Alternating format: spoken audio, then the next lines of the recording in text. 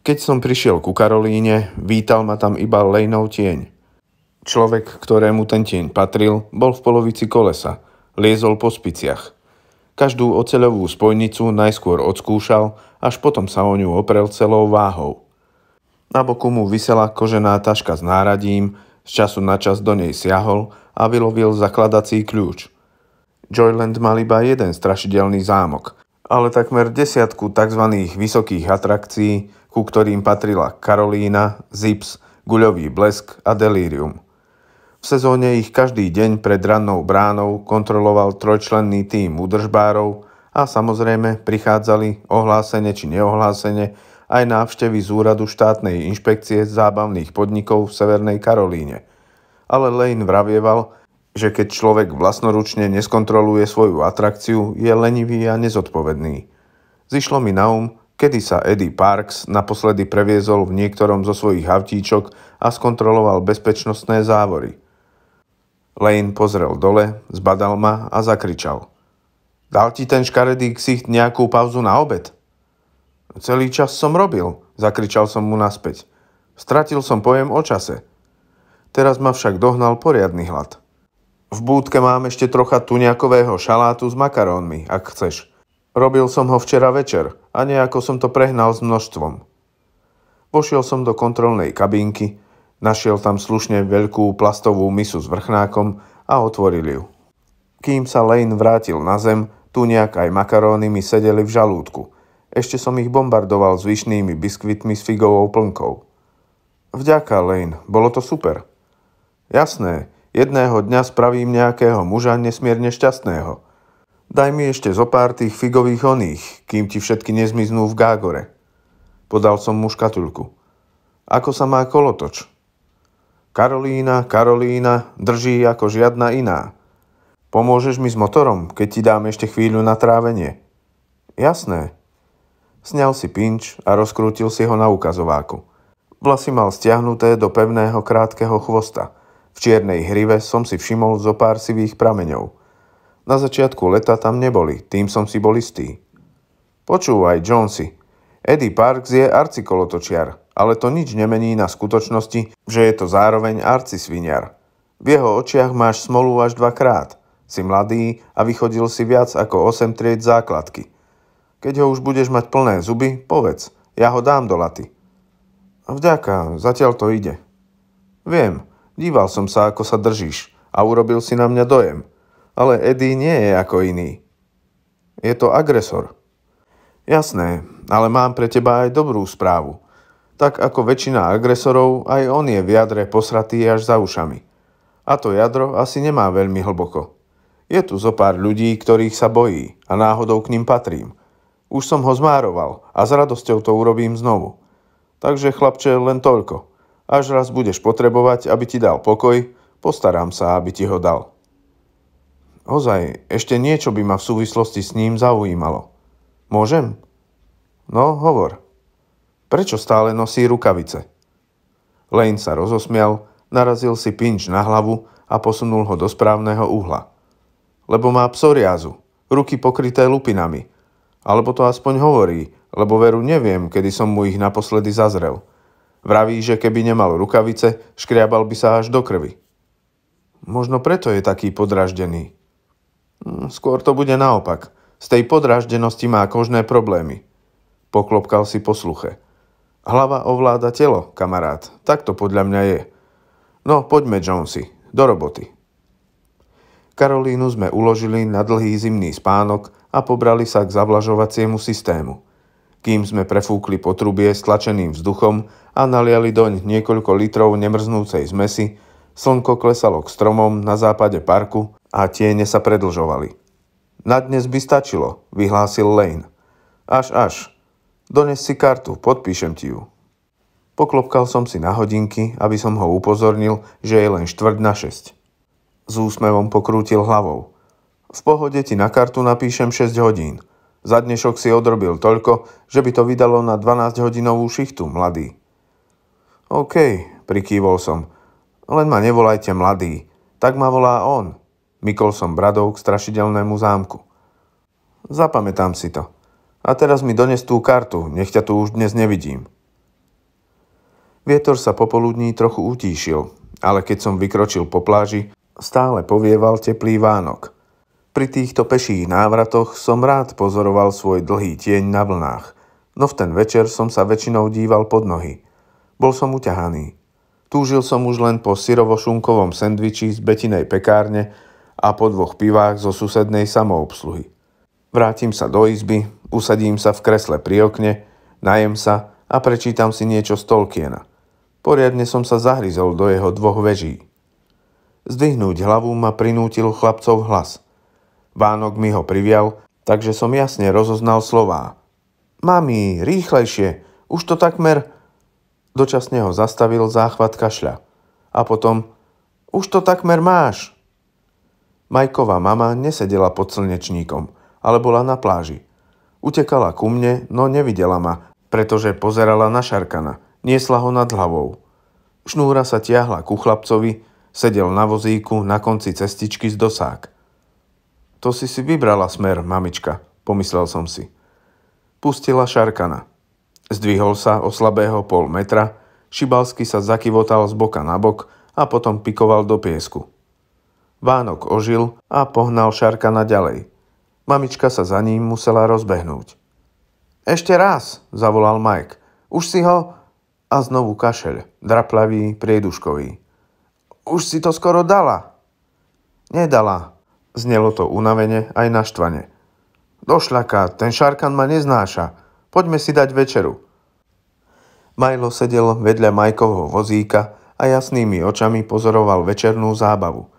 Keď ma zbadal, vystrelil ako raketa a rozštekal sa. Díval som sa, ako sa valí ku mne a spomenul si na to, čo madam Fortuna povedala v deň, keď som ju stretol po prvý raz. V budúcnosti máš malé dievča a malého chlapca. Chlapec má psa. Majlo, naspäť, kričala mamička. Vlasy mala pôvodne zrejme stiahnuté do chvosta, ale po niekoľkých pokusoch o vzdušnú akrobáciu jej uvoľnené pramienky vyseli okolo tváre. Uťahane si ich odhrnula za uši. Majlo ju nevnímal – Zabrzdil predo mnou, až sa mu spod predných hláb vzniesol oblak piesku a predviedol svoje ukážkové prosenie. Zasmial som sa a pohľadil ho po hlave. Dnes viac nedostaneš, kamoško. Kroasanty nebudú. Štekol na mňa a odbehol naspäť k nej. Stála po členky v piesku, sťažka dýchčala a nedôverčivo si ma prezerala. Ulovený šarkan jej vysel pri nohe. Vidíte? Ozvala sa. Preto nechcem, aby ste ho krmili. Má takú žobráckú náturu a vezme si do hlavy, že každý k tomu niečo hodí je jeho kamarát. No, veď ja som dosť kamarátsky človek. To rada počujem, prikývla. Len mi už nekrmte psa. Mala na sebe trištvrťové nohavice a staré modré tričko s vyblednutým vzorom. Podľa fľakov od potu som usúdil, že toho šarkana núti lietať už pekne dlho. O dušu sa snaží.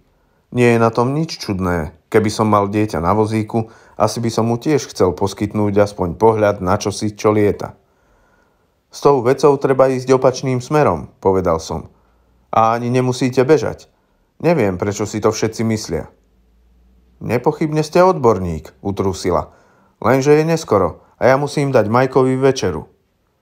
Mami, nech to skúsi, ozval sa Mike.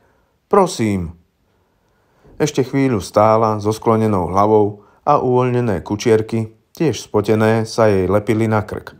Potom vzdychla a podala mi šarkana. Už som vedel prečítať aj nápis na jej tričku. Perryho tábor, turnaj Ležmo, 1959. Šarkan mal o mnoho lepší vzor. Bola na ňom namaľovaná Ježišová tvár. To je taký náš žartík, povedala rýchlo. Nepýtajte sa aký. OK. Máte jeden pokus, pánko z Joylandu, a potom beriem chlapca na večeru. Nesmie prechladnúť. V Lani bol chorý a ešte stále sa z toho nedostal. On si myslí, že áno, ale ja viem, že nie. Na pláži bolo ešte stále nejakých 24 stupňov, ale nezdôrazňoval som to. Mamička očividne nemala náladu na ďalšie protirečenie. Namiesto toho som jej zopakoval, že sa volám Devin Jones. Zdvihla ruky a rezignovane ich spustila. Ako povieš, môj zlatý? Pozrel som na chlapca. Mike? Prosím, zmotaj šnúru, dobre? Poviem ti, kedy máš prestať. Poslúchol a keď som stál tam, kde on sedel, pozrel som na Ježiša. No čo, pán Kristus, už konečne poletíte? Mike sa zasmiel. Mamička nie, ale videl som, ako sa jej mykli pery. Vraví, že áno, povedal som Majkovi. To je dobré, lebo... A znovu kašel. Mala pravdu, z tej choroby sa ešte nedostal. Nech už bola akákoľvek. Lebo dosiaľ sa akurát najedol piesku. Zdvihol som Šarkana nad hlavu, ale tvárou som sa obrátil k mestu. I hneď som pocítil, ako ním pošklbáva vietor. Igelit sa zavlnil. Pustím ho, Mike, a keď ho pustím, ty začneš znovu navíjať šnúru. Ale on zase len... Nie, nie zase len. No budeš to musieť urobiť rýchlo a opatrne. Hovoril som, ako by to bolo ťažšie, než to v skutočnosti bolo, pretože som chcel, aby sa chlapec cítil ako frajer, keď sa Šarkan vznesie. A ten sa vzniesť musel, ak by nás nezradil vetrík a neskapal. Veľmi som dúfal, že sa to tak neskončí, lebo som tušil, že mamička mi dá naozaj len jednu šancu, presne tak, ako hovorila. Šarkan vystúpi vyššie a keď sa vznesie, musíš znovu zaťahať za šnúru. Len daj pozor, aby bola stále napnutá, jasné? Lebo keby Šarkan klesol, mohol... Mohol by som ho trochu pritiahnuť. Chápem, nie som hlúpy. OK, pripravený? Jasné. Milo sa posadil medzi mňa a mamičku a pozrel na Šarkana. Tak, dobre. 3, 2, 1, štart. Chlapec sa hrbil na vozíku a nohy pod čortkami mal biedne, atrofované, ale za to v rukách mal sily dosť a vedel poslúchať pokyny. Začal navíjať šnúru a Šarkan sa okamžite vzniesol. Potom šnúru povolil, spočiatku priveľmi a Šarkan klesol, ale on to hneď napravil a Šarkan opäť vystúpil vyššie. Mike sa rozosmial. Cítim to, mám to v rukách. To cítiš vietor, povedal som mu. Pokračuj, Mike. Len čo vyletí ešte vyššie, úplne ho strhne vietor. Potom už budeš musieť len pevne držať. Uvoľnil šnúru a Šarkan sa zdvihol. Najskôr nad plážou, potom nad oceánom, Stúpal čoraz vyššie do tmavomodrej oblohy septembrového podvečera. Chvíľu som za ním pozeral, potom som vriskol jeden pohľad na ženu. Nenaježila sa, pretože si to nevšimla. Vnímala iba svojho syna. Myslím, že som ešte nikdy nevidel na tvári človeka toľko šťastia a lásky. To preto, lebo on bol šťastný. Oči mu žiarili a kašeľ ustal. Mami, je to, ako by bol živý.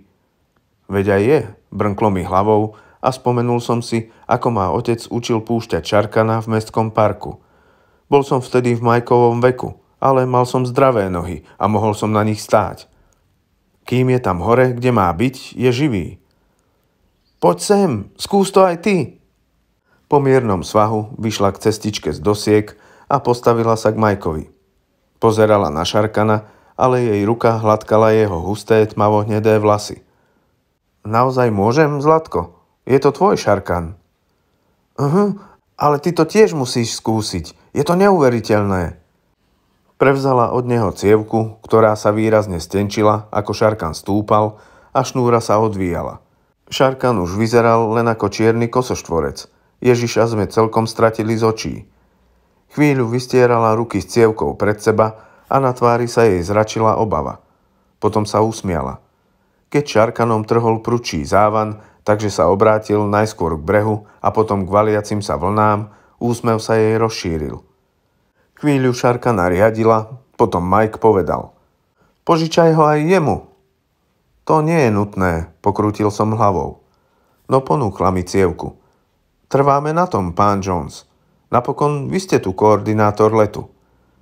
Tak som si cievku vzal a pocítil staré známe vzrušenie – Šarkan ťahal, tak ako ťahá slušne veľký pstruh, keď sa chytí na háčik, ale pri púšťaní Šarkana je pekné to, že ho netreba zabiť. Ako vysoko vyletí? spýtal sa Mike. Neviem, no dnes večer by asi nemal letieť o mnoho vyššie, než je teraz. Hore je silnejší vietor a mohol by Šarkana pretrhnúť. Okrem toho, vy dvaja sa potrebujete najesť. Mami, nemohol by pán Jones večerať s nami? Zdalo sa, že ju ten nápad prekvapil a nie príjemne. No aj tak som na nej videl, že prikývne, pretože som dostal Šarkana do vzduchu.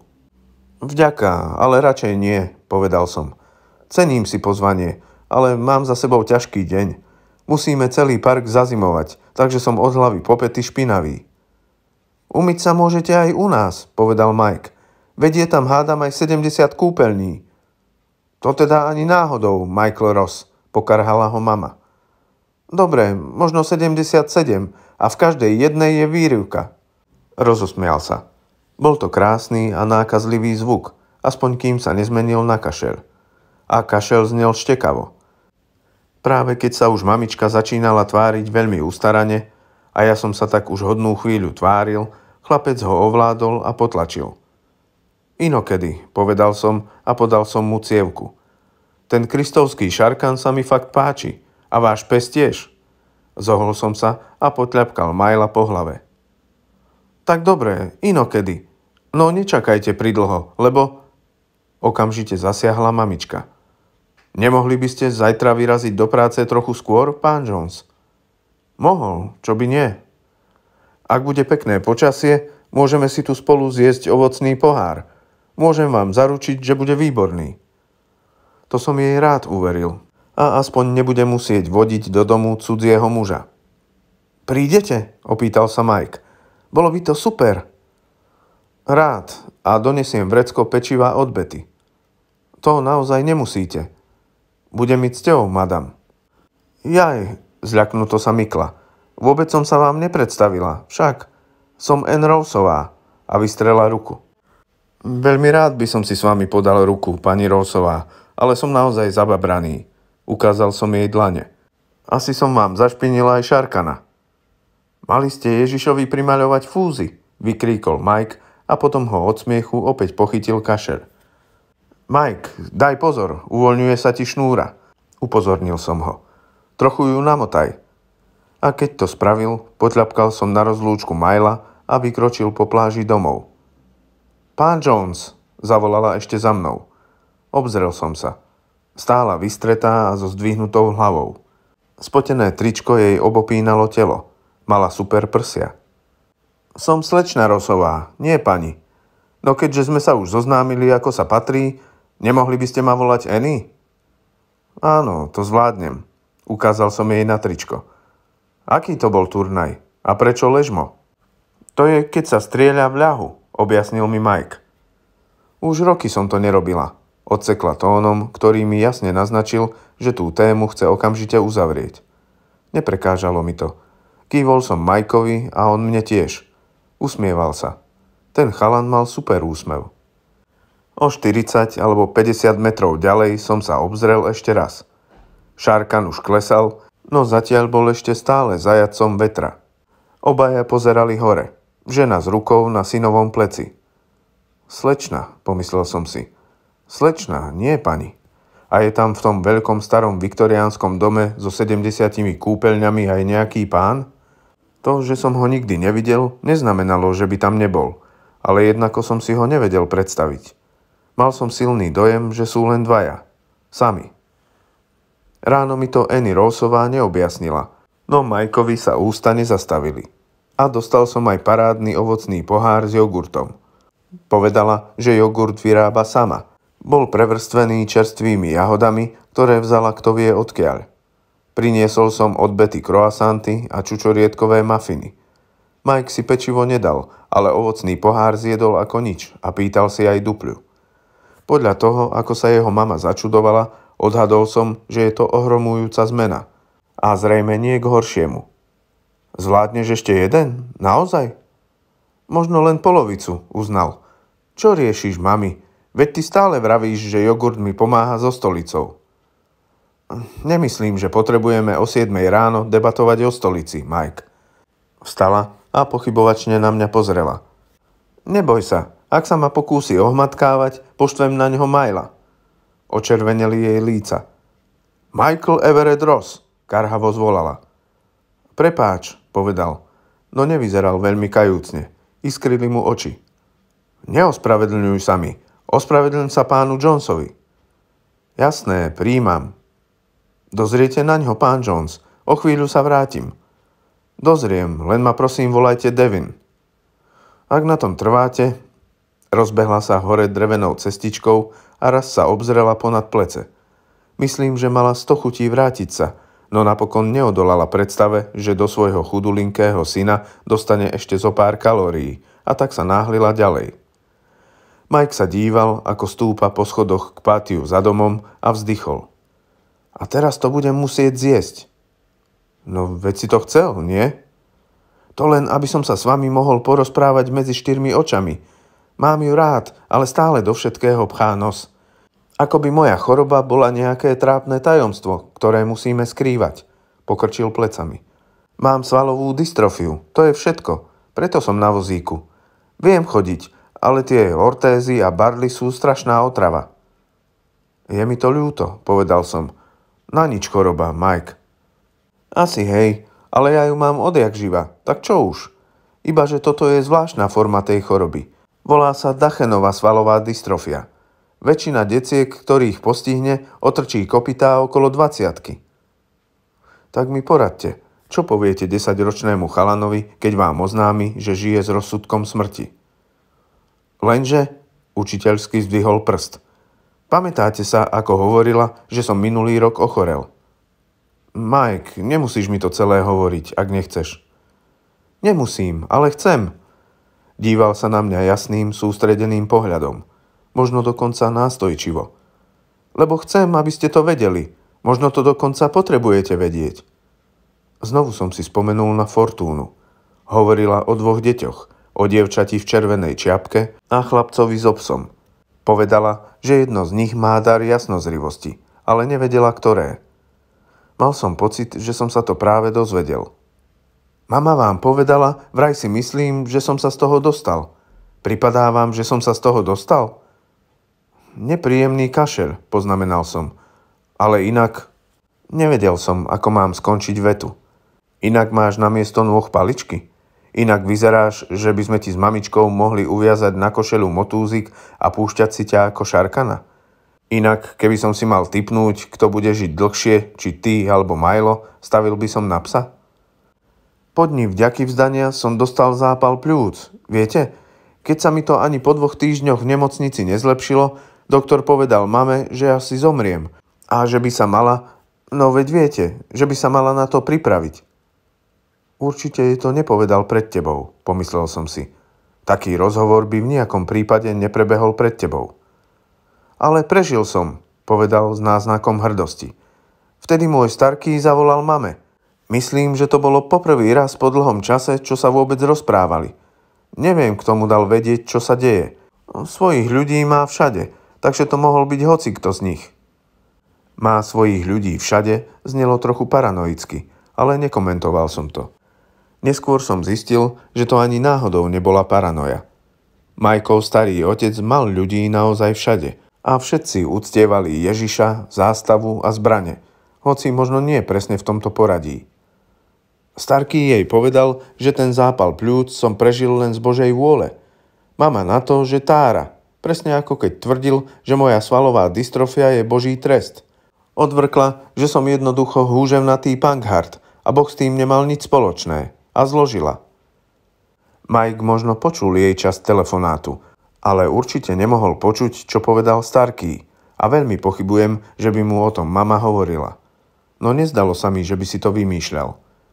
Pristihol som sa, ako dúfam, že sa Annie ešte trochu zdrží. Nebolo to ako počúvať Madame Fortúnu. Podľa mňa, to som si myslel vtedy aj teraz, mala mierny jasnovidecký talent – ten skombinovala s prenikavým chápaním ľudskej povahy a zabalila do ligotavých kolotočiarských čačiek. To, čím bol nadaný Mike, bolo oveľa zretelnejšie, prostejšie a čistejšie. Nebolo to ako vidieť ducha Lindy Grayovej, ale malo to s tým niečo spoločné, viete. Bol to dotyk s iným svetom. Mama povedala, že sa sem už nikdy nevráti a teraz sme tu, lebo som chcel chodiť na pláž a púšťať si šarkana – Nielen, že nikdy nebudem mať viac ako 20 rokov, ale nedožijem sa ani 12. Viete, to ten zápal pľúc. Beriem steroidy a pomáhajú mi, ale keď sa k tým liekom pridal zápal pľúc, vždy mi dodrbal pľúca a srdce. S detským vzdorom na mňa pozrel, sledoval, ako zareagujem na to, čo sa dnes už chápe ako veľmi mierny vulgarizmus. Samozrejme, nezareagoval som. Mal som dosť, aby som spracoval zmysel jeho slov. Nestíhal som sa zaoberať jednotlivými slovami. Takže nadýchol som sa. Asi mi chceš povedať, že ti jogurtovo-ovocná dupľa nepomôže. Zaklonil hlavu a rozosmial sa. Smiech prešiel do zatiaľ najhoršieho záchvatu kašľa. Vyplašený som k nemu podišiel a pobúchal ho po chrbte, ale veľmi jemne. Mal som pocit, že pod kožou má len tenké kuracie kostičky. Majlo štekol a vyložil si predné laby na jednu majkovú atrofovanú nohu. Na stole boli dva krčahy, Jeden s vodou, druhý s pomarančovým džúsom. Mike ukázal na vodu, nalial som mu do polovice pohára. Keď som mu chcel zdvihnúť pohár k perám, netrpezlivo na mňa zagánil, hoci ním ešte stále otriasal kašeľ a chytil si ho sám. Trochu si obliel tričko, ale väčšina vody napokon skončila v hrdle a kašeľ ustal. Tento bol dosť zlý, priznal a poklopkal si po hrudníku. Uh, Srdce mi bije ako šialené. Nehovorte to mame. Kriste, pane, človeče, myslíš, že to nezistí? Myslím, že toho zistí vždy až priveľa, odvetil Mike. Vie, že mám pred sebou asi tri lepšie mesiace a potom štyri alebo päť veľmi zlých. Akože budem stále ležať v posteli, nebudem môcť robiť nič, len dýchať kyslík a pozerať meš a tučného Alberta – Jedine si nie je istá, či pustí starku a starkého na pohreb. Myslím Rosovcov. Kašel mu do očí vohnal slzy, ale nemali nič spoločné so seba ľútosťou. Hovoril chmúrne, ale ovládal sa. Včera večer, keď Šarkan vzlietol a šnúra sa mu šklbala v rukách, vyzeral mladší, než bol. Teraz som sa díval, ako bojuje, aby mohol byť chvíľu oveľa starší. Desivé bolo, že sa mu to darilo – Pozrel mi priamo do očí. Ona to vie, len nevie, že to viem aj ja. Buchli zadné dvere. Obzreli sme sa a Annie prechádzala cez patio, mierila k cestičke z dosák. Prečo to podľa teba potrebujem vedieť, Mike? Pokrútil hlavou. Netuším, no s mamou o tom hovoriť nemôžete, dobre?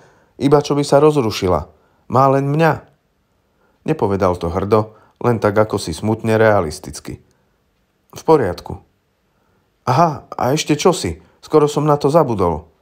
Pozrel na ňu, videl, že je iba v polovici cestičky a obrátil sa ku mne. Nie je to biele. Čo nie je biele? Mike Ross bezmocne pokrčil plecami. Nemám potuchy. Keď som sa ráno prebudil a spomenul si, že prídete na ovocný pohár, toto mi zišlo na um. Myslel som, že tomu budete rozumieť. Prišla k nám Annie. Do pohára na džús naliala malú porciu jogurtu. Na ňom sedela jediná jahoda. Mňám, zvolal Mike. Ďakujem, mami. Nemáš ani trošku za čo, Zlatko? Pozrela mu na mokré tričko, ale nekomentovala to.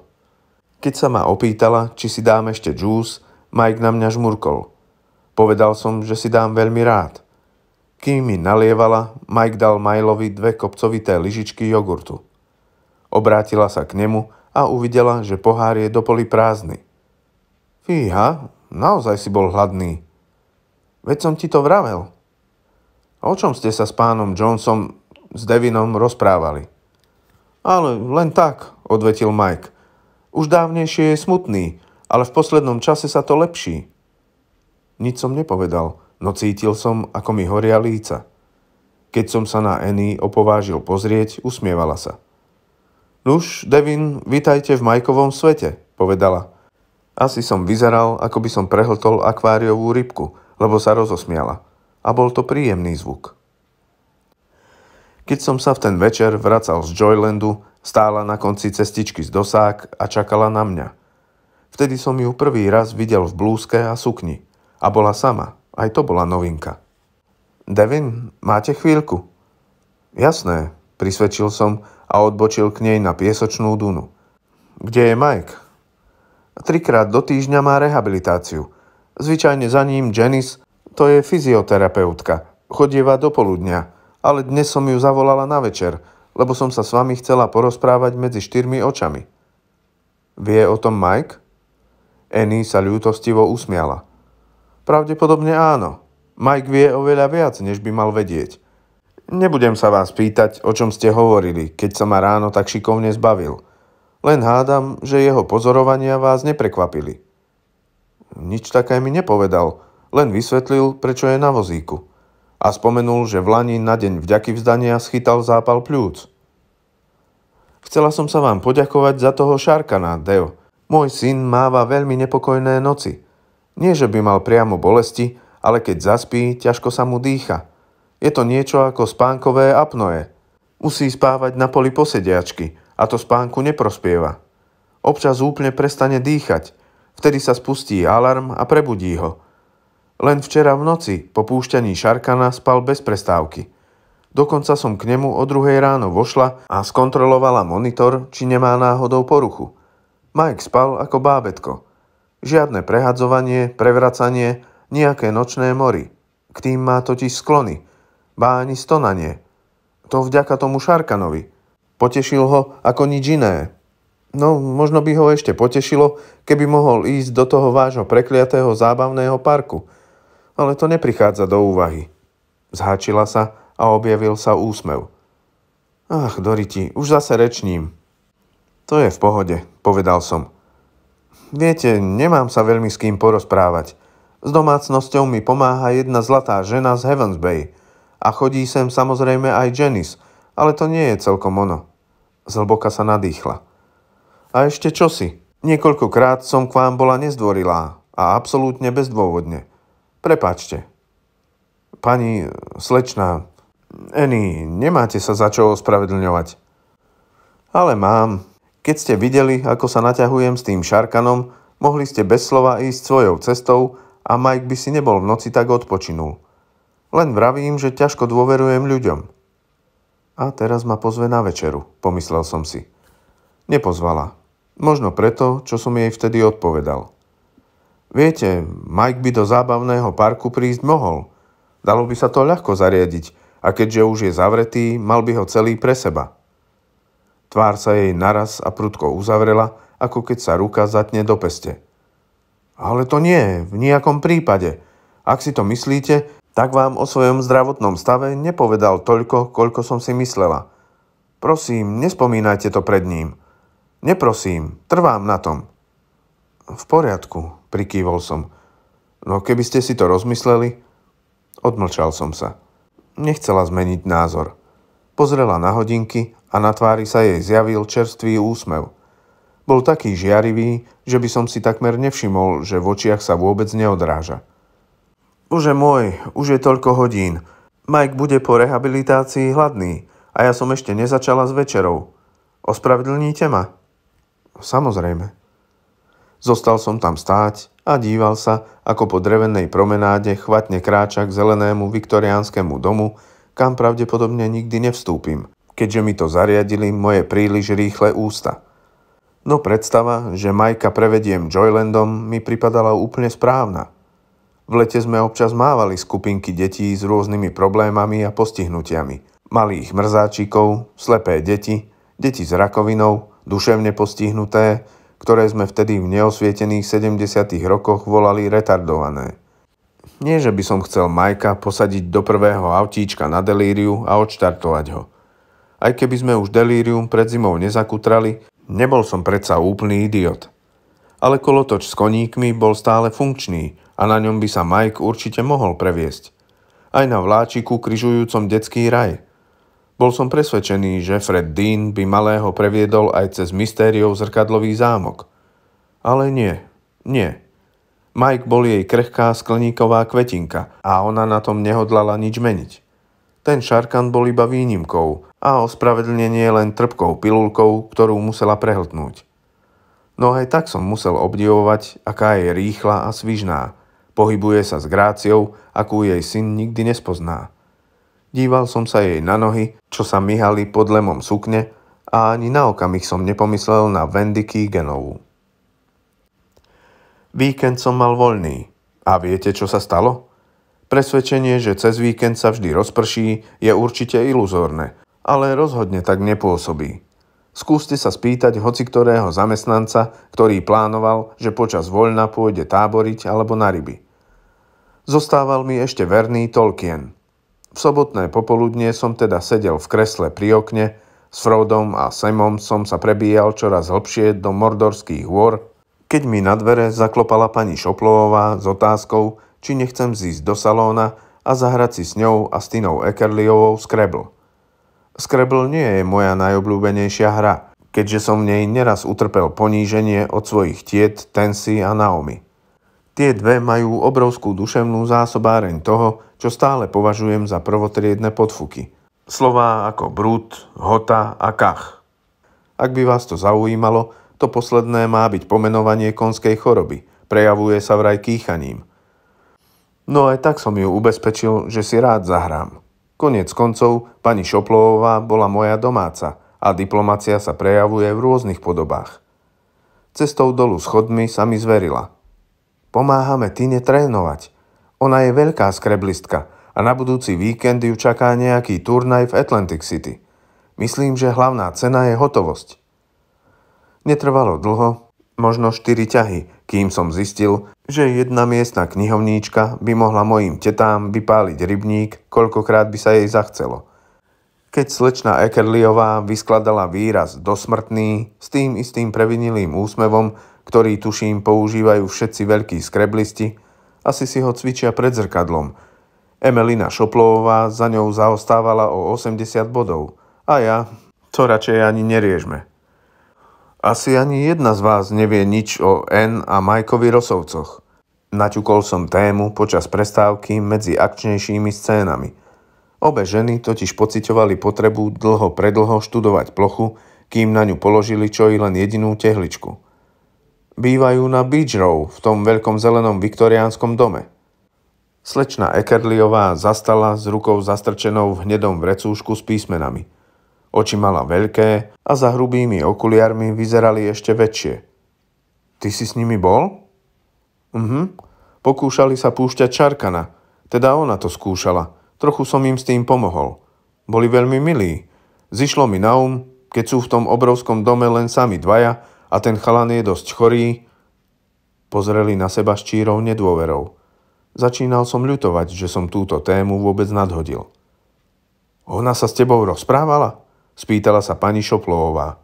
Ľadová kráľovná s tebou stratila slovo? Nielen, že so mnou stratila slovo, ale dala mi jogurt s ovocím a ďakovala mi. Dokonca sa mi ospravedlnila, pomyslel som si. No nič som z toho nepovedal. Nie preto, lebo Eny sa naozaj premenila na ľadovú sochu, len čo som si priveľa dovolil, ale preto, lebo mi to pripadalo akési nelojálne. No, na chvíľu, Pomohol som im dostať toho šarka na hore. Obrátil som hraciu plochu. Patrila Tine. Bol to ten typ pre profíkov so zabudovanou strelkou. Poďme, pani domáca, teraz ste na rade vy. Možno poskladáte slovo, ktoré sa nachádza v mojej chabej slovnej zásobe. Podľa toho, kam ho uložíš, môže byť slovo chabý za 70 bodov, povedala Tina Ekerliová. Najmä ak sa nakoniec priloží ešte ďalšie slovo. Pani Šoplovová ignorovala aj radu, aj hraciu plochu. Ale vieš, kto je jej otec, nie? Veru nie. No vedel som, že je s ním na nože. Buddy Ross. Nič? Božia hodinka Buddyho Rossa. Nič ti to nehovorí? Vzdialene mi to, čo si hovorilo. Možno som v šatni začul z rádia nejakého kazateľa menom Ross. Logické, že práve tam. Doty Lejznová sa má raz počas jednej z mojich bleskových prezliekacích akcií spýtala, dosť nečakane, či som už našiel Ježiša. Chcel som jej odvrknúť, že prvý raz počujem, že sa stratil, no ovládol som sa. Aha, on patrí k tým božím hlásnym trúbam, čo? Spolu s Orelom Robertsom a Jimmym Swagertom, či ako sa volá. Ba možno je z nich aj najväčší hlaváč, povedala pani Šoplovová. Vysiela zo svojho gigantického chrámu v Atlante, ktorý sa nazýva Božia citadela. Jeho rozhlasový program počuť po celej krajine a teraz sa čoraz častejšie dostáva aj do telky. Neviem, či mu stanice ten vysielací čas dávajú zadarmo, alebo či si ho musí platiť. Určite si to môže dovoliť, najmä neskoro večer. Vtedy sú hore už len starci, ktorých všetko bolí a hnevá. Jeho programy sú z polovice o zázračnom uzdravovaní a z polovice o mámení príspevkov od veriacich. Uzdravenie vnuka sa mu tuším veľmi nepodarilo, poznamenal som. Tina vytiahla ruku z vrecka, ale nemala v nej ani jedno písmenko. Na skrebl zrejme momentálne zabudla a to bolo pre jej úbohé obete šťastie. Oči jej iskrili. Ty ten príbeh vôbec nepoznáš? Ja teda bežne neklebetím, ale... Stíšila hlas do sprisahaneckého tónu, len o niečo silnejšieho odčepkania. Ale keďže si sa s nimi už zoznámil, možno ti to poviem. Prosím vás, hovorte. Pomyslel som si, že jedna z mojich otázok, ako si Annie a Mike môžu dovoliť bývanie v obrovskom dome na jednej z najsnobskejších pláží v Severnej Karolíne, je zodpovedaná. Bolo to starkého letné sídlo, zaplatené peniazmi od ovečiek. Má dvoch synov, povedala Tina. Obaja sú v cirkevnej štruktúre dosť vysoko. Stali sa dekanmi alebo asistentmi pastora. Neviem, ako sa to presne volá. V tej ich pánboškárskej hatlanine sa nevyznám. Za to dcéra bola od začiatku iná. Športový typ. Jazdectvo, tenis, lukostrelba. S oteckom aj lovila jelene a dosť sa venovala športovej streľbe. To všetko sa objavilo v novinách, až keď sa začali jej problémy. Aha, tak preto to tričko zo streleckej súťaže v tábore. Zhruba v 18 pošlo všetko do horúcich pekiel. Z jeho pohľadu doslovne. Prihlásila sa na vysokú, akú oni volajú sekulárno-humanistická a ak máme veriť jej okoliu, poriadne sa otrhla z reťaze. Jedna vec bola, že sa vykašľala na strelecké súťaže a tenisové turnaje. Druhá a horšia, že sa vykašľala na kostol – a namiesto toho chodila na večierky s chlapmi a alkoholom. A Tina ešte väčšmi stíšila hlas. S trávou. Jaj, afektovane som zhýkol.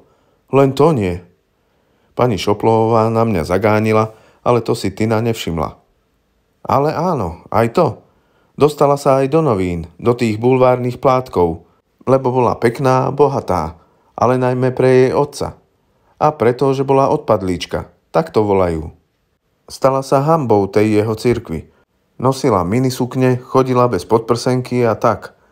Vieš, čo tí fundamentalisti kážu rovno zo starého zákona, že spravodliví budú odmenení a hriešnici do 7. generácie zase potrestaní. A ona urobila viac než len to, že sa na tej satanskej vysokej škole v Greenwichi spúšťala na večierkoch. Tina tak vytreštila oči, až to vyzeralo, že jej vypadnú z jamok a skotúľajú sa po lícach. Odhlásila sa z Národnej asociácie pre strelné zbrane a prihlásila sa do americkej ateistickej spoločnosti. Ach jaj, aj to sa dostalo do novín. Že či? A potom otehotnela. To nikoho neprekvapilo a keď sa ukázalo, že dieťa má nejaký problém, asi detskú obrnu, svalovú dystrofiu. Hm, nech je to čokoľvek, jej otca sa na to počas jednej z tých kryžiackých výprav opýtali. A vieš, čo odpovedal? Pokrútil som hlavou, ale pomyslel som si, že to viem celkom dobre odhadnúť. Povedal, že Boh trestá neveriaceho a hriešnika. Povedal, že ani jeho dcéra v tom nie je výnimkou a možno ju postihnutie jej syna privedie späť k Bohu. Myslím, že zatiaľ sa to nestalo, povedal som. Spomenul som si na Šarkana s Ježišom. Nechápem, prečo ľudia používajú náboženstvo, aby si navzájom ubližovali, keď je na svete aj tak toľko bolesti, ozvala sa pani Šoplová. Náboženstvo by malo ľudí utešovať. On je len starý, bigotný nafúkanec, vyhlásila Tina. Bez ohľadu na to, s koľkými mužmi sa vyspala a koľko jointov vyfajčila, aj tak je to jeho dcéra. A ten chalan je jeho vnuk. Raz či dvakrát som toho chlapca videla v meste – Buď sedel na vozíku, alebo sa vliekol v tom hroznom korzete, bez ktorého nemôže chodiť. Vyzerá ako dokonale slušný chlapec a ona bola triezva a mala podprsenku. Zamyslela sa a dodala. Aspoň myslím. Jej otec sa môže zmeniť, povedala pani Šoplovová, ale pochybujem o tom. Mladé ženy a mladí muži dospievajú, ale staré ženy a starí muži len starnú a sú si čoraz istejší, že pravda je na ich strane. najmä ak poznajú písmo. Zišlo mi na um, čo hovorievala moja mama. Aj diabol vie citovať písmo. Veru a príjemným hlasom, mrzuto prikývla pani Šoplová. Potom sa usmiala. No keďže im reverend Ross prenajal svoj dom na Beach Row, možno je ochotný nechať minulosť na pokoji. Možno mu už preletelo hlavou, že bola jednoducho mladá, nemala ani právo voliť. Deo, nie si náhodou na rade? Bol som. Zložil som slovo slza. Získal som zaň 4 body. Moja porážka nebola milosrdná, no keď sa Tina Ekerliová naozaj rozbehla, aspoň bola relatívne rýchla. Vrátil som sa do svojej izby, posadil sa do kresla pri okne a pokúsil sa znovu pridať k Semovi a Frodovi na ich ceste k hore osudu. No nedokázal som to. Zatvoril som knihu a cez sklo, skreslené jarčekmi po dažďových kvapkách, som sa zadíval na prázdnu pláž a sivý oceán. Bol to smutný pohľad a v takých chvíľach sa mi myšlienky zvyčajne vracali k Wendy. Uvažoval som, kde asi je, čo robí a najmä s kým – Spomínal som, ako sa usmievala, ako jej vlasy padali na líce, ako sa jej jemne dvíhali prsníky pod jedným zo zdanlivo nekonečnej zásoby vlnených svetríkov. Dnes nie. Prichytil som sa pri myšlienke na Annie Rosovú a uvedomil som si, že som sa do nej tak trochu, ale pomerne intenzívne zamiloval. Skutočnosť, že to nemalo perspektívu, bola odo mňa určite o 10 alebo aj o 12 rokov staršia – mi to celé ešte zhoršovala. Alebo možno zlepšovala, lebo neopetovaná láska má pre mladých mužov svoje čaro. Pani Šoplová naznačila, že pre svetý otec peknej Eny sa možno odhodlal nechať minulosť na pokoji a zdalo sa mi, že niečo na tom bude. Už som začul, že vnúčatá vedia obmekčiť aj to najzatvrdnutejšie srdce a on sa možno chce s chlapcom lepšie spoznať, kým je ešte čas. Pravdepodobne zistil, prostredníctvom ľudí, ktorých má všade, že Mike je telesne postihnutý, ale duševne veľmi bystrý. Alebo dokonca začul chýry, že Mike má to, čo Madame Fortuna označovala ako jasnozrivosť. Prípadne som si to maľoval na ružovo. Chrlič ohňa a síry možno nechal cére a vnukovi dom výmenou za sľub, že už bude držať jazyk za zubami a nepodkúri mu ďalším škandálom, strávou a minisukňami, kým sa mu podarí ten zásadný prechod z rozhlasu do televízie. Mohol som špekulovať, až kým by sa oblakmi zahalené slnko nepobralo na obzor. A aj tak by som si nemohol byť úmyslami Buddyho Rossa istý. No povedal som si, že u Annie je isté aspoň jedno. Ona minulosť na pokoji nechať nechcela. Vstal som a zbehol do salóna. Už cestou som z peňaženky vytiahol zdrab papiera s telefónnym číslom – Tina a pani Šoplovová boli v kuchyni. Počul som ich, ako si veselo trkocú. Zatelefonoval som do internátu, kde bývala Erin Kúková, no nečakal som, že ju tam v sobotu popoludní objavím. Pravdepodobne bola s Tomom v New Jersey, sledovala tam zápas v univerzitnom futbale a vyspevovala bojovú hymnu týmu Scarlet Knights. Lenže dievča slúžiace pri telefóne mi povedalo, že ju privedie a o 3 minúty som počul jej hlas. Deo, chystala som sa ti zavolať. Vlastne som za tebou chcela zájsť, no musím presvedčiť aj Toma. Myslím, že sa mi to podarí, ale nie je nasledujúci víkend, asi až ten ďalší. Hodil som pohľad na nástenný kalendár a uvidel, že to bude prvý oktobrový víkend. Naozaj si niečo zistila? Neviem, možno. Rešeršovanie mám rada a do tohto som sa zahryzla. Mám tu dosť faktov, ale to neznamená, že som v univerzitnej knižnici vyriešila vraždu Lindy Grayovej. No aj tak sú tu veci, ktoré by som ti chcela ukázať. Veci, ktoré mi robia starosti. Robia ti starosti? Prečo? Ako? Hm, nechcem ti to vysvetľovať cez telefón. Ak nepresvedčím Toma, aby šiel so mnou, všetko to napchám do veľkej obálky a pošlem ti ju poštou. Ale snáď ho presvedčím. Chce sa s tebou stretnúť, len odmieta mať čokoľvek spoločné s týmto pátraním. Odmietol sa čo i len pozrieť na fotky. Pomyslel som si, že hovorí príliš záhadne, ale nič som nepovedal. Ozaj, už si počula o kazateľovi menom Buddy Ross? Buddy? Rozchychotala sa. Aha, božia hodinka Buddyho Rossa. Moja stará mama toho starého podvodníka počúva od nevidím do nevidím. Vieš, čo robí? Tvári sa, že vyťahuje ľuďom z brucha nádory a pritom sú to kozie žalúdky. Vieš, čo by o ňom povedal tatko Ellen? Arci kolotočiar, zaškeril som sa. Presne tak. Čo by si o ňom chcel vedieť? A prečo si to nemôžeš zistiť sám? Čo sa tvoja matka zľakla kartotečnej skrine, keď ťa čakala? Neviem o tom, no keď sa mi končí robota, knižnica v Heavens Bay je už zatvorená. Pochybujem, že tam vôbec majú, kto je kto. Je to len jedna miestnosť. Ale oň ho vlastne nejde. Ide o jeho dvoch synov. Chcem sa dozvedieť, či majú deti. Prečo? Lebo jeho dcéra má syna. Super chalan, ale zomiera. Na druhej strane bolo ticho. A potom... Deo, do čoho si sa to zaplietol? Do ničoho, len sa zoznamujem s ľuďmi. Príďte obaja, strašne rád vás uvidím. A Tomovi povedz, že do strašidelného zámku nevkročíme. Myslel som, že ju to rozosmeje, ale nie. On by tam aj tak nešiel. Ani sa k strašidelnému zámku nepriblíži. Rozlúčili sme sa, zapísal som trvanie medzimeckého hovoru a potom sa vrátil hore a posadil sa k oknu. Znovu som pocítil tú čudnú, tupú žiarlivosť.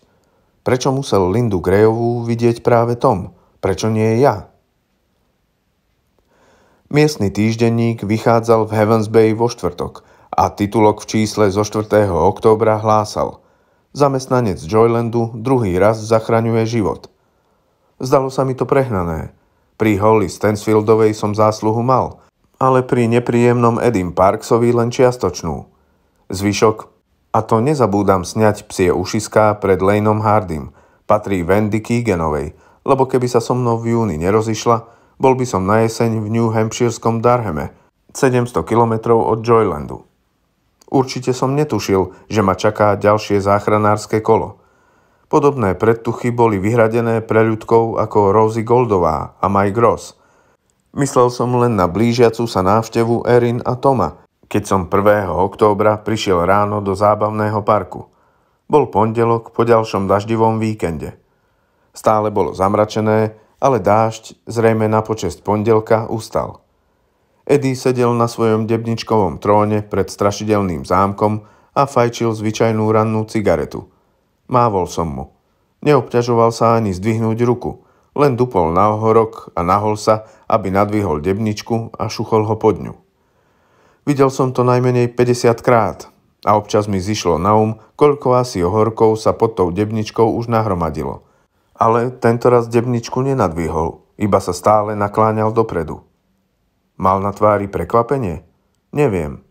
Kým som si uvedomil, že niečo nie je v poriadku, videl som len jeho vyšedivené a zamastené psie ušiská, lebo hlava mu klesla na kolená. Nakláňal sa čoraz ďalej, napokon spravil kotrmelec a pristál na chrbte s roztiahnutými nohami a tvárou obrátenou k zamračenej oblohe. Vtedy už mal na nej bolestnú grimasu. Pustil som vrecko s jedlom a rozbehol som sa k nemu. Pri rozvalenom tele som klesol na kolená. Edy, čo vám je? Srdce, hlesol. Chvíľu som sa nazdával, že hovorí o nejakom starom čínskom filozofovi, o ktorom som ešte nepočul. A potom som si všimol, ako si dlaň v rukavici pritláča k ľavej strane hrudníka. Pred Joylandovská verzia Deva Jonesa by jednoducho zakričala o pomoc, ale po štyroch mesiacoch našej reči mi pomoc ani nezišlo na um. Namiesto toho som sa nadýchol, zdvihol hlavu a zahulákal som do vlhkého ranného vzduchu, ako silno som vládal. Hej, čávo! Na blízku bol jedine Lane Hardy a rýchlo dobehol – Letní brigádnici, ktorých najímal Fred Dean, nemuseli ovládať resuscitáciu už pri podpise zmluvy, ale museli sa ju naučiť. Vďaka kurzu prvej pomoci, čo som navštevoval ako tínedžer, som to už vedel. Poltucet účastníkov kurzu sa učil pri bazéne v IMCA na figuríne s absurdným názvom Herkimerská rybka. Teraz som dostal šancu prvý raz uplatniť teóriu v praxi. A viete čo? Až tak sa to nelíšilo od ťahu, ktorým som vyrazil z hrdla malej Stansfieldovej hotdogovú zátku. Nemal som na sebe kožuch, takže som nemusel nikoho objímať, no aj tak to bola otázka hrubej sily. Tomu starému Lotrovi zostali štyri prasknuté rebrá a jedno zlomené. A veru nemôžem povedať, že by som ho preto ľutoval. Kým pribehol Lane, už som kľačal pri jedým a masíroval mu srdce. Najskôr som sa zaprel o ruky, potom som sa odtiahol a počkal som, či sa nadýchne. Kriste, pane, zvolal Lane. Infarkt? Asi hej, zavolajte sanitku.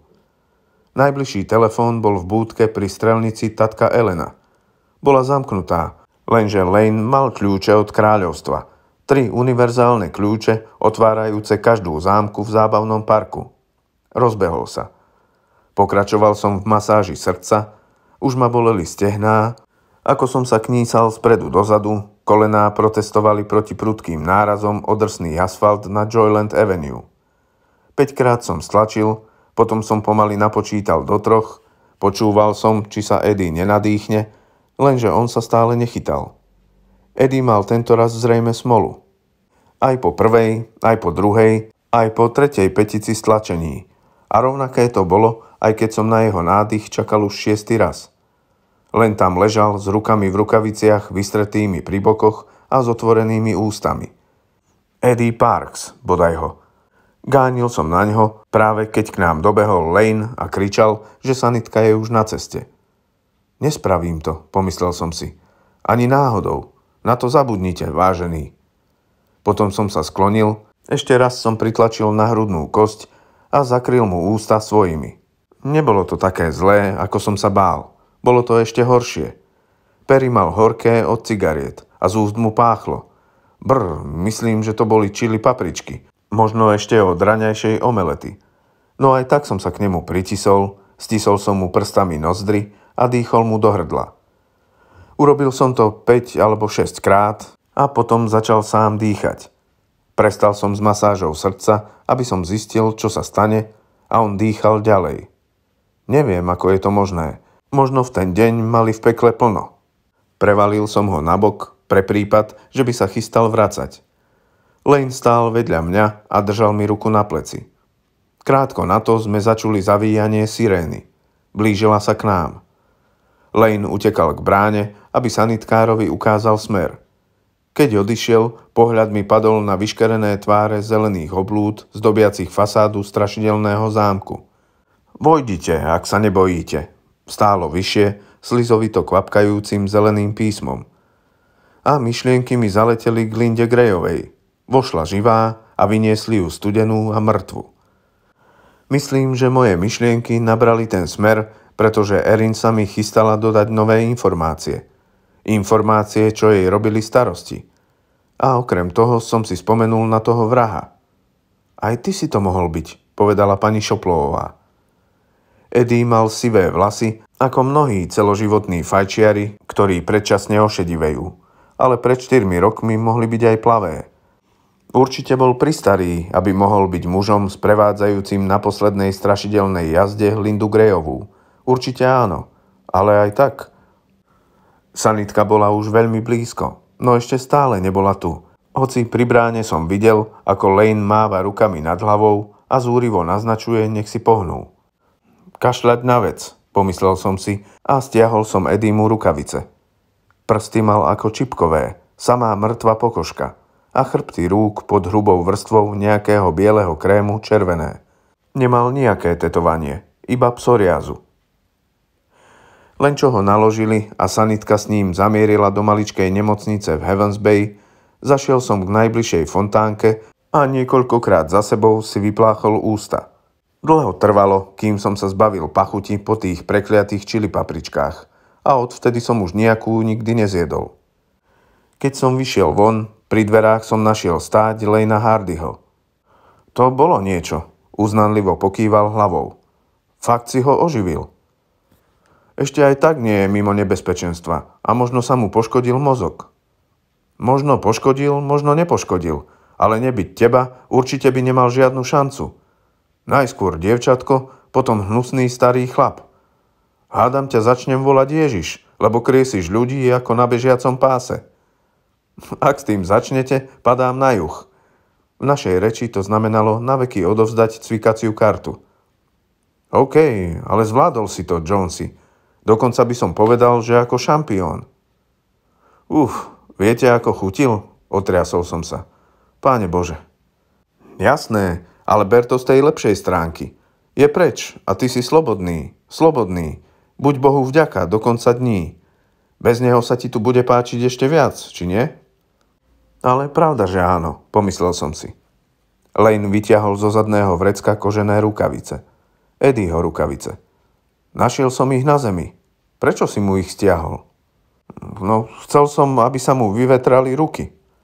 Znelo to maximálne stupídne, ale pravda by bola vyznela ešte stupídnejšie. Nechápal som, ako mi mohlo zísť na um, že práve Eddie Parks zabil Lindu Greyovú.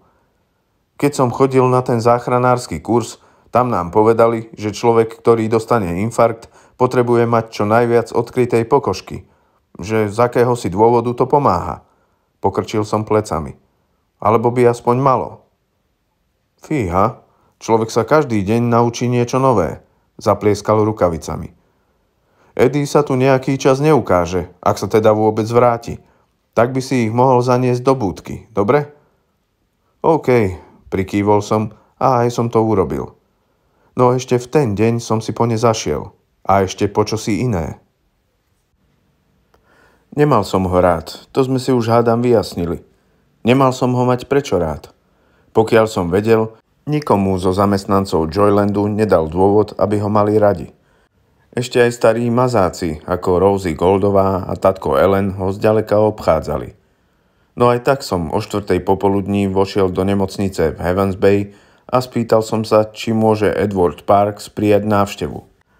Niesol som jeho rukavice a ešte tú druhú vec – Dobrovoľná recepčná s modrým prelivom dvakrát prelistovala papiere a krútila hlavou, až som si začal myslieť, že Eddie napokon predsa len zomrel. No potom povedala. Aha, Edwin, nie Edward. Leží v izbe číslo 315. To je Jiska, takže sa budete musieť najskôr ohlásiť sestrám. Poďakoval som sa jej a zamieril k výťahu. Bol dosť veľký, aby sa doň zmestili aj nosidlá. Bol pomalý ako starý slimák, takže som mal dosť času s úžasom premýšľať, čo tu vlastne robím. Ak Eddie potreboval vidieť nejakého kolegu z Joylandu, tak skôr Freda Deana ako mňa, lebo Fred Dean bol v tú jeseň vedúci. A prišiel som ja. No pomyslel som si, že ma k nemu asi aj tak nepustia. Hlavná sestra však nazrela do chorobopisu a dala mi požehnanie. Pacient možno spí, upozornila ma. Neviete, ako je na tom s... Poklopkal som si po hlave. S mentálnymi funkciami? No, povedal mi, ako sa volá. To znelo nádejne. Naozaj spal. Keď som ho uvidel so zavretými očami a s neskorým slnkom na tvári, predstava, že ešte pred 4 rokmi chodil s Lindou Grejovou, pôsobila ešte absurdnejšie. Vyzeral najmenej na 100 rokov, možno aj na 120. Videl som aj to, že nepotrebuje rukavice. Niekto mu obviazal ruky, ak iste potom, čo mu ošetril pokožku a zrejme niečím silnejším, ako bol ten krém, ktorý si Eddie pravdepodobne kupoval v lekárni. Pri pohľade na tie objemné biele obvezy som napriek všetkému pocítil zvláštny súcit. Čo najtichšie som prešiel cez izbu a rukavice odložil do skrine k oblečeniu, ktoré mal na sebe, keď ho priviezli. A tak mi zostala už len jedna vec. Fotografia.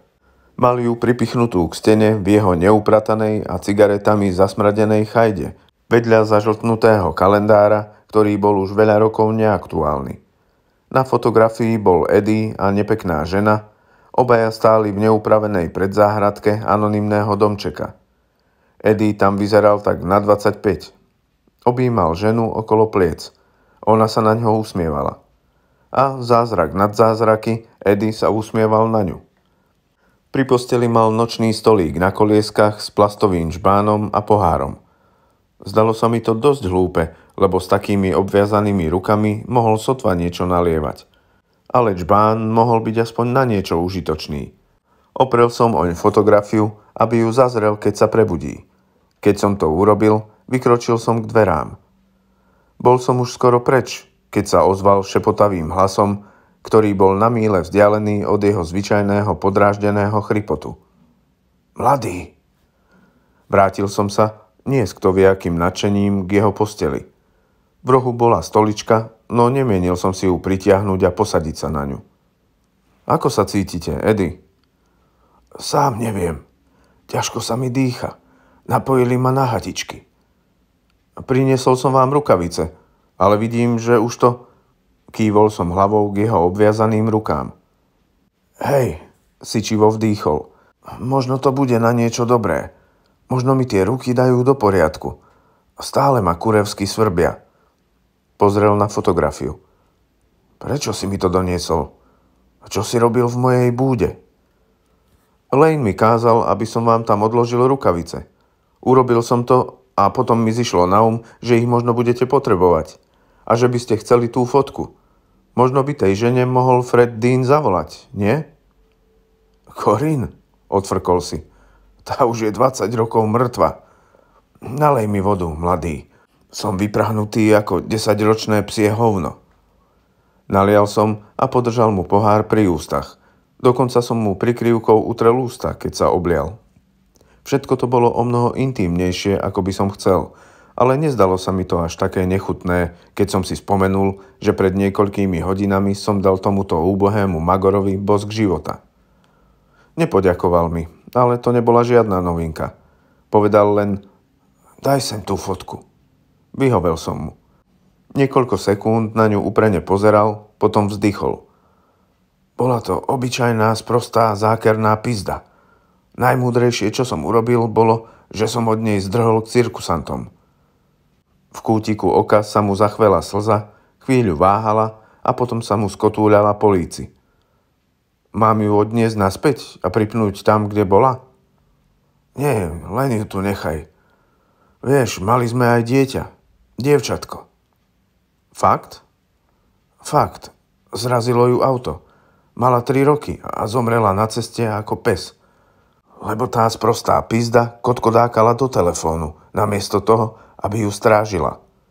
Odvrátil hlavu a zavrel oči. No, už sa ber. Bolí ma to, keď rozprávam a som uťahaný. Ako by mi na prsiach sedel slon. OK, tak sa opatrujte.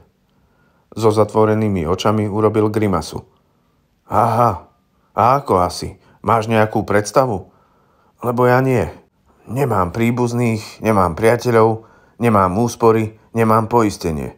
Čo mám teraz robiť? No, nejako sa to zvládne, hlesol som. Jasné, vo filmoch je to tak vždy. No choď už, padaj. Tento raz som sa pohol k dverám, skôr než znovu prehovoril. Mal si ma tam nechať zdochnúť, mladý. Povedal to bez emócií, len ako pozorovanie. Mohol som byť so svojou cérkou. Keď som sa vrátil do nemocničnej haly, zostal som stáť ako solný stĺp. Najprv som nevedel, koho vidím. Bola to však ona a držala pred sebou otvorený ďalší román. Volal sa Dizertácia. Eny? Zdvihla hlavu, najprv ostražito, potom ma spoznala a usmiala sa. Dev, čo tu robíte? Bol som navštíviť kolegu zo zábavného parku. Mal dnes infarkt. Uch, preboha, to ma mrzí. Dostane sa z toho? Nevyzvala ma, aby som si vedľa nej sadol, no spravil som to. Návšteva u Eddieho ma rozrušila tak, že som to ani nechápal a nervy som mal napnuté na prasknutie. Nebolo to zúfalstvo a nebol to smútok. Bol to podivný, nezameraný hnev. Nejako súvisel s pachuťou čili papričiek, ktorú ako by som ešte stále cítil v ústach. A z Wendy. Bohu je prečo aj s ňou. Otravovalo ma vedomie, že som sa z nej ešte stále nespamätal. Aj zlomená ruka by sa mi zahojila rýchlejšie. Neviem, nerozprával som sa s doktorom. Stalo sa niečo Majkovi? Nie, je len na pravidelnej kontrole. Rentgen hrudníka a krvné testy. To pre ten zápal pľúc. Chvála Bohu, že je už potom. Ešte ho trochu trápi kašel, ale inak je už v pohode. Stále držala otvorenú knihu, čo zrejme znamenalo, že chce, aby som odišiel. A to ma ešte viac nahnevalo. Nezabúdajte, že v tom roku ma všetci posielali preč. Dokonca aj človek, ktorému som zachránil život. Asi preto som povedal. Mike si nemyslí, že je v pohode. Tak komu mám veriť, Annie? Od prekvapenia sa jej rozšírili oči, potom sa zatvárila odmerane. Je mi fuk, komu alebo čomu veríte, Devin. Naozaj vás do toho nič nie je. Ale je, ozvalo sa nám to spoza chrbta. Mike sa k nám doviezol na vozíku. Nemal motorček, takže kolesá poháňal rukami. Bez ohľadu na ten kašel to bol silný chlapec. No košeľu si zapol na krivo. Eny sa k nemu prekvapene obrátila. Čo tu robíš? Sestra mala... Povedal som jej, že to zvládnem aj sám, tak ma nechala. Na radiológiu sa odbočí raz doľava raz doprava. Nie som slepý, len... Pán Jones prišiel pozrieť svojho priateľa, Mike. Takže som zase len pán Jones, pomyslel som si. Prúdko zavrela knihu a vstala. Určite sa už ponáhľa domov a ty si unavený. Chcem, aby nás zobral do zábavného parku. Mike hovoril pomerne pokojne, ale tak hlasno, že ľudia sa obzerali. Nás oboch. Mike, vieš, že to nie je... Do Joylandu. Do Joylandu. Stále bol pokojný, ale zvyšoval hlas. Teraz na nás už pozerali všetci. Annie horeli líca. Chcem, aby ste ma tam obaja zobrali. Znovu zvýšil hlas. Chcem, aby ste ma zobrali do Joylandu, prvnež zomriem. Dlaňou si zakryla ústa. Mala vytreštené oči. Keď prehovorila, slová zneli pridusene, ale zrozumiteľne. Mike, nezomrieš, kto ti to povedal? Obrátila sa ku mne. To vy ste mu do hlavy nasadili chrobáka? Samozrejme, že nie. Zreteľne som si uvedomoval, že naše publikum rastie. Pridali sa k nemu aj dve zdravotné sestry a lekár v modrom oblečení. Ale bolo mi to fuk. Stále som sa hneval. Povedal mi to. Prečo vás to prekvapuje, keď dobre viete o jeho predtuchách? V to popoludne pri mne všetci plakali. Najprv Eddie, potom Annie. Mike mal oči suché a vyzeral rovnako zlostne ako ja. Keď nič nevravel, Annie schytila rukovete na vozíku, obrátila ho a zamierila k dverám. Myslel som, že do nich vrazí, ale v poslednej chvíli sa automaticky otvorili. Nechaj ich, pomyslel som si ale už ma unavovalo, že ženy odo mňa v jednom kuse odchádzajú. A ja si to nechám a potom mi je z toho na nič. Priblížila sa ku mne sestra. Je všetko v poriadku? Nie, povedal som a vybral sa za nimi. Annie parkovala na nemocničnom parkovisku, kde nápis na tabuli hlásal. Tieto dva rady sú vyhradené pre handicapovaných. Videl som, že prišla na dodávke v ktorej je dosť miesta pre zložený invalidný vozík. Už stihla otvoriť dvere spolujazca, ale Mike odmietal vstať z vozíka. Z celej sily zvieral držadlá, ruky mal mŕtvolne biele. Nasadaj, zvolala na ňo. Pokrútil hlavou, ani na ňu nepozrel. Nasadaj, do frasa. Tento raz sa ani nenamáhal pokrútiť hlavou. Chytila ho a mykla. Vozík bol zabrzdený a nahol sa dopredu. Zachytil som ho práve včas, aby sa neprevrátil a oni dvaja nespadli do otvorených dverí dodávky. Eny zakryli vlasy tvár a spoza nich na mňa hľadeli jej zdivočené oči. Takmer ako oči splašeného konia v búrke. Pustite ho! Je to všetko vaša vina! Nemala som... Prestante, povedal som. Chytil som ju za plecia. Priehlbinky na nich mala príliš hlboké. Kosti boli tesne pod kožou. Pomyslel som si, že do syna pchá kalórie a sama na seba zabúda. Pustite ma. Nechcem vám ho zobrať, pokračoval som. Eny, to je to posledné, čo by som chcel. Prestala sa mykať. Opatrne som ju pustil. Kniha, ktorú predtým čítala, spadla počas našej šarvátky na asfalt. Zohol som sa, zdvihol ju a vložil do vrecka na zadnej časti vozíka. Mama, Mike ju chytil za ruku – Nemusí to byť posledná zábava. Potom som to pochopil. Pochopil som to ešte skôr, ako jej klesli plecia a rozvzlikala sa. Nebála sa, že ho strčím na nejakú šialene rýchlu atrakciu a že ho zabije nával adrenalínu. Nebála sa, že jej cudzí človek ukradne ranené srdce, ktoré tak milovala. Bola to akási atavistická viera, materinská viera, že ak nezačnú robiť určité posledné veci, život pôjde ako doteraz. Ranné koktejly na konci promenády, večery so šarkanom na konci promenády, Všetko bude pokračovať v akomsi nekonečnom lete. Iba že bol október a pláž spustla. Šťastní tínedžeri na guľovom blesku a malé deti na špliechačke zmizli. Ochladilo sa. Nijaké leto netrvá väčšine. Zakryla si dlaňami tvár a sadla si do dodávky na sedadlo spolujazca. Bolo pre ňu privysoké, takmer sa zošuchla. Zachytil som ju a pridržal. Myslím, že si to neuvedomila. Do toho, vezmite ho tam, povedala.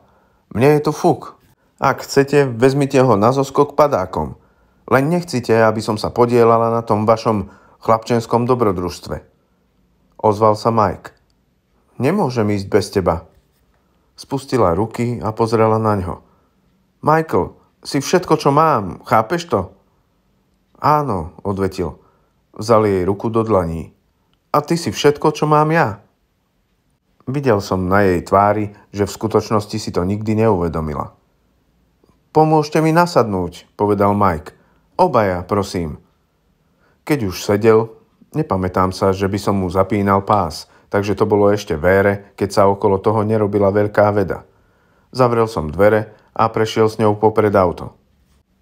Vozík, roztržito sa ozvala. Musím naložiť vozík. Ja ho naložím. Sadnite si za volant a pripravte sa na šoférovanie. Párkrát sa zhlboka nadýchnite. Dovolila mi, aby som jej pomohol nasadnúť. Držal som ju za lakeť a rukou som jej obopol celé rameno. Chcel som jej povedať, že len z hrubých románov nevyžije, ale rozmyslel som si to. Dnes popoludní si už vypočula dosť. Zložil som vozík a vsunul ho do dodávky. Robil som to dlhšie, ako bolo treba – Chcel som jej poskytnúť čas, aby sa spametala. Keď som sa vrátil na stranu vodiča, na poli som očakával zavreté okno, ale ešte stále bolo otvorené. Medzi tým si utrela oči a nos a trochu si upravila vlasy. Povedal som, nemôže ísť bez vás a ani ja nie. Odpovedala, ako by tam Mike nebol a nepočúval. Stále sa o ňo bojím. Priveľa toho vidí a toho veľmi zraňuje. Viem, že preto má nočné mori. Je to super chalan.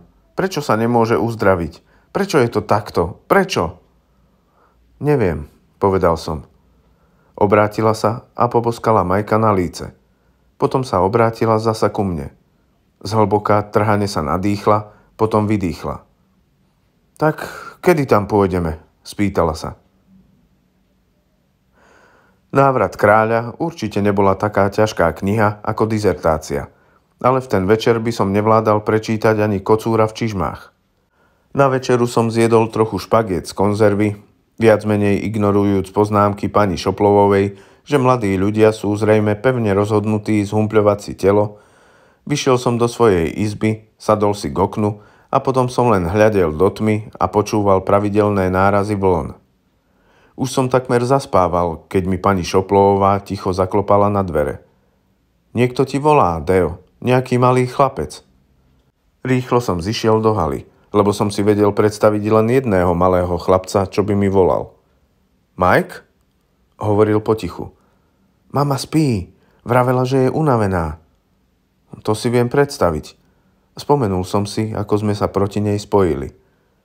Viem, čo sme spravili, Povedal, ako keby som to vyslovil nahlas. Museli sme. Mike, ty vieš čítať myšlienky? Čítaš mi myšlienky? Čo ja viem, odvetil. Len občas niečo vidím a počujem a niekedy dostanem nápad. To mne napadlo, aby sme šli bývať do starkého domu. Mama povedala, že starký na to nepristane, ale ja som vedel, že áno. Myslím, že to, čo mám, ten dar, som zdedil po ňom. Viete, on lieči ľudí. Niekedy podvádza, ale niekedy ich naozaj lieči. Prečo voláš, Mike? Hneď ožil. Kvôli Joylandu. Naozaj sa môžeme odviezť na kolotoči? Aj na čertovom kolese? Jasné. Aj si zastrieľať na strelnici? Možno, ak ti to mama dovolí. Všetko musí schváliť tvoja mama. To znamená... Viem, čo to znamená. Hlas mu znel netrpezlivo. Potom znovu prevládlo detské vzrušenie. To je skvelé. Nepôjdeš na rýchle atrakcie, upozornil som ho. Je to jasné? Okrem iného aj preto, lebo sú v zime zatvorené. Aj Karolína bola zatvorená, ale keby mi Lane Hardy pomohol, o 40 minút by určite fungovala. Až do ďalšej... Jasné, viem, moje srdce. Stačilo by mi čertovo koleso. Vidíme ho od konca promenády. Keď je človek na samom vrchu, musí to byť, ako by videl svet zo Šarkana. Usmial som sa. Tak nejako. Ale nezabudni, môžeš ísť len, keď ti to dovolí mama. Ona rozhoduje. Pôjdeme po ňu. Keď tam prídeme, bude o nás vedieť. Hlas mu znel nadprirodzene sebaisto. Je to aj kvôli vám, Dev. Ale hlavne kvôli tomu devčaťu. Je tam už pridlho. Chce odísť. Otvoril som ústa, ale nehrozilo, že by som slintal. Boli úplne vyschnuté. Odkiaľ? Bolo to len chrčanie. Znovu som preglgol. Odkiaľ o nej vieš? Neviem, ale myslím, myslím, že som prišiel kvôli nej. Vravel som vám, že to nie je biele. Áno, ale hovoril si, že nevieš, čo to znamená. Teraz to už vieš? Nie, rozkašľal sa. Počkal som. Keď záchvat kašľa prestal, dodal. Už musím ísť, mama sa zobudila. Teraz bude polovicu noci čítať. Naozaj? Áno, Dúfam, že ma teda pustí na čertovo koleso. Ten kolotoč sa volá Karolína, ale ľudia, čo tam pracujú, ju volajú zdvihák. Niektorí z nich, napríklad Edy, ju vlastne volali Pako zdvihák, ale to som mu nepovedal. Ľudia, čo pracujú v Joylande, majú svoju tajnú reč. Tak to chodí. Zdvihák? To si zapamätám. Tak dovi, Dev. V slúchadle cvaklo. Tento raz dostal infarkt Fred Dean. Ležal na rampe, ktorá viedla ku Karolíne, tvár mal belasú a zmraštenú. Kľakol som si vedľa neho a dával mu umelé dýchanie. Keď sa nič nedialo, nahol som sa dopredu, stisol mu nozdry a pritisol sa mu perami na ústa. Niečo mi prebehlo cez zuby a na jazyk.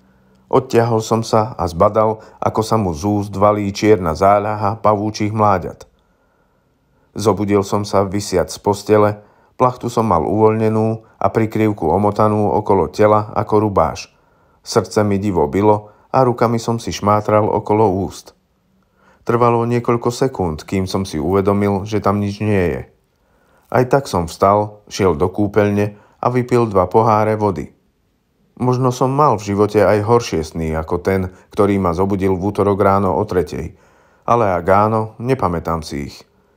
Upravil som posteľ a znovu si ľahol, pevne presvedčený, že túto noc už nezaspím.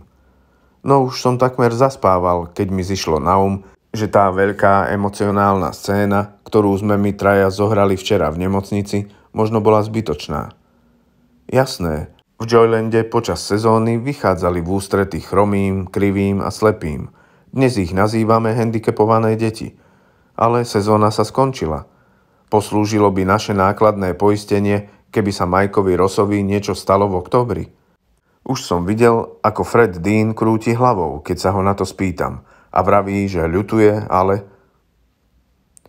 Ráno bolo chladno a fúkal silný vietor, takže som sa odviezol autom a zaparkoval vedľa Laneovho pick-upu. Bolo skoro a na parkovisku A, kde by sa zmestilo aj 500 aut, sme stáli jediní. Po asfalte sa preháňali opadané listy a ich šuchotanie znelo ako hmyzie nožičky. Ten zvuk mi pripomenul tie pavúky z môjho sna. Lane sedel v záhradnom kresle pred kšeftom Madame Fortúny, ktorý mali čo chvíľa rozobrať a odložiť na zimu. A jedol bagel, hojne natretý syrom. Svoj pinč mal ako vždy nonšalantne nakrivo a za uchom cigaretu. Jediná novota na ňom bola džínsová bunda – Ďalšie znamenie, že babie leto sa skončilo. Vedel som to aj bez znamení. Jonesy, Jonesy, vyzeráš nejako opustene. Nechceš bagel? Mám ešte jeden. Jasné, povedal som. A kým ho zjem, môžem sa s vami o niečom porozprávať. Prišiel si sa vyspovedať z hriechov? Posad sa, synak. Ukázal na bok vešteckého stánku, kde boli opreté ešte dve poskladané záhradné kreslá. Nie je to hriešne, povedal som a rozložil si kreslo. Posadil som sa a vzal si ponúknuté hnedé vrecko. Ale dal som sľub a teraz sa bojím, že ho možno nebudem môcť dodržať. Porozprával som mu o Majkovi a o tom, ako som jeho mamu presvedčil, aby ho pustila do parku, čo vzhľadom na jej krehký emocionálny stav nebolo jednoduché. Rozprávanie som zakončil tým, ako som sa zobudil uprostred noci, presvedčený, že Fred Dean to nedovolí. Sen, čo ma zobudil, som vynechal. Uh-huh, ozval sa Lane, keď som skončil. Je kočka? Jeho mama. No áno, je, ale nie preto. Potľapkal ma po pleci a venoval mi vševediaci úsmev. Pokojne by som ho oželel. Už nič nevrav, Jonesy, už mi nič nevrav.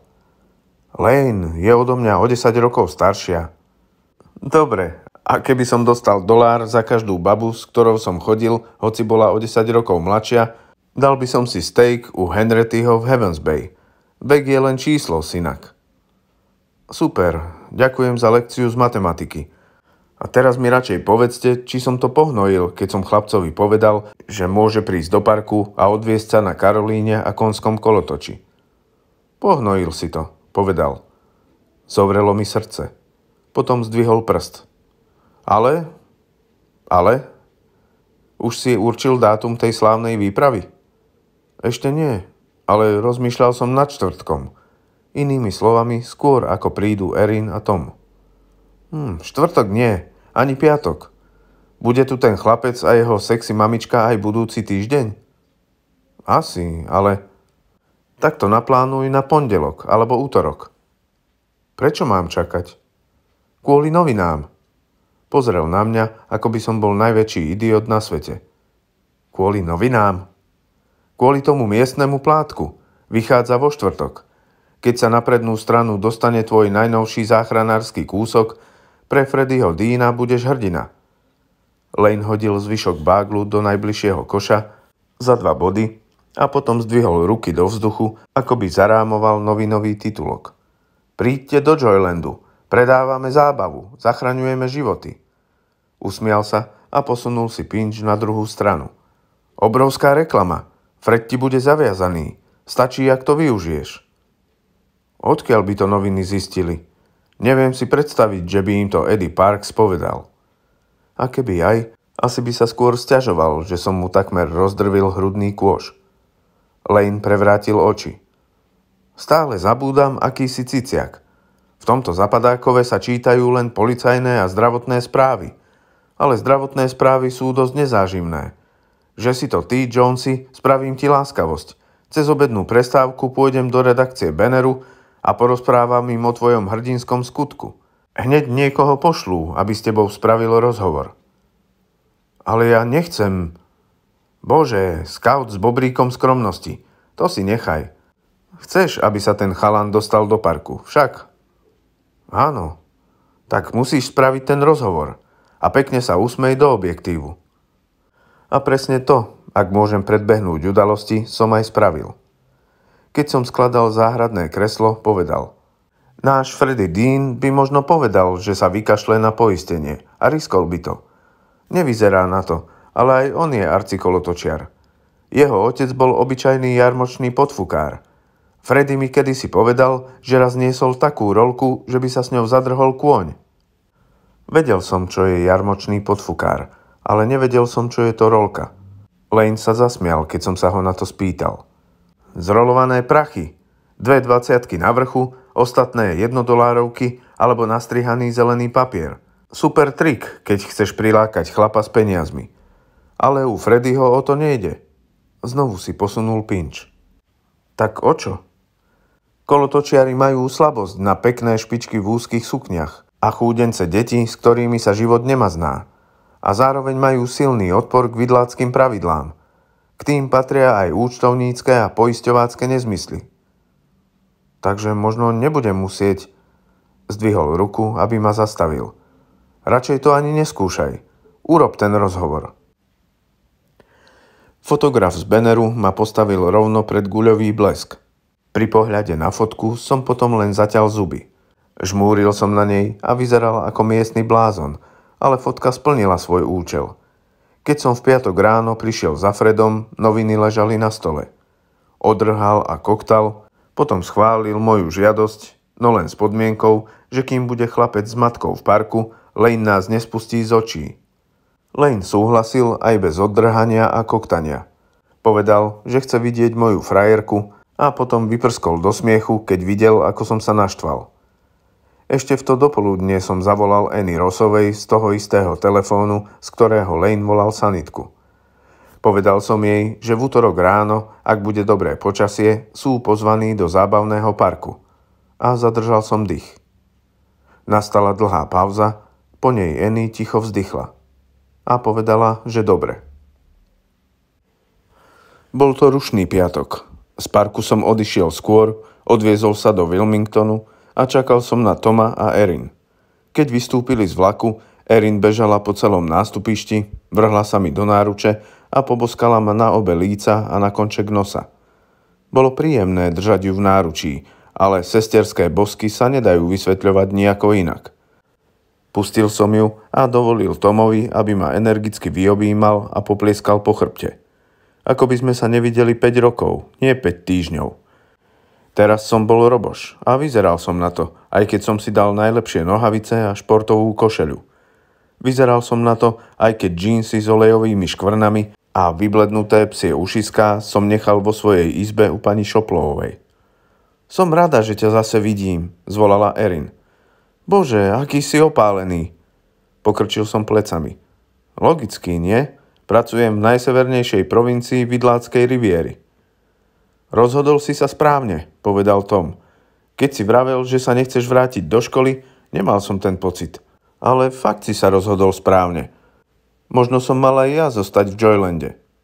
Usmial sa tým svojím úsmevom, pri ktorom by aj vtáky zlietli zo stromov. Ale ten úsmev nezahnal tieň, čo mu prešiel cez tvár. Po tom, čo sa stalo v strašidelnom zámku, v Joylande zostať nemohol. Ubytovali sa na víkend v plážovom penzióne pani Šoplovovej. Pani Šoplovová ich s radosťou prijala a Tina Ekerliová sa tešila, že ich vidí. Všetci piati sme si spravili úžasný piknik na pláži, na ktorom sme sa pri hučiacej vatre pripili.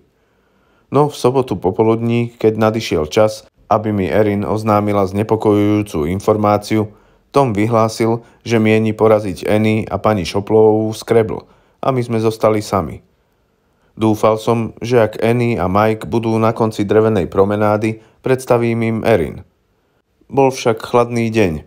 Vietor od oceána bol vyslovene studený a piknikový stôl prázdny. Dokonca aj slnečník zmizol. Odniesli ho dnu a odložili na zimu. V Joylande boli všetky parkovacie miesta prázdne až na malú flotilu údržbárskych dodávok. Erin v hrubom roláku a vlnených nohaviciach s tenkou a veľmi pracovne pôsobiacou aktovkou, na ktorej mala iniciály, zdvihla obočie, keď som vyťahol krúžok a najväčším kľúčom som otvoril bránu. Aha, povedala, už si jeden z nich. To ma zahambilo. Nezahambíme sa všetci, hoci nevieme prečo, keď niekto povie si jeden z nich? Ani nie.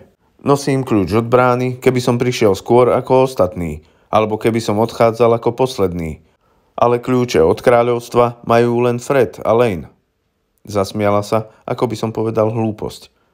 Kľúč od brány je podľa mňa kľúč od kráľovstva. Potom zvážnela a skúmavo si ma obzerala. Vyzeráš starší, Devin. Všimla som si to ešte vo vlaku, keď si čakal na nástupišti. Teraz viem prečo. Ty pracuješ.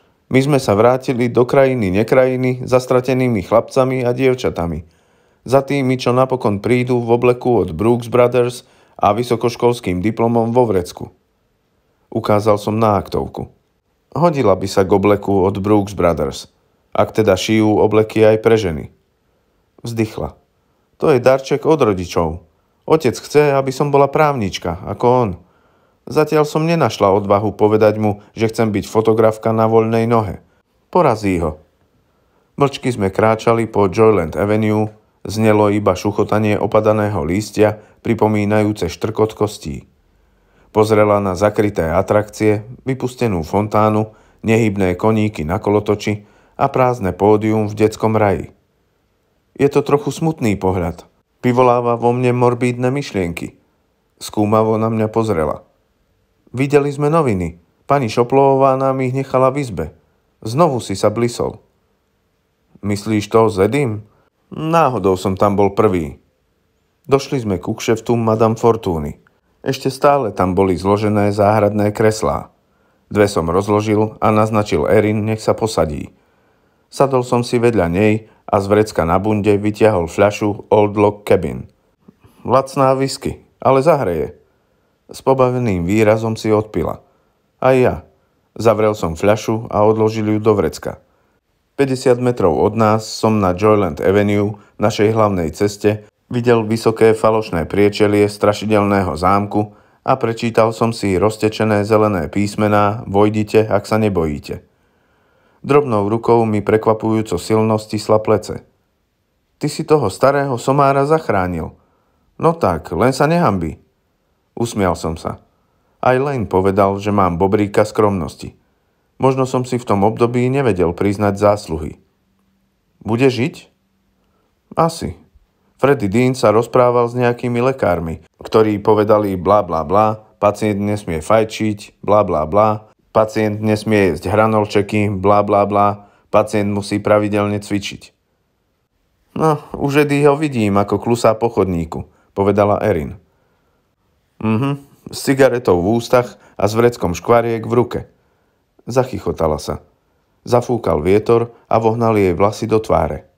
V hrubom svetri a tmavosivých nohaviciach nevyzerala ako tá zapírená americká kráska, čo pobiehala po Joylande v zelených šatočkách a krásnym úsmevom lákala ľudí, aby sa dali odfotiť jej staromodným fotoaparátom.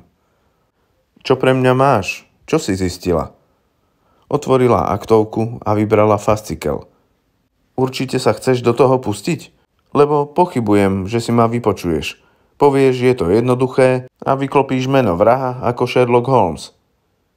Keby som potreboval dôkaz, že nie som Sherlock Holmes, bol by ním môj šialený nápad, že tzv. vrah z Luna Parku by mohol byť Eddie Parks. Chcel som jej povedať, že chcem najmä to, aby obeť našla pokoj a nejde mi až tak o chytenie vraha. To by však vyznelo šialene, aj keby vzala do úvahy to, čo zažil Tom. Ani ja to neočakávam. Mimochodom, dlhuješ mi takmer 40 dolárov za knižničné poplatky. S tým počítam. Štuchla ma do rebier. Veď za to. Popri škole makám a nie preto, že by ma to bavilo. Zachytila si aktovku medzi členkami a otvorila fastikel.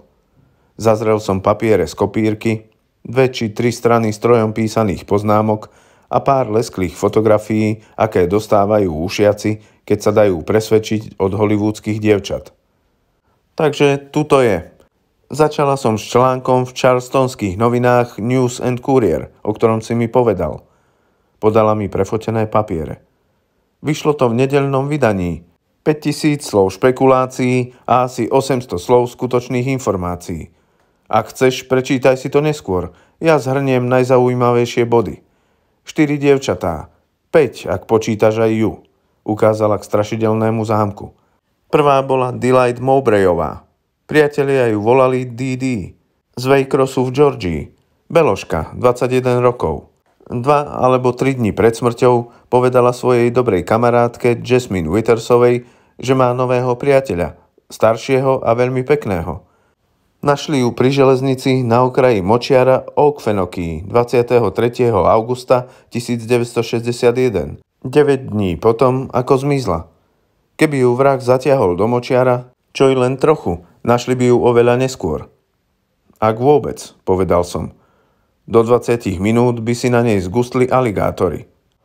Žiaľ, je to tak. Podala mi ďalšiu kópiu. Toto je článok zo Journal Heraldu z Waycrossu. Bola tam fotografia. Vážny policajt držal sadrový odliatok od tlačku pneumatiky. Podľa jednej teórie ju nechal na mieste, kde jej podrezal hrdlo. Tie stopy pneumatík sú vraj po dodávke. Odhodili ju ako odpad, povedal som. Žiaľ, aj to je pravda. Podala mi ďalší prefotený novinový výstrižok. Tu je číslo 2. Claudine Sharpová z mestečka Rocky Mount, priamo tu v Severnej Karolíne. Beloška, 23 rokov. Našli ju mŕtvu v miestnom kine. 2. augusta 1963. Premietali Lorenza Zarábie. Z hodov okolností veľmi dlhý a hlučný film. Autor článku cituje nemenovaný policajný zdroj, podľa ktorého jej páchateľ podrezal hrdlo počas niektorej vojnovej scény. Samozrejme, je to len špekulácia. Nechal tam aj zakrvavenú košeľu a rukavice. Zrejme vyšiel v košeli, ktorú mal oblečenú pod ňou. Presne tak, ako vrah Lindy Greyovej, ozval som sa. Nemyslíš? Hej, vyzerá to tak. Policajti vypočúvali jej kamarátky, ale Claudine nového priateľa nespomínala. Ani to, s kým išla v ten večer do kina. Nevravela to rodičom. Erin sa na mňa trpezlivo pozrela.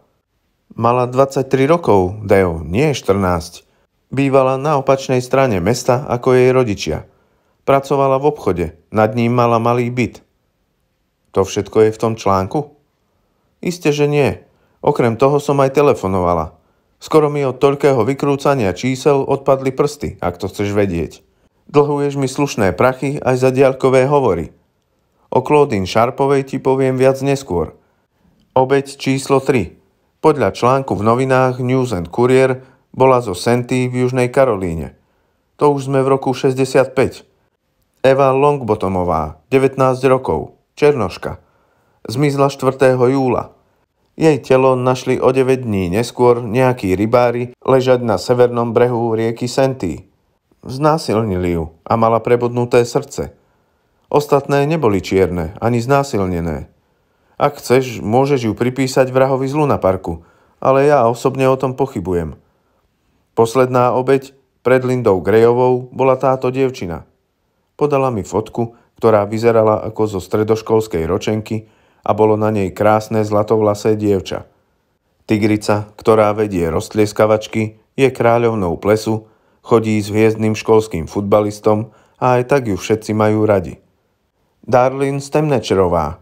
Priezvisko by si zrejme bola zmenila, keby sa stala herečkou, čo si údajne predsa vzala. Beloška, 19 rokov. Z mesta Maxton v Severnej Karolíne.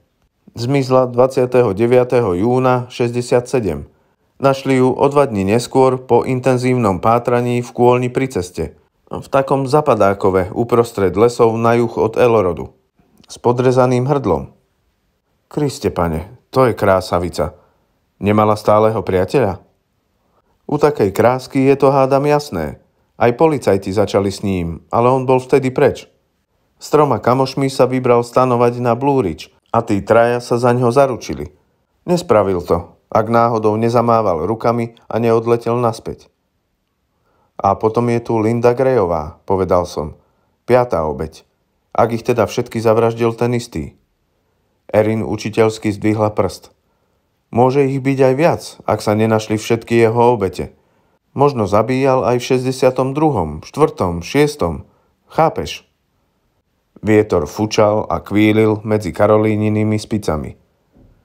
A teraz poďme k tomu, čo mi robí starosti, povedala Erin, ako by na trápenie a starosti nestačilo už 5 zavraždených dievčat. Svastikla vybrala ďalšiu prefotenú stránku. Bol to inzerát, hláška, ako sa hovorí v našej reči, ktorý propagoval niečo s názvom Tisíc zázrakov Menliho Velmena. Na fotke boli dvaja klauni so zoznamom tých tisícich zázrakov, ku ktorým patrila aj najohromnejšia americká zbierka oblúd a podivností.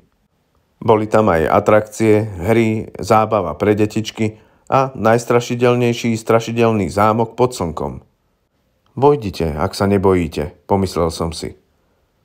Toto ti dodala medziknižničná výpožičná služba? Spýtal som sa. Hej, povedala som si, že ak si ochotný začrieť hlboko, cez medziknižničnú službu sa dopracuješ takmer k čomukoľvek. Alebo ak si ochotný naťahovať uši, lebo je to ako najväčšia svetová klebetáreň. Tento inzerát vyšiel v žurnál Heralde vo Waycrosse. Uverejňovali ho celý 1. augustový týždeň roku 61.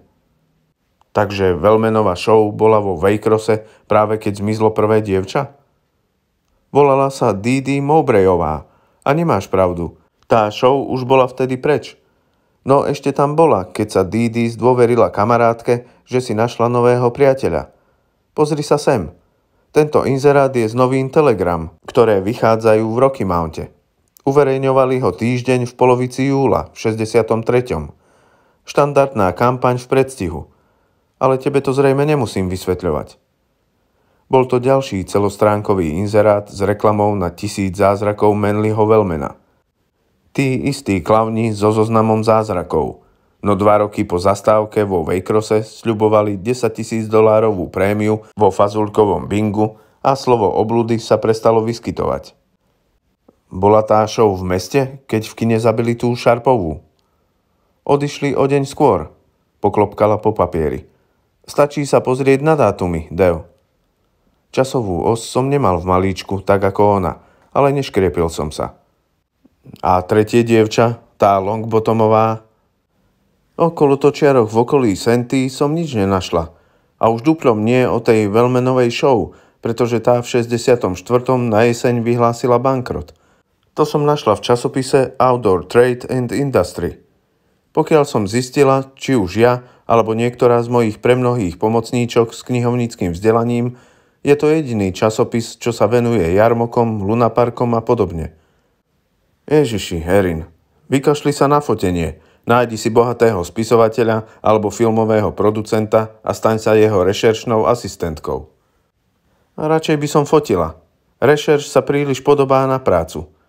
No nestrácajme nič, Devin. Okolo Senty sa nejakí kolotočiari nevyskytli. Lenže vražda Evy Longbottomovej aj tak nepripomína tie ostatné. Aspoň podľa mňa. Ak si nezabudol, ostatné obete neznásilnili. Možno o tom iba nevieme. Noviny sa v takýchto záležitostiach niekedy ostýchajú. Máš pravdu, nenapíšu znásilnenie, ale obťažovanie, alebo sexuálne obťažovanie. No naznačia to, ver mi. A čo tá Darlin Showmakerová? Tá bola Stemnekrová. Tie dievčatá zavraždili. To najmenej, čo môžeš urobiť, je zapamätať si ich správne mená. Hej, zapamätám si ich, len mi daj na to trochu času. Zakryla mi ruku dlaňou. Prepáč, naraz som ťa tým zavalila, však ja som mala 5 týždňov na to, aby som sa tým trápila. Aj si sa trápila? No, tak trochu. Je to dosť strašné. Mala pravdu. Keď čítate alebo pozeráte detektívku, veselo sa prekľúčkujete pomedzi kopy mŕtvol a zaujíma vás len odpoveď na otázku, či ich vyrobil lokaj alebo zlá macocha. No toto boli skutočné mladé ženy. Ich meso zrejme rozďobali vrany, do očí sa im zavrtali červíky a preplazili sa im cez nos do sivej mozgovej hmoty. Boli nejakí kolotočiari v Mextone, keď zabili tú stemnej krovu. Nie, ale v Lambertone sa chystal jarmok. To je najbližšie väčšie mesto. Leží tu. Podala mi ďalšiu kopírovanú stranu. Tentokrát s inzerátom na letný jarmok okresu Robson. Ukázala na riadok, v ktorom stálo. 50 bezpečných atrakcií od spoločnosti Southern Star Amusements. Tú firmu som si našla v časopise Outdoor Trade and Industry. Založili ju tesne po druhej svetovej vojne – Sídlo má v Birminghame a putuje s atrakciami po celom juhu. Nemá také megalomanské záležitosti, ako je tunajší guľový blesk alebo delírium, no vozí so sebou dosť drobcov a ľudí, čo ich riadia. Musel som sa usmiať. Našu reč ešte celkom nezabudla. Drobci sú atrakcie, čo sa dajú ľahko zmontovať a rozmontovať. Ak ste sa vozili na šáločkách alebo na rýchlo dráhe, tak ste boli na drobcoch. Hovorila som so šéfom atrakcií v Southern Star. Nahovorila som mu, že v lete som robila v Joylande a teraz píšem na sociológii seminárku o zábavnom priemysle. A možno ju aj napíšem. Po tomto všetkom to zvládnem ľavou zadnou. Povedal mi, čo som už predtým odhadla, že v ich branži sa premelie strašne veľa ľudí. Nevedel mi z fleku odpovedať na otázku, či k ním mohol prejsť niekto z Velmenovej show, ale vraj je to pravdepodobné. Montérov či kolotočiarov brali zo všetkých strán. Takže chlap, ktorý zabil Didi a Claudine, mohol byť pokojne aj na tom jarmoku a Darlin Stemnejkrová sa s ním mohla stretnúť. Jarmok ešte oficiálne neotvorili, lenže miestni ľudia sa často chodievajú pozerať, ako stavajú atrakcie. Zadívala sa na mňa. Myslím, že presne to sa vtedy stalo. Erin, a tí kolotočiari sa spomínajú aj v článku, čo vyšiel po smrti Lindy Grayovej v novinách News and Courier? Alebo by som mal hovoriť o pracovníkoch zábavného priemyslu? Nie. Dáš mi ešte z tej tvojej fľaše? Je mi zima. Môžeme ísť aj dnu. Nie, zima mi začne byť, keď rozprávam o tých vraždách. Za každým.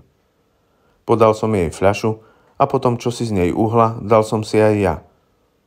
To ty si možno ten Sherlock Holmes, povedal som jej.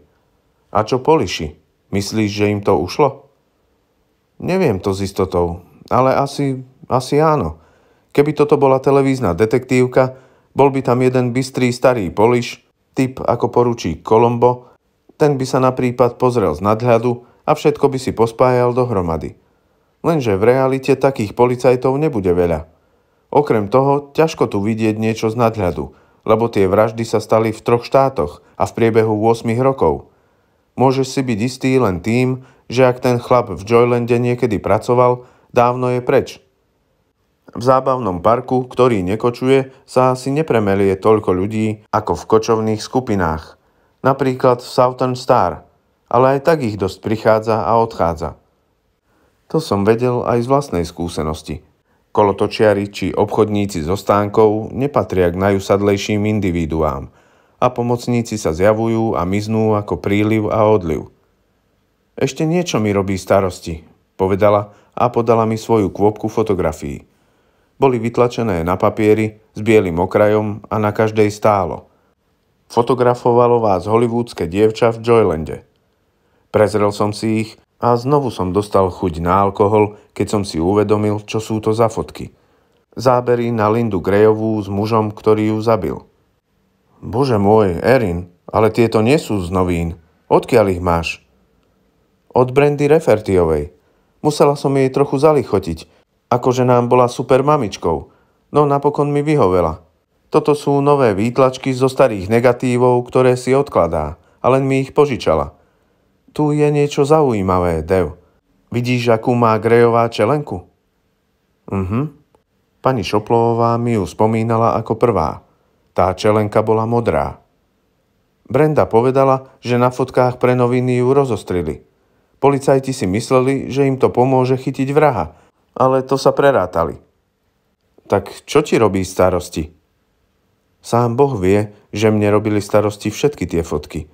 Ešte aj také, na ktorých Grejová s tým mužom len prechádzali v pozadí a dali sa spoznať len podľa jej blúzky bez rukávov a čelenky a jeho bejsbalovej čiapky a slnečných okuliarov.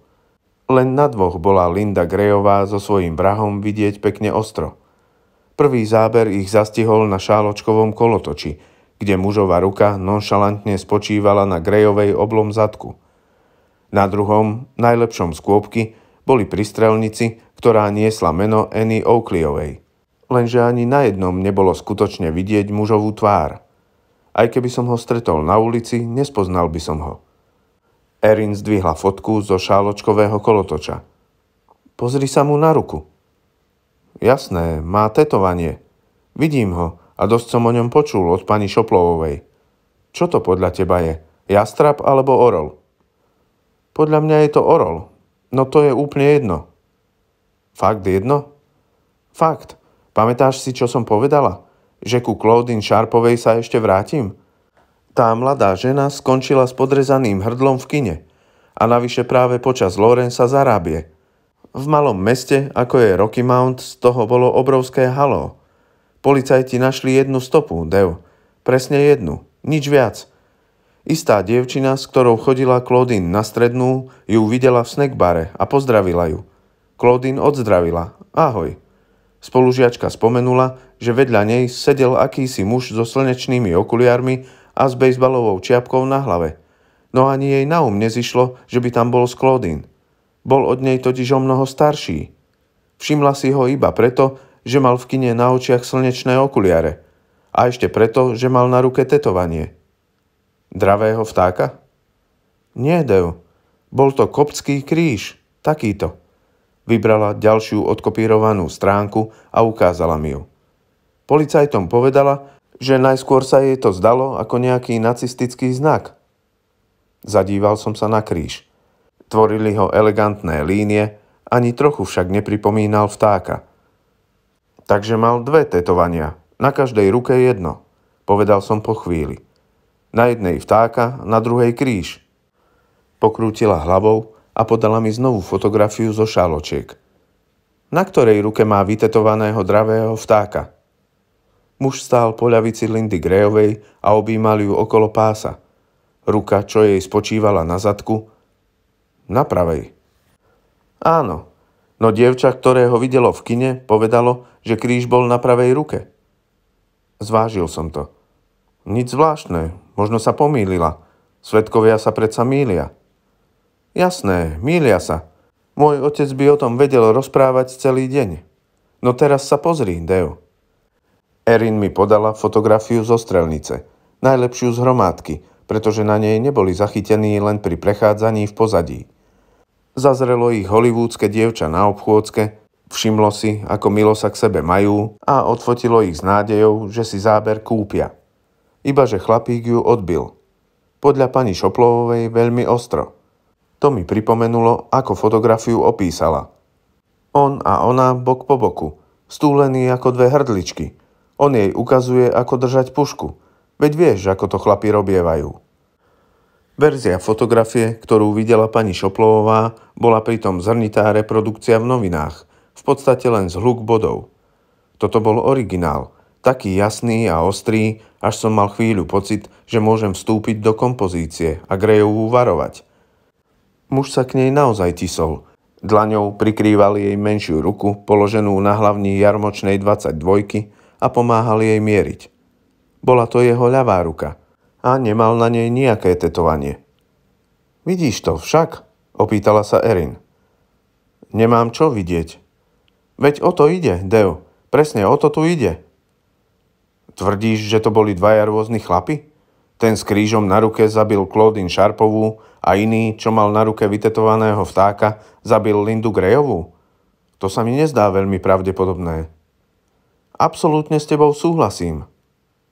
Dobre, ale čo teda tvrdíš? Marilo sa mi, že som na niektorej fotke čosi zazrela, ale nebola som si istá. Tak som odniesla vytlačenú fotografiu aj negatív jednému chalanovi, Filovi Hendronovi. V tmavej komore robí hotové divy. Je to génius. Naša katedra umeleckej fotografie je jeho druhým domovom. Vieš, aké foťáky sme nosievali, však. Speed graphic, také hebedá neohrabané. Jasné. Šlo najmä o efekt. Zlaté šikovné babenky so staromódnymi foťákmi. Ale Phil tvrdí, že v skutočnosti sú výborné. S negatívmi sa dá pekne popracovať. Napríklad takto. Podala mi zväčšený záber zo šaločiek. Hollywoodske dievča, čo ho odfotilo, sa zameralo na mladý pár s batoľaťom. Ale na tejto zväčšenej verzii bola tá trojica sotva vidieť. V strede obrázka sa ocitla Linda Grejová a jej priateľ, jej vrah. Pozri sa mu na ruku, Dev.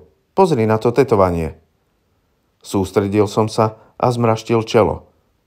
Nevidieť ho veľmi dobre, zašomral som. Ruka je akási rozmazanejšia než to ostatné. To si nemyslím. Tento raz som si zdvihol fotografiu takmer gočiam. Je to... Ježiši, Erin, robí to tá farba? Rozpíja sa? Len trošku? Výťazoslávne sa na mňa usmiala. Júl v 69. Južanský horúci večer. Takmer každý sa potil ako somár v kufri.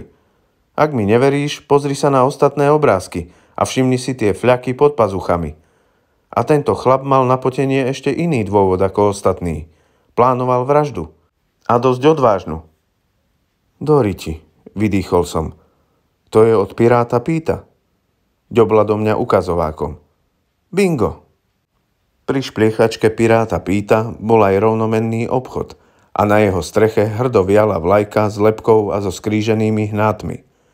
Pod tou strechou ste si mohli kúpiť bežné vecičky na pamiatku. Trička, šálky, plážové osušky, ba aj plavky, ak by si vaše dieťa tie svoje zabudlo doma.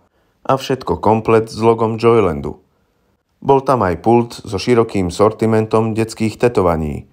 Dali sa odlepiť z papierového podkladu a kto si ich nebol schopný preniesť na telo sám, Pirát Pete osobne, prípadne niekto zo zelenáčov, čo mu posluhovali, to zamierny príplatok urobil. Erin kývala hlavou. Pochybujem, že si ho kúpil tam. To by bolo hlúpe. A ten chlap ani náhodou nie je hlúpy. No som presvedčená, že to nie je ozajstné tetovanie.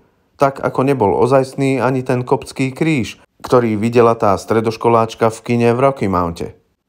Náhla sa ku mne a zovrela mi ruku. Vieš, čo si myslím? Myslím si, že si ho lepí preto, lebo tetovanie púta pozornosť. Ľudia si všimnú tetovanie a všetko ostatné poklopkala po zahmlených siluetách ľudí, ktorí boli pôvodným námetom fotografie, kým ju jej spolužiak nezväčšil. Všetko ostatné sa rozplyne v pozadí, dopovedal som za ňu. Presne. A tetovanie si neskôr zmije. Vedia o tom policajti? Netuším. Mohol by si im to povedať. Ja to neurobím. Vraciam sa do školy. No nie som si istá, či ich to po takom dlhom čase bude ešte zaujímať. Znovu som si prelistoval fotografie. Nepochyboval som, že Erin skutočne na niečo narazila aj keď som pochyboval, že tento objav sám o sebe povedie k chyteniu vraha z Lunaparku. No ešte niečo ma na tých fotkách zaujalo. Niečo. Neviem čo. Poznáte to. Občas máte slovo na jazyku a nie ani ho vypovedať. Taký to bol pocit. A po týchto piatich vraždách, alebo po štyroch, ak vynecháme Evu Longbottomovú, sa ešte nejaké podobné odohrali? Zisťovala si to? Skúsila som to, povedala. Myslím, že nie, ale neviem to určite. Čítala som asi o 50 vraždách mladých dievčat a žien. Minimálne 50. A nenašla som ani jednu, ktorá by mala tieto znaky. Vypočítala ich. Vždy sa to stalo v lete. Vždy sa to stalo na rande s neznámym starším mužom. Vždy obeti podrezal hrdlo. A vždy to nejako súviselo so zábavným Nazdar decká. Prudko sme zdvihli hlavy. Bol to Fred Dean. Mal na sebe golfové tričko, jasnočervené voľné nohavice a čiapku s dlhým šiltom a so zlatým vyšívaným nápisom Heavens Bay Country Club. Bol som navyknutý výdať ho v obleku s uvoľnenou kravatou a rozopnutým horným gombíkom. V golfovom oblečení vyzeral absurdne mlado, až na šedivejúce vlasy na sluchách. Dobrý deň, pán Dean, povedala Erin a vstala. Väčšinu papierov a niektoré fotografie ešte stále držala v jednej ruke. V druhej mala fascikel. Neviem, či si ma pamätáte. Samozrejme, že si ťa pamätám, povedal a podišiel bližšie. Na žiadne hollywoodske dievča nikdy nezabudnem, ale niekedy si pletiem mená. Si Ashley alebo Jerry? Usmiala sa, odložila papiere do fascikla a podala mi ho. Pridal som doň fotky, čo som držal. Som Erin, Á, samozrejme, Erin Kúková. Žmurkol na mňa a to bolo ešte čudnejšie, ako ho vidieť v staromódnych širokých golfových nohaviciach. Máš vynikajúci vkus na mladé dámy, Jonesy.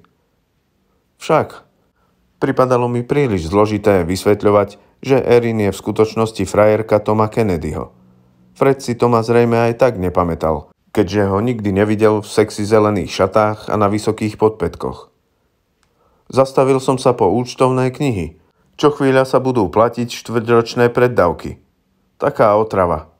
Páči sa ti na návšteve, Erin? Áno, veľmi. Prídeš aj budúci rok? Najprv bola nesvoja, potom nabrala guráž a priznala pravdu. Asi nie. Chápem, ale keby si si to rozmyslela, Brenda Refertiová ti určite nájde miesto. Upriamil pozornosť na mňa. Čo sa týka toho chlapca, ktorého chceš priviesť do parku, Jonesy, už si s jeho matkou dohodol termín? Útorok. Ak bude pršať, tak streda alebo štvrtok. Chlapec by nemal zmoknúť. Erin sa na mňa zvedavo pozrela. Odporúčal by som ten útorok, povedal. Bude búrka. Chvala Bohu, nie hurikán, ale tropický lejak. Poriadny lejak a výchrica. Malo by sa to strhnúť v stredu do obeda. Dobre, prikývol som. Vďaka za radu. Som rád, že som ťa znovu videl, Erin. Na pozdrav si zložil čiapku a zamieril k zadnému parkovisku. Erin počkala, kým zmizol z dohľadu, potom sa zachychotala. No teda, aké nohavice. Videl si tie nohavice? Mhm, prisvedčil som. Odvážne. No nechcelo sa mi na nich smiať. Ani na ňom. Fred Dean podľa Lejna držal Joyland pokope silou vôle a kreatívneho účtovníctva. Preto som zastával názor, že môže nosiť golfové nohavice, aké len chce. Tieto aspoň neboli kárované. A akého chlapca chceš priviesť do parku? A, to je dlhý príbeh, odvetil som. Porozprávam ti ho na spiatočnej ceste. Spravil som to. Poskytol som jej skromnú skautskú verziu a vynechal som veľkú hádku v nemocnici. Erin počúvala a položila mi len jednu otázku, práve keď sme došli k schodom z pláže. Povedz mi pravdu, Dev. Je tá mamička pekná? Tú otázku som počúval od všadiaľ. V ten večer išli Tom a Erin do baru u surfera Joa, kde v lete presedeli nie jeden voľný večer. Tom pozval aj mňa, ale ctím staré pravidlo, že dvaja si vystačia a nechcel som byť piate koleso na voze. Okrem toho pochyboval som, že tam nájdú rovnakú uvoľnenú, nespútanú atmosféru. V mestečkách ako Heavens Bay je veľký rozdiel medzi júlom a oktobrom. Zo svojej novej pozície staršieho brata som im to dokonca povedal. Nič nechápeš, Dev, zahriakol ma. My s Erin nehľadáme zábavu, my ju prinášame. To sme sa naučili minulé leto. Aj tak sa vrátili skoro a podľa zvukov takmer triezvy. Počul som však ich šepot a smiech, pri ktorých som sa cítil trochu osamelo. Nechýbala mi Wendy, chýbal mi jednoducho niekto blízky. Zo spätného pohľadu aj to považujem za krok vpred. Kým boli preč, prečítal som si Erinine poznámky, ale nič nové som nezistil. Po 15 minútach som ich odložil a vrátil sa k fotografiám, ostrým čierno-bielým snímkam od hollywoodského dievčaťa. Najprv som v nich len listoval, potom som si sadol na dlášku, rozložil ich do štvorca a posúval ich z miesta na miesto, ako keď niekto skladá puzzle. A presne to som aj robil. Erin robila starosti súvislosť s kolotočiarmi a tetovanie, pravdepodobne vôbec nie pravé. To všetko znepokojilo aj mňa. Trápilo ma však ešte niečo iné. Nemohol som tomu prísť na koreň. Šalel som z toho, lebo som mal pocit, že to mám priamo pred nosom. Napokon som do fascikla odložil všetky fotografie okrem dvoch. Dvoch kľúčových záberov. Zdvihol som ich, pozrel som na prvý, potom na druhý. Linda Grejová a jej vrah v rade na šáločkový kolotoč. Linda Grejová a jej vrah na strelnici. Kašľať na tetovanie, povedal som si. To nie je ono. Ide o niečo iné. Lenže čo iné by to mohlo byť? Oči mal zakryté slnečnými okuliarmi.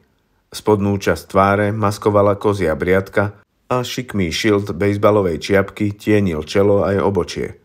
Logo zdobil sumec, vykúkajúci spoza veľkého červeného písmena K, znak týmu z malej ligy z Južnej Karolíny, ktorý sa nazýval Sumce. Počas vrcholu sezóny sa cez park premleli desiatky ľudí v takýchto čiapkach. Až toľko, že sme ich podľa vzoru psích ušísk nazývali rybie ušiská. Ten sviniar si nemohol vybrať anonymnejšiu čiapku a určite práve o tom ušlo. Kmital som očami od šáločkového kolotoča k strelnici. Napokon fotky putovali do fascikla a fascikel na stolík. Čítal som, až kým neprišli Tom a Erin, potom som si ľahol spať. Možno si na to ráno spomeniem, pomyslel som si. Zobudím sa a poviem si, Doriti, to je ono. Uspali ma vlny narážajúce na breh. Snívalo sa mi, že som na pláži s Annie a Majkom. S Annie sme stáli s nohami v prílive, v objatí sme sa dívali, ako si Mike púšťa šarkana. Uvoľňoval šnúru a utekal za ním. Mohol utekať, nič mu nebolo. Bol zdravý. Tá Dachenová svalová dystrofia sa mi len prisnila. Zobudil som sa skoro, lebo som zabudol stiahnuť roletu.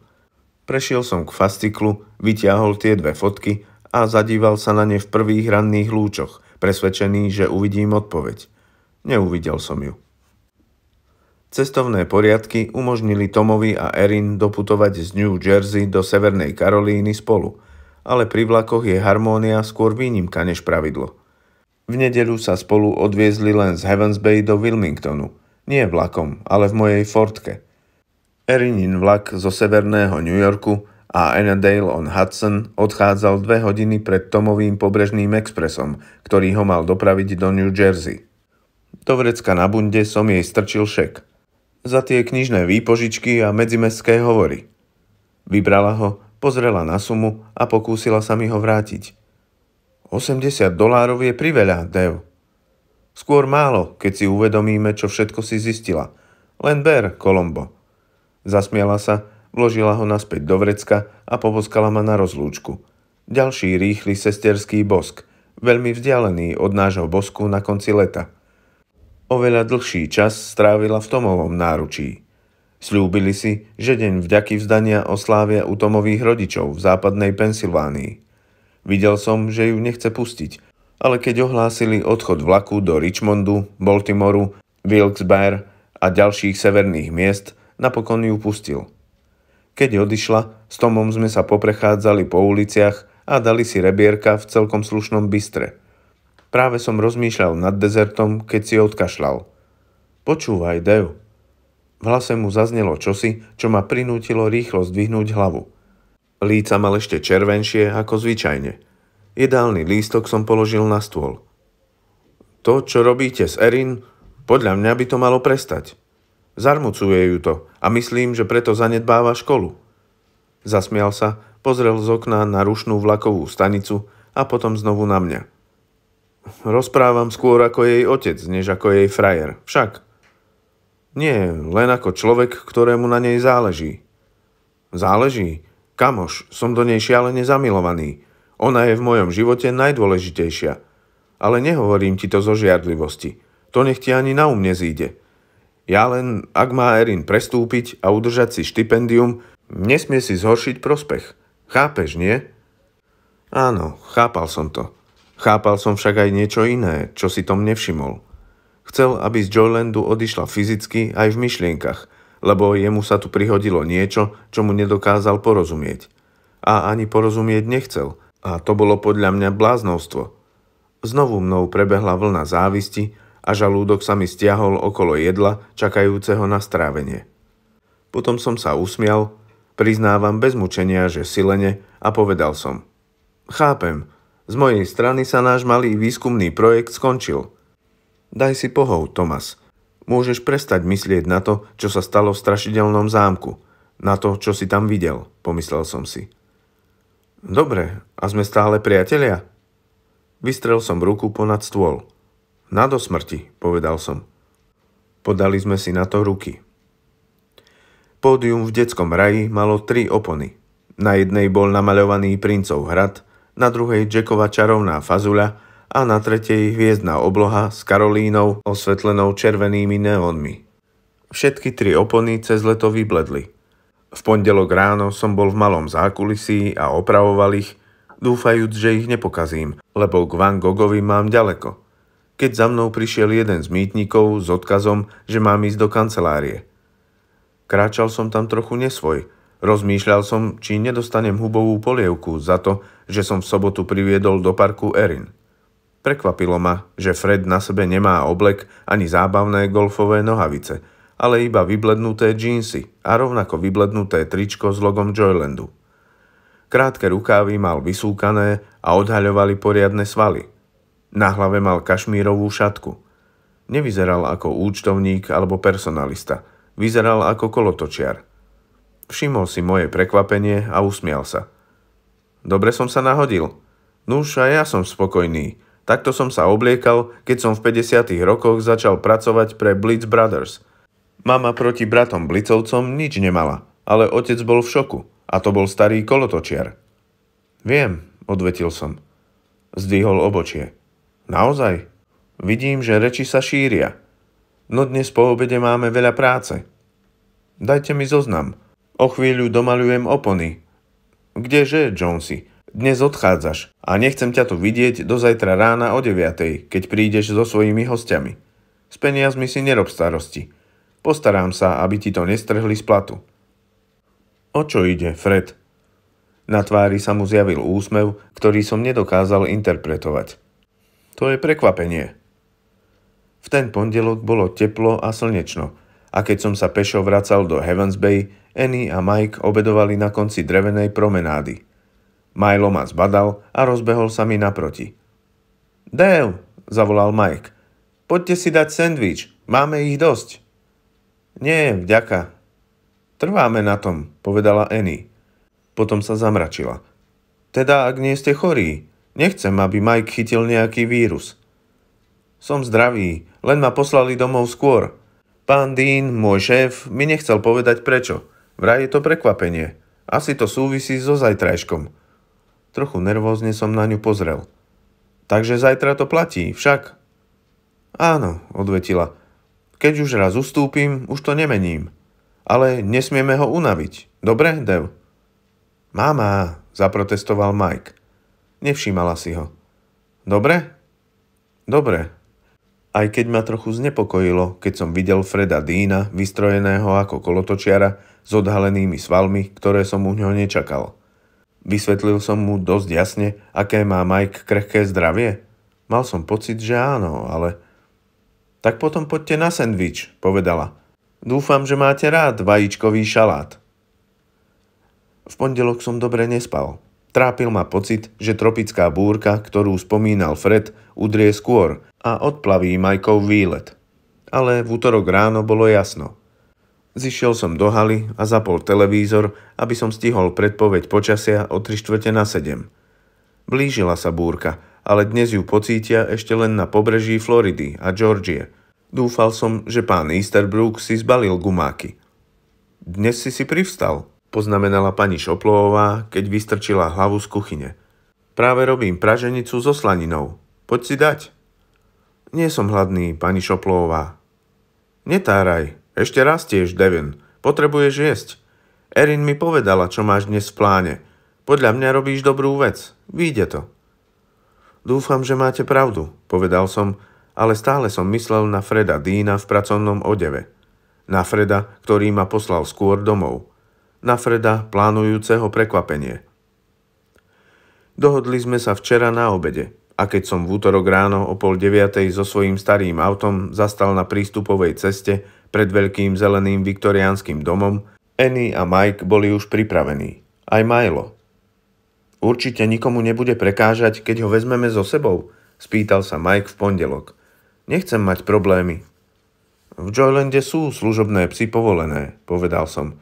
A Milo dnes bude služobný pes. Však Milo. Milo mykol hlavou. Predstava služobného psa mu očividne nič nehovorila. Mike mal veľké ortézy, ktoré mu pri pohybe cvenžali. Chcel som mu pomôcť nastúpiť do dodávky, ale mávol rukou a nastúpil sám. Dalo mu to zabrať a čakal som, že dostane záchvat kašľa, ale nestalo sa tak. Divne poskakoval od vzrušenia. Annie, v džínsach neskutočne dlhonohá, mi podala kľúče od dodávky. Šoférujte. A stíšila hlas, aby ju Mike nepočul. Ja som na to príliš nervózna. A ja som bol. Napokon nanútil som jej to. Samozrejme, pomáhal mi Mike, ale ja som bol dospelý. Ak sa niečo stane, ja ponesiem zodpovednosť. Nezvyknem sa modliť, ale keď som do dodávky naložil Majkové barly a vozík, vyslal som hore prozbičku, aby sa nič nestalo. Potom som vycúval z prístupovej cesty, odbočil som na Beach Drive a minul billboard s nápisom Vezmite deti do Joylandu, je to zážitok na celý život. Annie sedela vedľa mňa a mal som pocit, že nikdy nebola krajšia ako v to októbrové ráno v bledých džínsach a ľahkom svetríku s vlasmi stiahnutými modrou stužkou. Ďakujem, Dev, povedala. Len dúfam, že konáme správne. Áno, dúfal som, že to pôsobí sebaistejšie, než sa cítim. Lebo teraz, keď už bolo všetko dohodnuté, mal som pochybnosti. Nápis Joyland bol vysvietený, to som si všimol ako prvé. Ako druhé som si všimol, že z reproduktorov znie veselá letná muzika. Mix hitov z prelomu 60. a 70. rokov. Chcel som zastať na mieste pre postihnutých na parkovisku A. Ku vchodu do parku to bolo odtiaľ len 15 metrov, ale kým som tam prišiel, z otvorenej brány vykročil Fred Dean a mávol na nás, aby sme šli ďalej. Dnes nemal hociaký oblek, ale s vestou, Šetril si ho pre celebrity, čo sem občas zavítali ako VIP. Ten oblek som už videl, ale čierny hodvábny cylinder, aký výdať len na historických záberoch diplomatov ešte nikdy. Tak toto bežne nebýva, spýtala sa Annie. Ani nie. Odvetil som a trochu sa mi zakrútila hlava. Nič z tohto sa bežne nedialo. Prešiel som cez bránu na Joyland Avenue a zastal vedľa lavičky pred detským rajom, kde som sedel s pánom Easterbrookom po mojom prvom vystúpení v kostýme Hovyho. Mike chcel z dodávky vystúpiť rovnako, ako do nej nastúpil. Sám. Stál som vedľa neho, pripravený zachytiť ho, keby stratil rovnováhu a Annie vykladala vozík. Milo mi sedel pri nohách, ťukal chvostom o zem, uši mal ohnuté, oči jasné. Keď Annie dotlačila vozík, pristúpil k nám Fred v oblaku vody po holení. Bol famózny. Iné slovo na to nie je. Zložil si klobúk, uklonil sa Annie, potom vystrel ruku. Vy ste určite Majková mama. Nesmiete zabúdať, že v tých časoch sa ešte pri oslovení rozlišovali panie od slečien a napriek svojej nervozite som ocenil, ako obratne sa tomu vyhol. Áno, odvetila. Neviem, či bola v rozpakoch z jeho úctivého vystupovania alebo z toho, ako rozdielne boli oblečení. Ona neformálne ako do zábavného parku, on formálne ako pri štátnej návšteve. No v rozpakoch určite bola. Podala mu ruku. A tento mládenec je Michael, dokončil. Podal ruku chlapcovi s vytreštenými očami, ktorý tam stál s oceľovými ortézami. Vďaka, že ste prišli. Nie za čo, vlastne to my ďakujeme vám. Ďakujeme, že ste nám to umožnili. Potriasol si s Fredom ruku. Je to tu obrovské. Samozrejme nebolo. Obrovský je Disney World – ale desaťročnému chlapcovi, čo nikdy nebol v zábavnom parku, sa to tak javiť muselo.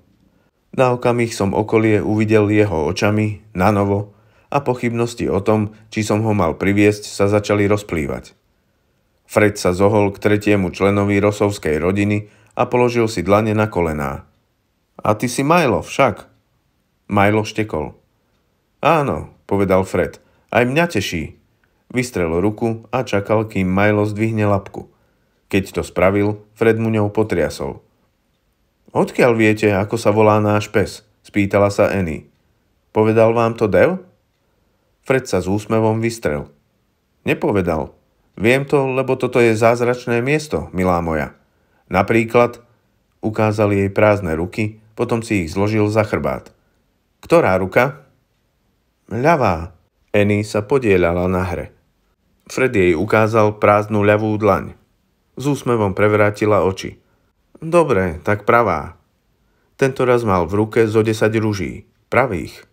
Annie a Mike zhýkli. A ja. Ani po rokoch netuším, ako to spravil. Joyland je pre deti, milá moja. A keďže Mike je tu dnes jediné dieťa, park patrí jemu. No tieto rúže sú pre vás.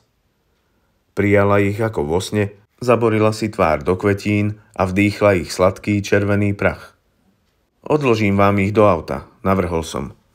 Ešte chvíľu si ich pritískala k sebe, potom mi ich podala. Mike, povedal Fred, vieš, čo tu predávame?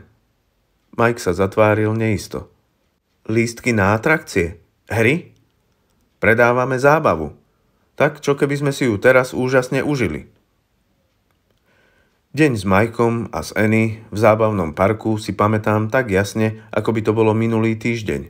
No keby som mal vyrozprávať, aký to bol pre mňa pocit a ako mi ten deň pomohol odseknúť aj poslednú nitku, čo moje srdce a moje city ešte stále pútala k Wendy Keeganovej, musel by som byť o mnoho zručnejší. Viem vyjadriť len to, čo už sami viete. Niektoré dni sú naozaj ako poklad. Nie je ich veľa, ale myslím, že každému sa ich za život ujde aspoň niekoľko. Ten deň v zábavnom parku bol môj poklad a keď ma pochytí depka, keď ma život ubíja a všetko vyzerá ako lacný gíč, čiže tak, ako vyzeral Joyland v daždivých dňoch, v duchu sa k nemu vrátim. Ak pre nič iné, tak preto, aby som si pripomenul, že život nie je vždy švindel. Občas sa v ňom naozaj vyhráva. Občas sa vyhrávajú vzácne veci.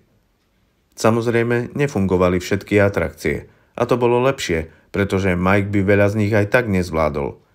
V to dopoludne však bola v prevádzke väčšia polovica parku. Svetlá, hudba, ba aj niektoré kšefty, kde slúžilo hádam pol tucta najatých miestnych ľudí a predávali pukance, hranolčeky, nealko, cukrovú vatu či naše slávne hotdogy. Netuším, ako sa to Fredovi s Laneom podarilo za jedno popoludne zorganizovať. Začali sme v detskom raji, kde nás pri vláčiku čakal Lane. Namiesto svojho pinča mal na hlave rušňovodickú čiapku, no nasadenú ako vždy frajersky nakrivo. Všetci nastupovať. Vláčik vozí deťom smiech, šťastia má za plný mech. Psíček nech do vlaku vlezie, mamička sa zdarma zvezie. Chlapec v rušni miesto má, nech sa smeje, nech sa hrá. Ukázal na Majka a potom na sedadlo spolujazca v lokomotíve. Mike vstal z vozíka, pripravil si barly a neisto na nich vykročil. Annie sa mykla, chcela k nemu priskočiť. Nie, mami, zvládnem to. Nadobudol rovnováhu, s klopkaním prešiel k Laneovi, ako chlapec s robotickými nohami a dal sa podvihnúť na sedadlo. Toto je lanko od píšťaly, môžem zaň potiahnuť. Na to tu je, prikývol Lane. Ale dávaj pozor na prasiatka, čo ti prebehnú cez kolajnice. Nedaleko sa schováva vlk a oni sa ho smrteľne boja. Eny a ja sme sa posadili do vozňa.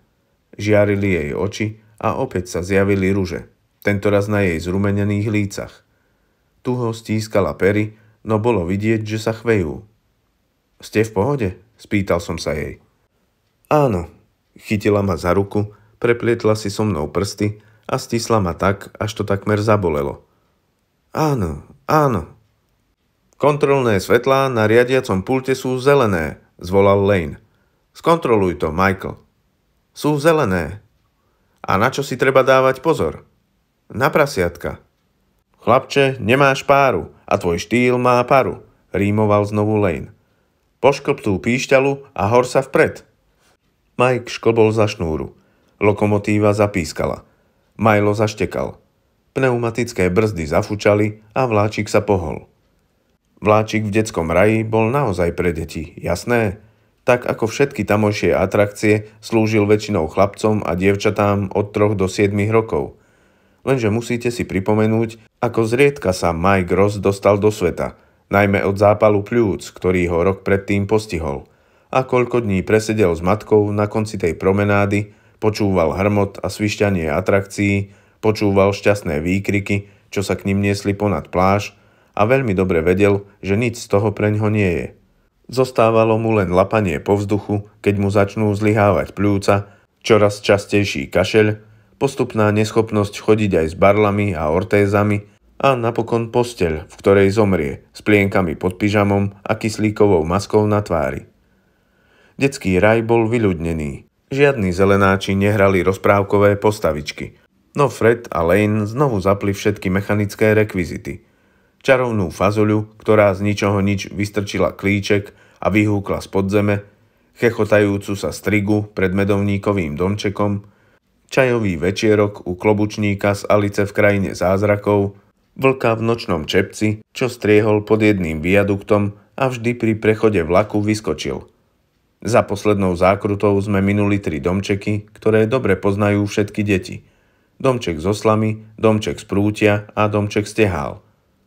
Pozor na prasiatka, zvolal Lane a práve vtedy sa vyrútili na trať, kvíkajúc s ampliónov ako o život. Mike zjačal od smiechu a šklbol za šnúru. A prasiatka, tak ako vždy, pred vlakom ušli, o konček chvostíka. Keď sme sa vrátili na stanicu, Annie mi pustila ruku a utekala k lokomotíve. Si v poriadku, Zlatko? Chceš inhalátor? Nie, nič mi nie je. Mike sa obrátil k Laneovi. Ďakujem, pán rušňovodič. Rado sa stalo, Mike. Vystrel k nemu ruku dlaňou hore. Ak si živý, ruku na to. Dobrodružstvo je nad zlato. Mike mu plesol do dlane a myslím, že v živote sa necítil dobrodružnejšie ani živšie.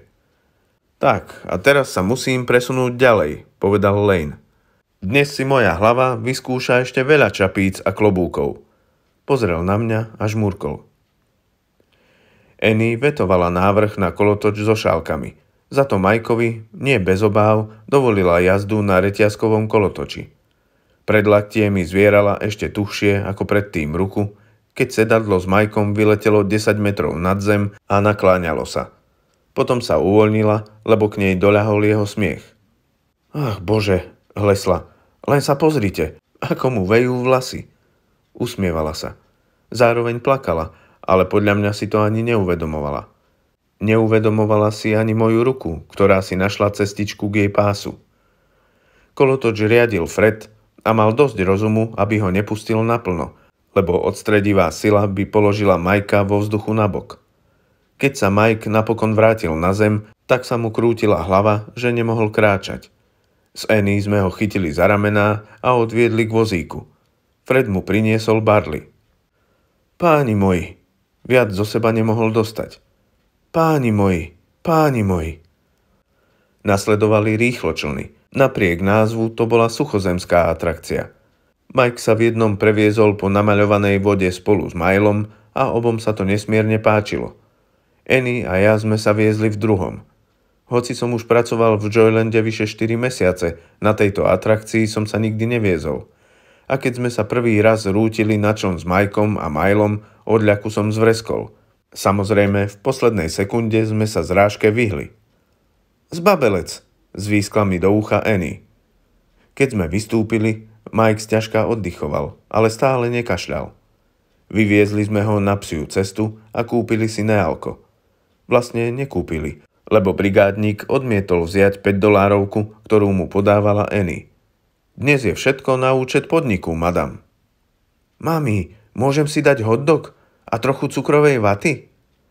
Zamračila sa, potom vzdychla a pokrčila plecami. OK, len aby bolo jasno, mladý pánko, zákaz takýchto jedál ti týmto neruším. Iba prednešok som urobila výnimku. A už nejaké rýchle jazdy. Mike sa zaprel do kolies a na vozíku sa poponáhľal k hotdogom. Pes vzrušene cupotal za ním. Eny sa ku mne obrátila. Nejde mi o zdravú výživu, ak vám to zišlo na um. Ak mu príde zle, mohol by sa povracať. A pre deti ako Mike je vracanie nebezpečné. Mohol by sa... Poboskal som ju. Bol to len krátky letmý dotyk pier, ako keby som prehltol drobučku kvapôčku niečoho neuveriteľne sladkého. Pšt, šepol som. Vyzerá, že mu je zle? Vytreštila oči. Chvíľu som si bol istý, že mi vylepí a naštvane odpochoduje. Bolo by po super dni, a to len a len mojou vinou. Potom sa usmiala a pozrela na mňa zvláštne hlbavým pohľadom, až sa mi zachvel žalúdok. Stavím sa, že keby ste dostali druhú šancu, šlo by vám to o mnoho lepšie. Kým som si stihol premyslieť odpoveď, náhlila sa za synom.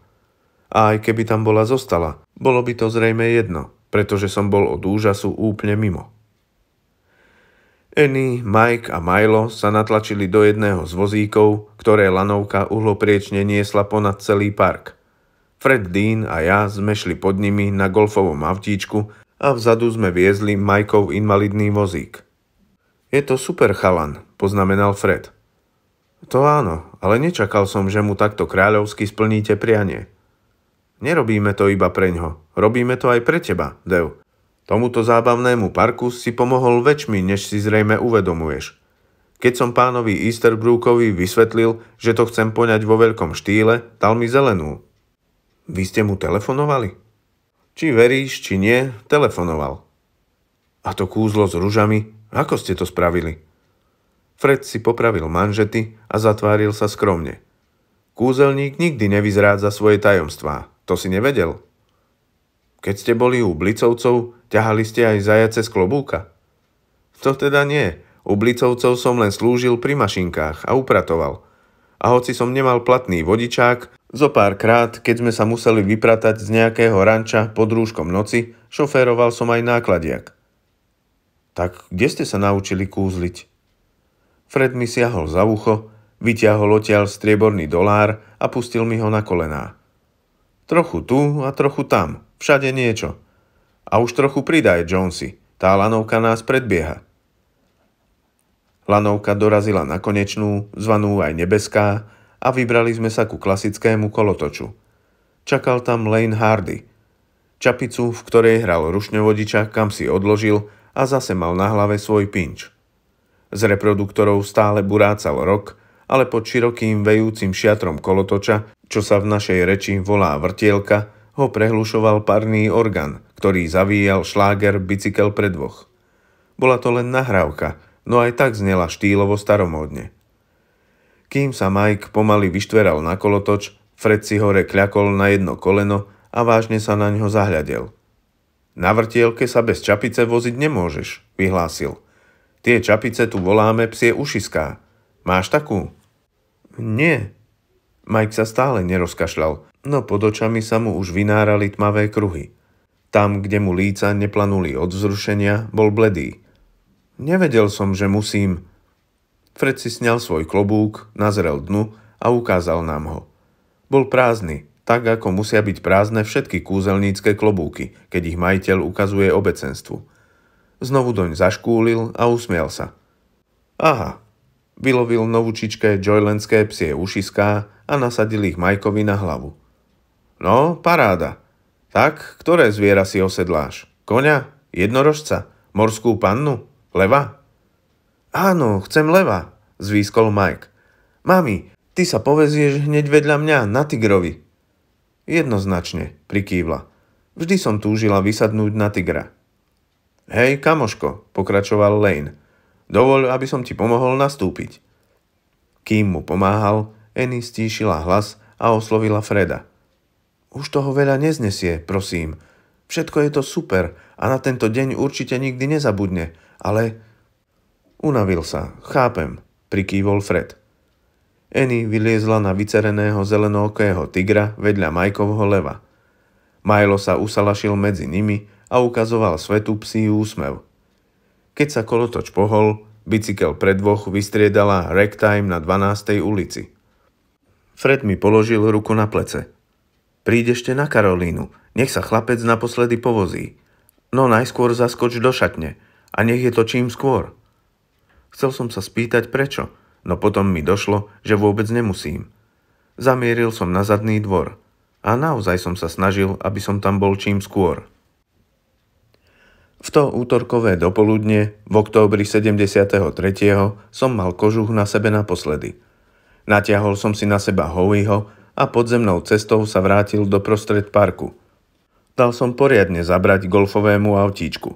Hnal som sa, až mi Howieho hlava poskakovala na pleci. Vynoril som sa za stánkom Madame Fortúny a práve včas. Lane, Annie a Mike sa už blížili stredom cesty – Lane tlačil Majkov invalidný vozík. Nik z nich si ma nevšimol, ako vykúkam spoza stánku, lebo zakláňali hlavy a vytriešťali oči na Karolínu. Za to Fred ma zbadal. Zdvihol som labu na pozdrav. Prikývol, potom sa obrátil a tiež zdvihol prednú končatinu na znamenie niekomu, kto nás práve sledoval z malej zvukárskej kabíny nad Centrom pre služby zákazníkom. O niekoľko minút sa zo všetkých reproduktorov spustila Hovyho muzika. Ako prvý sa predstavil Elvis s piesňou Hound Dog. Vyskočil som zo svojho úkrytu a pustil sa do havovského tanca, ktorý sa v skutočnosti skladal z dosť biedného stepovania. Majkovi sa otvorili ústa. Eny si pritisla dlane na spánky, ako by ju nečakane omráčila monštruózna migréna a potom sa rozosmiala – som presvedčený, že hneď na to som podal jeden zo svojich najlepších výkonov. Poskakoval som okolo Majkovho invalidného vozíka a sotva som si uvedomoval, že Mike robí to isté, len opačným smerom. Hound Dog vystriedala pesnička Walking the Dog vo verzii Rolling Stones. Našťastie je to krátka skladba. Až po chvíli mi došlo, že po lete som stratil formu. Zakončil som s rozpriahnutými rukami a výkrikom – Mike, Mike, Mike. Bolo to jediný raz, keď Hový prehovoril a na svoju obhajobu musím uviesť, že to aj tak znelo skôr ako štekot. Mike vstal z vozíka, roztvoril náruč a hodil sa dopredu. Vedel som, že ho zachytím a aj som to spravil. Celé leto ma takto stískali decká o polovicu mladšie ako on, ale nikdy predtým to nebol taký super pocit. Len som ľutoval, že ho nemôžem obrátiť, stisnúť ako Holly Stransfieldovú a vyraziť z neho to, čo mu robí problémy, ako zapadnutý kus hotdogu. S tvárou zaborenou do kožušiny povedal Ste super, Hovi, Dev. Labou som ho pohľadkal po hlave a zhodil mu psie ušiská. Nemohol som odpovedať, mohol som len vybrechať jeho meno, ale pomyslel som si. Dobré dieťa si zaslúži dobrého psa – len sa spýtaj Majela. Mike pozrel do Hovýho modrých sieťkových očí. Pôjdete s nami na zdvihák? Zveličene som prikývol a znovu ho pohľadkal po hlave.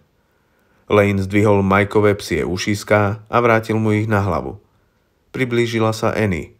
Ruky mala upeto zložené nad rieku, ale v očiach jej svietila radosť.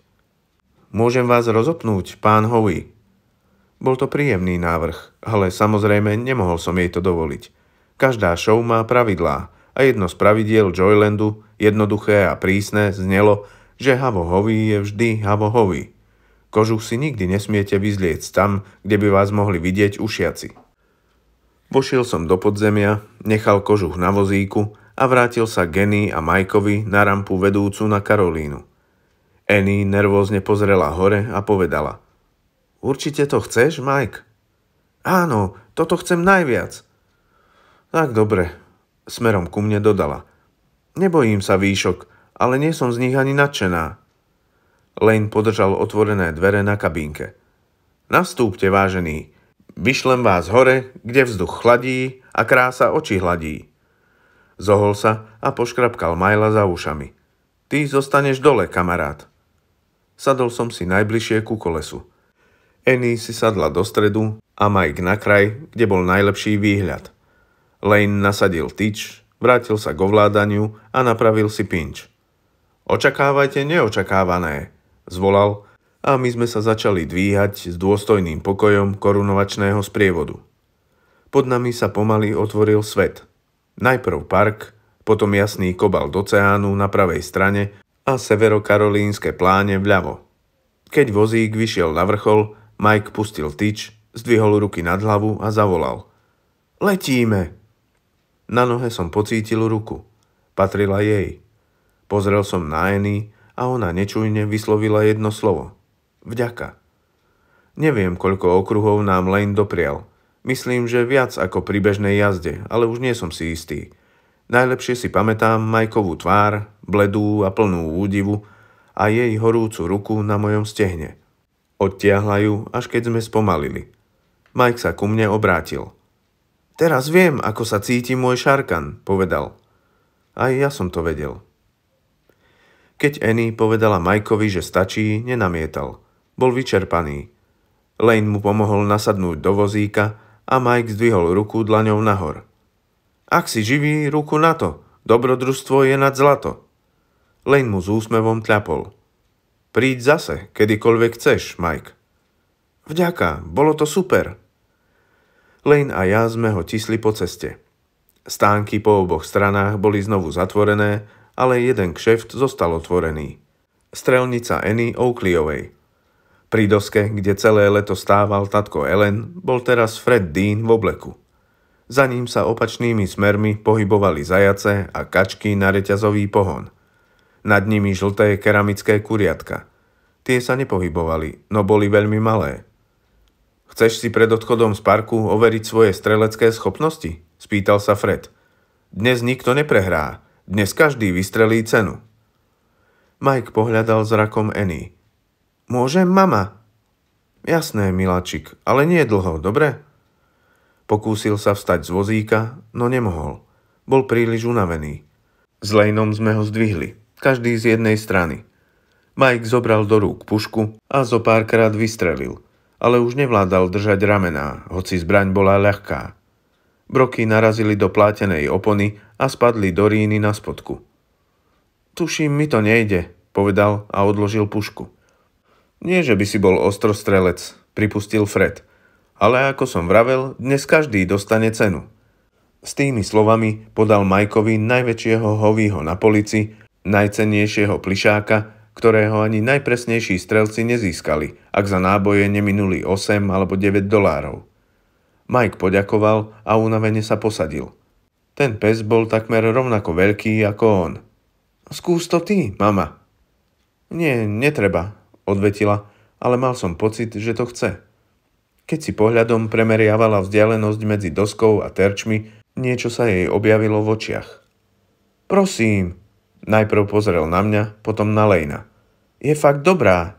Vyhrala turnaj v streľbe Ležmo v Perryho tábore ešte predtým, ako som sa narodil. A dvakrát bola druhá. Perryho tábor je v Oháju. Ja nie. Lane už podával upravenú 22. Len poďte bližšie. Ukážte nám, či viete strieľať ako Annie Oakleyová, Annie. Vzala pušku a prezrela si ju tak, ako to ušiaci nikdy nerobia. Koľko mám nábojov? V zásobníku je ich 10, odvetil Fred. Ak to mám vyskúšať, môžem vystrieľať dva zásobníky? Koľko len chcete, madam. Dnes je váš deň. Mama strieľala so Starkým aj na asfaltové holuby, vyhlásil Mike. Annie zdvihla 22 a vystrieľala 10 výstrelov s asi dvojsekundovými pauzami. Zhodila dve pohyblivé kačice a troch pohyblivých zajačikov. Maličké keramické kuriatka úplne ignorovala. Ostrostrelkyňa, zvolal Fred. Vyberte si ktorúkoľvek cenu zo strednej police. Usmiala sa. 50% je dosť ďaleko do ostrostrelectva. Môj otec by si od hamby zakryl tvár. Ak môžem, skúsim ešte jeden zásobník. Fred vybral spod pultu papierový kužeľ, v našej reči nazývaný trúbka, a jeho uší koniec strčil do otvoru na vrchu pušky. Ozval sa rachot a do zásobníka sa vkotúľalo 10 brokov. Sú mieridlá odklonené? spýtala sa Freda. Nie, madam, v Joylande je všetko férové. Ale keby som vám tvrdil, že tatko Ellen, chlap, ktorý väčšinou obsluhuje tento kšeft, ich kalibroval celé hodiny, klamal by som. Keďže som pracoval v tatkovom týme, vedel som, že to vyjadril ešte veľmi mierne. Kalibrovanie bolo to posledné, čo by tatko robil. Čím lepšie vidláci strieľali, tým viac cien musel tatko rozdať a on ceny kupoval za vlastné, tak ako všetci správcovia kšeftov. Tovar bol síce lacný, ale nebol zadarmo. Ťahá doľava a nadnáša, povedala skôr sebe ako nám. Potom zdvihla pušku, zasunula si ju do priehlbiny ľavého pleca a desaťkrát vystrelila. Tento raz medzi výstrelmi nebola počuteľná pauza a Eny nestracala čas s kačicami a zajačikmi. Mierila na keramické kuriatka a osem ich rozbila. Keď pušku položila na pult, Lane si šatkou utrel pod z temena. Popri tom potichu prehovoril. Ježiškové husličky, nikto netrafí 8 kuriatok. Posledné som len oškrela a z takejto vzdialenosti som mala trafiť všetky. Nechvastala sa, len to konštatovala. Mike takmer previnilo povedal. Vravel som vám, že je dobrá, Priložil si k ústam pesť a zakašľal. Rozmýšľala nad olympiádou, ale potom odišla z vysokej. Vy ste fakt hotová Annie Oakleyová, povedal Lane a strčil si šatku do zadného vrecka. Vyberte si ktorúkoľvek cenu. Už som cenu dostala, povedala. Tento nádherný deň. Ani sa vám nemám ako poďakovať. Obrátila sa ku mne. A jemu tiež. Musel ma prehovárať, lebo ja nemám rozum. Poboskala Majka na vlasy. No, chlapca už treba odviezť domov. Kde je Milo? Poobzerali sme sa a uvideli ho v polovici Joyland Avenue. Sedel pred strašidelným zámkom s chvostom obkrúteným okolo labiek. Milo, ku mne! Zavolala Annie. Nadvihol uši, ale neprišiel. Dokonca sa ani neobrátil, len hľadel na fasádu jedinej strašidelnej atrakcie v Joylande – Takmer by som uveril, že číta roztečené, pavučinami pokryté pozvanie. Vojdite, ak sa nebojíte. Kým Annie pozerala na Majla, ukradomky som vrhol pohľad na Majka. Hoci bol z dnešných vzruchov unavený, výraz jeho tváre sa nedal pomýliť. Bola tam spokojnosť. Viem, je šialené nazdávať sa, že si to s teriérom vopred dohodli, ale myslel som si to. Stále si to myslím. Potisne ma tam, mama, povedal Mike. So mnou pôjde. Netreba, ozval sa Lane. Ak máte remienok, s radosťou vám ho privediem.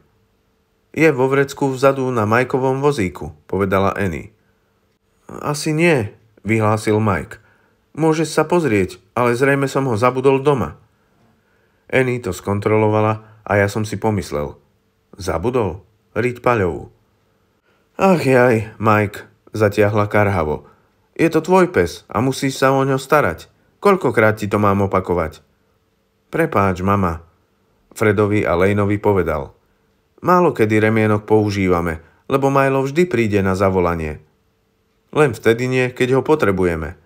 Eny si priložila dlane k ústam. Milo, ku mne!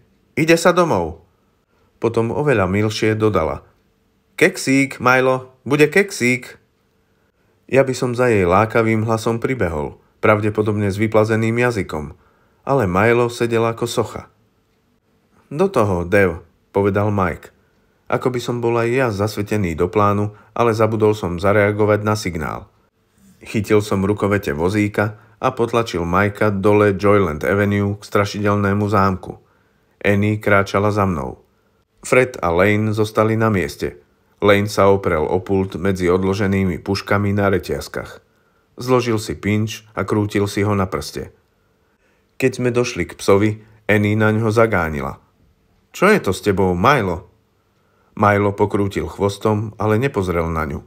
Ani sa nepohol. Strážil a bol rozhodnutý vydržať, kým ho neodtiahnu. Michael, zavolaj si psa, aby sme mohli ísť domov. Musíš si od... Kým stihla dohovoriť, stali sa dve veci. Nie som si celkom istý, v akom poradí. V nasledujúcich rokoch som nad tým často rozmýšľal, väčšinou v noci, keď som nemohol zaspať. A stále nie som si istý. Myslím, že najprv sa ozval ten rachot. Hluk, aký vydáva autíčko, čo sa začína pohybovať po trati. Ale možno najprv spadla zámka. Dokonca je možné, že obidva javy sa udiali naraz. Veľká zámka značky American Master sa zrútila z brány pod fasádou strašidelného zámku, pristála na doskách a zaligotala sa na októbrovom slnku. Fred Dean neskôr povedal, že jazyček asi nebol poriadne zasunutý do uzamykacieho mechanizmu a vibrácie pohybujúceho sa autíčka ho otvorili. Malo to logiku, lebo keď som zámku skontroloval, bola naozaj otvorená. Ale aj takto bola kravina – Sám som tam zámku nasadil a dobre si pamätám, ako cvakla. Dokonca si pamätám, ako som zámkou pomykal, či dobre drží. Z toho všetkého vyplýva otázka, na ktorú sa Fred ani nepokúsil odpovedať.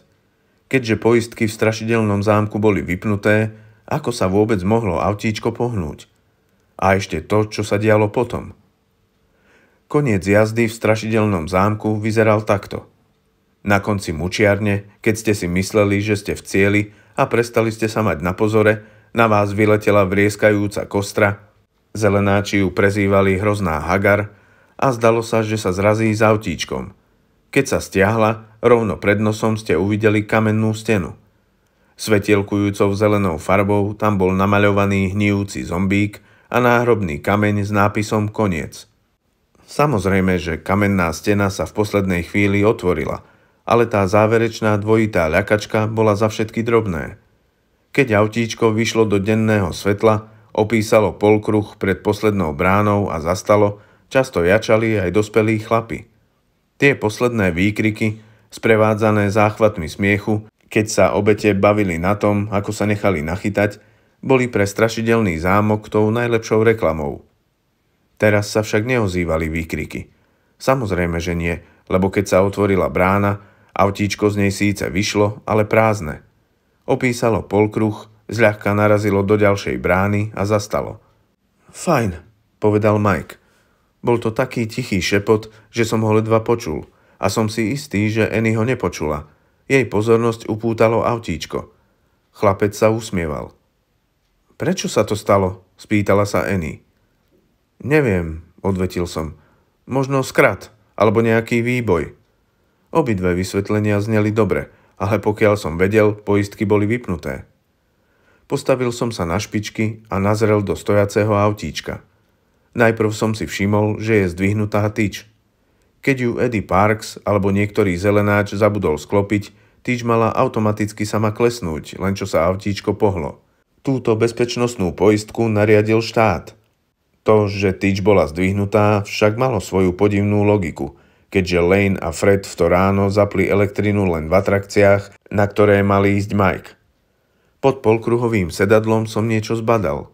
Niečo rovnako skutočné ako rúže, ktoré Fred daroval Annie, iba že to nebolo červené. Bola to modrá dievčenská čelenka. Zamierili sme k dodávke.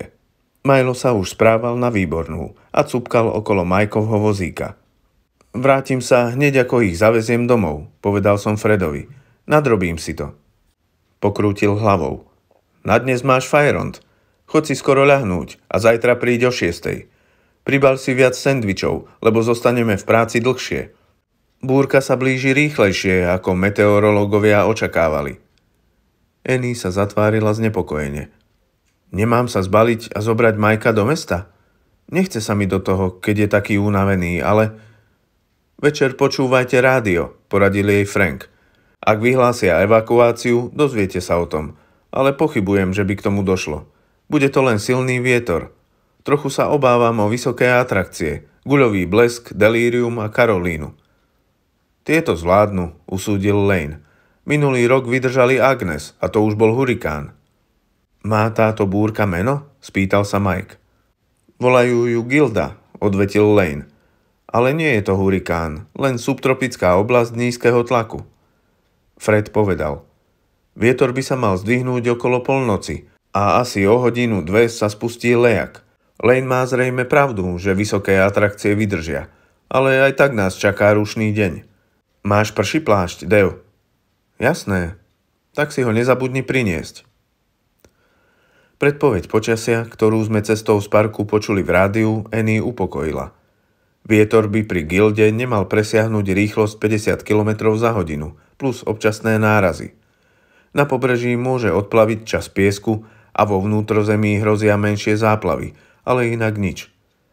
Rozhlasový moderátor vyhlásil, že bude ideálne počasie na púšťanie šarkanov a my sme sa rozosmiali. Už sme mali spoločné spomienky a to bolo milé. Keď sme sa vrátili do veľkého viktoriánskeho domu na Beach Row, Mike na poli spal. Zdvihol som ho a uložil do vozíka. Nijaká námaha, veď za posledné 4 mesiace som nabral svaly a keď chlapec na sebe nemal tie strašné ortézy, určite nevážil ani 30 kýl. Milo znovu cupkal popri vozíku, keď som ho vytlačil po rampe do domu. Mike potreboval ísť na záchod, ale keď jeho mama chcela prevziať rukoveď na vozíku, požiadal ma, aby som to spravil ja.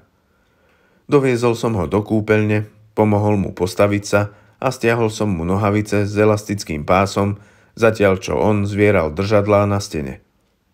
Neznášam, keď mi niekto musí pomáhať. Cítim sa ako malé decko, Cikal však s energiou zdravého chalana. Potom, keď sa naklonil dopredu a chcel spláchnuť, stratil rovnováhu a takmer spadol tvárou do záchodovej misy. Musel som ho zachytiť. Oh, vďaka, Dev. Vlasy som si už dnes umýval. To ma rozosmialo a Mike sa usmial. Škoda, že nepríde hurikán. To by bolo super.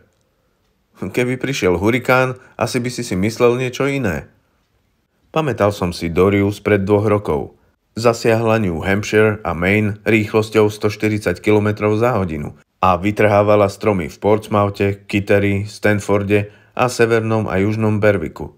Jedna veľká stará borovica tesne minula náš dom. Voda nám zaplavila pivnicu a 4 dní sme boli bez elektriny. Nechcel by som, aby v parku popadali atrakcie. Je to najlepšie miesto na svete. Aspoň z tých, kde som bol. Dobre, počkaj, vyťahnem ti nohavice. Nemôžeš mame ukazovať holý zadok. Znovu sa rozosmial, iba že smiech sa zmenil na kašel. Keď sme vyšli, Eny ho prevzala a odtisla vozík po chodbe až do jeho izby. Nikam nechoďte, Devin, zavolala cez plece. Dostal som voľno a tak som rozhodne nemal v úmysle odísť, ak chcela, aby som na chvíľu zostal. Prechádzal som sa po obývačke, Obzeral si veci, ktoré boli pravdepodobne drahé, ale nie príliš zaujímavé. Teda aspoň pre 21-ročného človeka. Miestnosť sa po chmúrnej atmosfére vyhla len vďaka obrovskému oknu, z ktorého prúdilo svetlo. Bol odtiaľ výhľad na zadnú terasu, promenádu a oceán. Videl som, ako sa na juhovýchode zhlukujú prvé oblaky, ale obloha nad nami zostávala belasá. Pamätám sa, ako som si pomyslel, že som teda konečne vo veľkom dome, aj keď asi nikdy nebudem mať príležitosť spočítať všetky tie kúpeľne. Rozmýšľal som aj nad tou modrou čelenkou a nad tým, či ju len videl, keď túlavé autíčko vracal na miesto. Nad čím som ešte rozmýšľal? Nad tým, že som konečne videl ducha. Aj keď to nebol duch človeka, ale predmetu. Vrátila sa Annie. Chce sa ešte porozprávať, ale nebuďte tam dlho. Dobre. Tretie dvere vpravo. Išiel som po chodbe, ticho som zaklopal a vošiel dnu. Keď si človek odmyslel držadlá na stene, kyslíkové masky v rohu a oceľové ortézy na nohy, stojace v pozore pri posteli, mohla by to byť bežná chlapčenská izba. Nebola tam bejsbalová rukavica a o stenu sa neopieral skateboard ale vyseli tam plagáty Marka Špica a Larryho Čonku z týmu Miami Dolphins. Na čestnom mieste nad posteľou Beatles prechádzali cez Abbey Road. Zacítil som závan liečivej masti. Mike vyzeral v posteli maličký, takmer stratený pod zelenou prikryvkou. Milo ležal vedľa neho skrútený do klopka a Mike mu neprítomne hladkal srst. Ako by to ani nebol ten chlapec, ktorý víťazoslávne dvíhal ruky nad hlavu na Karolíne. No nevyzeral smutne, skôr žiaril. Videli ste ju, Deo? Videli ste ju, keď odchádzala? S úsmevom som pokrútil hlavou. Tomovi som závidel, ale Majkovi nie. Majkovi nikdy. Škoda, že tam nebol môj starký. On by ju videl a počul by aj to, čo povedala, keď odchádzala. Čo povedala? Zaďakovala. Obom nám zaďakovala.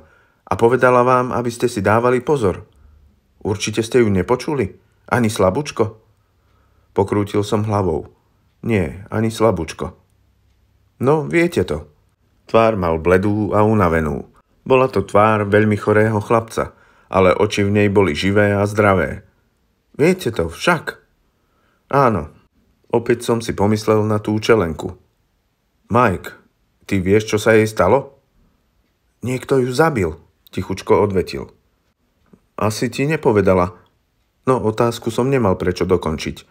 Mike už krútil hlavou. Potrebuješ si pospať, povedal som mu. Hej, keď si zdriemnem, budem sa cítiť lepšie. Vždy je to tak. Zavreli sa mu oči a potom sa veľmi pomaly otvorili. Najlepšia bola Karolína. Čertovo koleso. Je to ako lietanie. Mhm, prikývol som. Presne také to je. Keď sa mu tento raz zatvorili oči, už sa neotvorili. K dverám som prešiel tak rýchlo, ako sa len dalo. Len čo som položil ruku na kľúčku, ešte sa ozval. Dávajte si pozor, Deo. Nie je to biele. Obzrel som sa. Očividne spal. Bol som si tým istý. Pozoroval ma iba Milo. Vyšiel som z izby a potichu za sebou zatvoril dvere. Annie bola v kuchyni. Varím kávu, no možno by ste si radšej dali pivo, prehodila. Mám tu Blue Ribbon, Káva mi vyhovuje. Ako sa vám páči dom? Rozhodol som sa povedať pravdu. Zariadenie je trochu staromódne, ale čo už ja viem, nevyštudoval som interiérovú architektúru.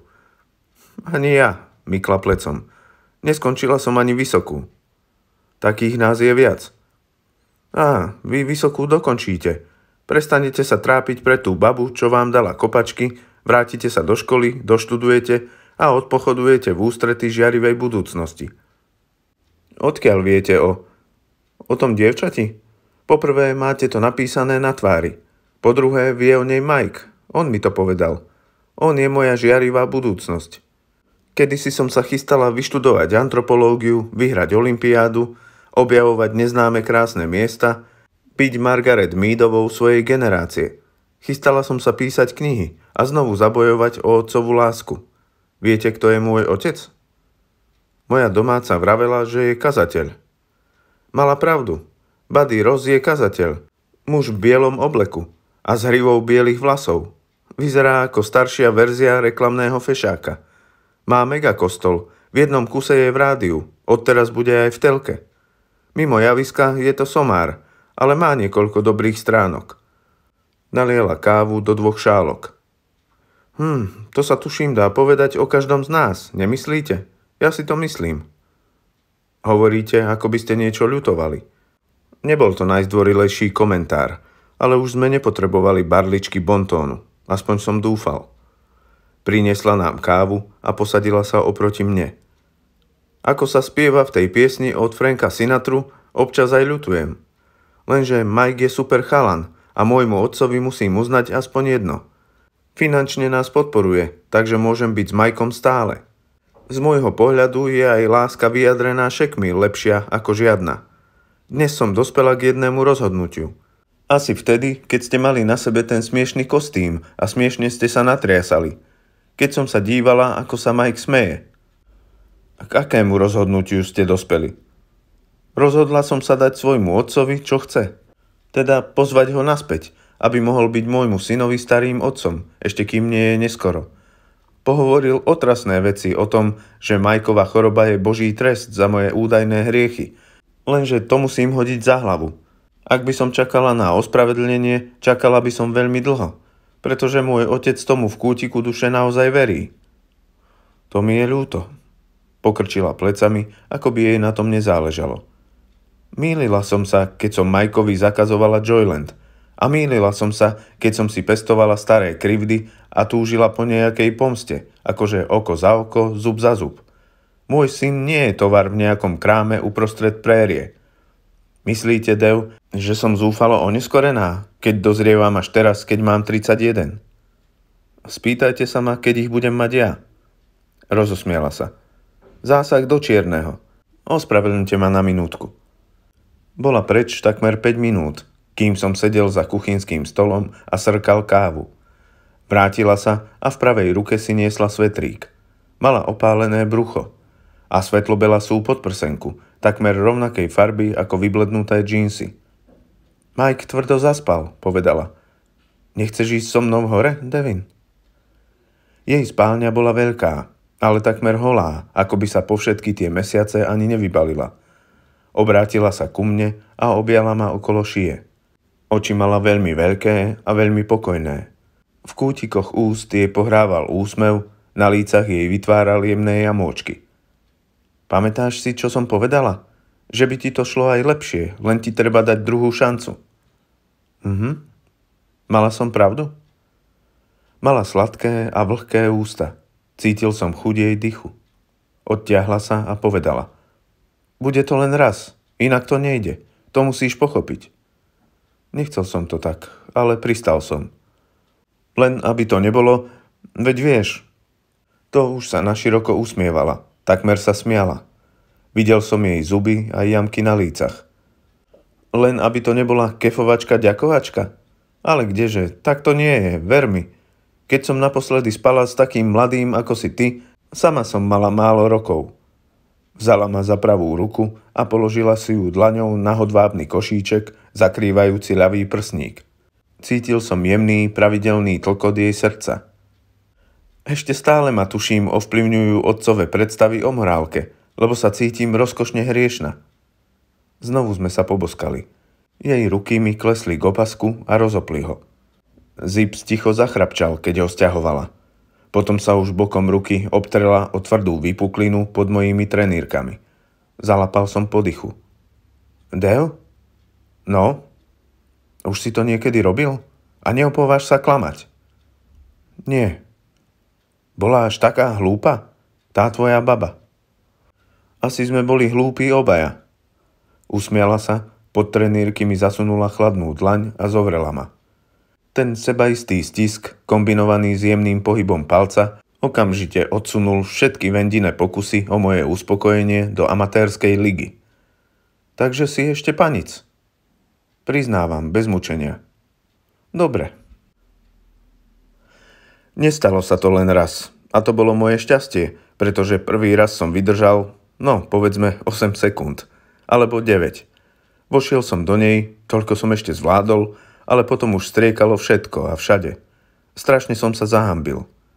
Či som sa niekedy hambil ešte hroznejšie? Možno vtedy, keď si môj zadok zmyslel zatrúbiť počas príjmania v tábore mladých metodistov, ale pravdepodobne ani vtedy nie. Bože, zaúpel som a zakryl si dlaňou oči. Zasmiala sa, ale vôbec nie zlomyselne. Je to zvláštne, ale vieš, že mi to vlastne lichotí. Uvoľni sa. Ja pôjdem dole skontrolovať Majka. Netúžim potom, aby ma prichytil v posteli s havom hovým. Veľmi vtipné. Keby som sa bol červenal ešte o máličko viac, vzblkla by mi pokožka. Myslím, že keď sa vrátim, budeš pripravený. Výhoda 21 ročných, Dev. Keby si mal 17, asi by si bol pripravený už teraz. Vrátila sa s dvoma fľašami koli vo vedierku plnom ľadu, ale keď vyklzla zo župana a zastala predo mnou nahá, kola bola to posledné, po čom by som zatúžil. Ten druhý raz to bolo o dosť lepšie. Myslím, že som vydržal až 4 minúty. Potom však ticho vykríkla, vykríkla niekoľkokrát a bolo po mne. Ale ako po mne? Zadriemali sme, Eny s hlavou uhniezdenou v priehlbinke medzi mojím krkom a plecom. OK? Šepla. OK je slabé slovo. Ani tomu nemôžem uveriť. Nevidel som jej úsmev, ale cítil som ho. Táto spálňa sa po toľkých rokoch konečne použila aj na niečo iné než na spanie. Tvoj otec tu nebýva? Nikdy sa tu nezdrží dlho a ja som sa sem začala vracať len preto, lebo Majkovi sa tu veľmi zapáčilo – Občas dokážem čeliť vedomiu, že takmer určite zomrie. No väčšinou nie. Zakrývam si predtým oči. Uzatváram sama so sebou absurdné dohody. Ak ho nevezmem do Joylandu, nezomrie. Ak sa nezmierim s otcom a on za Majkom nebude môcť prísť, Mike nezomrie. Ak tu zostaneme, nezomrie. Pred pár týždňami, prvý raz, keď som ho musela donútiť, aby si na pláži obliekol kabát, rozplakala som sa. Pýtal sa, čo sa deje a ja som mu povedala, že mám svoje dni. On vie, čo to je. Zišlo mi na um, čo jej Mike povedal na nemocničnom parkovisku. Že to nemusí byť posledná zábava. No skôr či neskôr tá posledná zábava príde. Nie len preňho, pre každého z nás. Posadila sa a zavinula sa do prikryvky. Pamätáš sa, ako som ti hovorila, že Mike sa stal mojou budúcnosťou? Mojou super kariérou? Áno, Nejakú inú si už neviem predstaviť. Po Michaelovi vidím len prázdnotu. Kto to povedal, že v Amerike nie je druhých dejstiev? Chytil som ju za ruku. Netráp sa s druhým dejstvom, kým trvá prvé. Vyslobodila si ruku a pohľadila ma ňou po líci. Si ešte mladý, ale nie si celkom hlúpy. Milé od nej, že to povedala, no pripadal som si hlúpo. Aj kvôli Wendy, ale nie len preto – Uvedomil som si, že mi myšlienky zabiehajú k tým prekliatým fotkám z fascikla, čo priniesla Erin. Niečo ma na nich stále škrelo. Ľahla si na chrbát, prikrývka jej sklzla z bradaviek a pocítil som, že sa znovu prebúdzam. 21 rokov je v istých situáciách fakt super vek. Na strelnici ma to bavilo. Už som zabudla, aké to býva občas dobré, necítiť nič, len ten súlad medzi okom a rukou – Otec mi prvý raz vložil do rúk zbraň, keď som mala 6 rokov. Bola to iba malá jednoranovka, 22, a bola som v 7. nebi. To akože fakt? Usmiala sa. Hej, v tom sme sa zhodli, asi prvý raz. A ukázalo sa, že to je aj jediné, čo máme spoločné. Oprela sa o lakeť. Otec predáva oheň a síru už od puberty a nejde mu len o prachy – Sám dostal trojitú porciu toho cespolného evanielia už od svojich rodičov a nepochybujem, že mu verí do posledného slova. Ale niečo ti poviem. V prvom rade je južan a až potom kazateľ. Má pick-up vyrobený presne na mieru, stál ho 50 tisíc dolárov, lenže pick-up je stále len pick-up. Jedáva sucháre s mesovou šťavou v hoci ktorej šúny ho reštike rovno pri ceste – pod inteligentným humorom si predstavuje ľudových komikov ako Mini Perlovú a Junior Samples. Strašne rád počúva pesničky o nevere a o vysedávaní v baroch. A miluje svoje zbrane. Jeho odroda Ježiša mi je ukradnutá a netúžim ani po pikape. Ale zbrane, to po ňom jeho jediná dcéra rozhodne zdedila. Spravím bum bum a hneď mi je lepšie. Na nič dedictvo, čo? Nepovedal som nič. Len som vstal z postele a otvoril som nám obom kolu. Jednu som jej podal. Vo svojom celoročnom dome v Savanách ich má asi 50. Väčšina kúskov sú starožitnosti a pekne cenné a v tunajšom sejfe ich môže byť asi pol tucta. Ja sama mám vo svojom čikákskom byte dve pušky, hoci na cieľ som nestrieľala už dva roky, teda do dnešného dňa. Ak Mike zomrie, Pritlačila si plechovku s kolou k čelu, ako by zaháňala bolesť hlavy. Keď Mike zomrie, všetkých sa budem musieť čím skôr zbaviť, aby ma nepokúšali. Mike by určite nechcel. Jasné, že nie, viem to. Lenže vôbec nejde o to, čo by chcel on. Keby som dokázala uveriť, ako verí môj zlatoústý ocinko, že keď zomriem, pred nebeskou bránou ma bude čakať Mike a vovedie ma dnu, to by bolo iné. Lenže ja tomu neverím. Ešte ako decko som sa divne pretrhla, tak som sa usilovala veriť. Ale nešlo to. Boh a nebo mi vydržali asi o 4 roky dlhšie než zúbková víla a napokon som si tú vieru neudržala. Myslím, že po smrti je jednoducho len tma. Žiadne myšlienky, spomienky, ani láska. Len tma. Zabudnutie. Preto tak ťažko príjmam to, čo sa s ním deje. Mike vie, že tam nie je len zabudnutie, poznamenal som. Čo? Prečo? Prečo si to myslíš? Lebo tam bola, pomyslel som si. On ju videl a videl, ako odtiaľ odchádza. Lebo mu nám poďakovala. A ja to viem, pretože som videl tú čelenku. A Tom videl Lindu. Spýtaj sa ho, povedal som len. No nie dnes, Odložila plechovku s kolou a zaujato si ma premeriavala pohľadom. Stále mala na perách ten jemný úsmev, pri ktorom sa jej v lícach vždy objavili jamôčky. Dupľu si už mal. O tretiu porciu asi nebudeš mať záujem, čo? A ja som odložil svoju kolu k posteli. Čírov náhodou vystrela ku mne ruky. Prvý raz to bola hamba, druhý raz to bolo dobré, tretí raz človeče. Na tretí raz to bolo bohovské. Kým sa Annie obliekala, čakal som v salóne. Keď zišla dole, mala na sebe opäť džínsy a svetrík. Pomyslel som si na belasú podprsenku tesne pod svetríkom a nech sa prepadnem, ak sa mi tam dolu opäť niečo neprebudilo. Všetko OK? spýtala sa. Jasné, ale radšej by som bol, keby to bolo ešte lepšie. A ja by som bola radšej, no lepšie to už nebude, a ak sa ti páčim tak veľmi, ako sa páčiš ty mne, príjmeš to.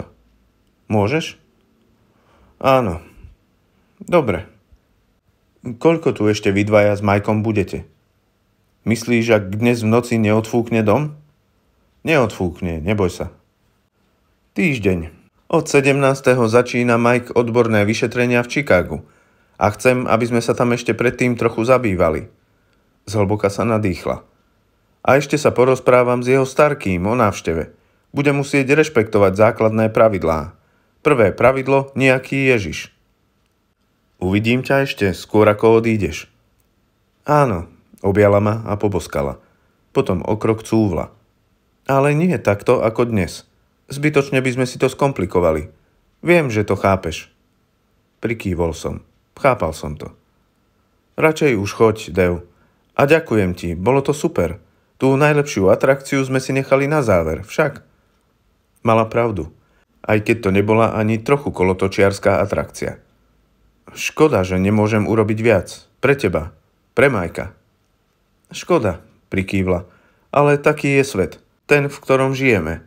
Príď zajtra na večeru, ak ti búrka dovolí. Mike by ťa ešte rád videl. Stála tam bosá, vo vyblednutých džínsach a bola krásna.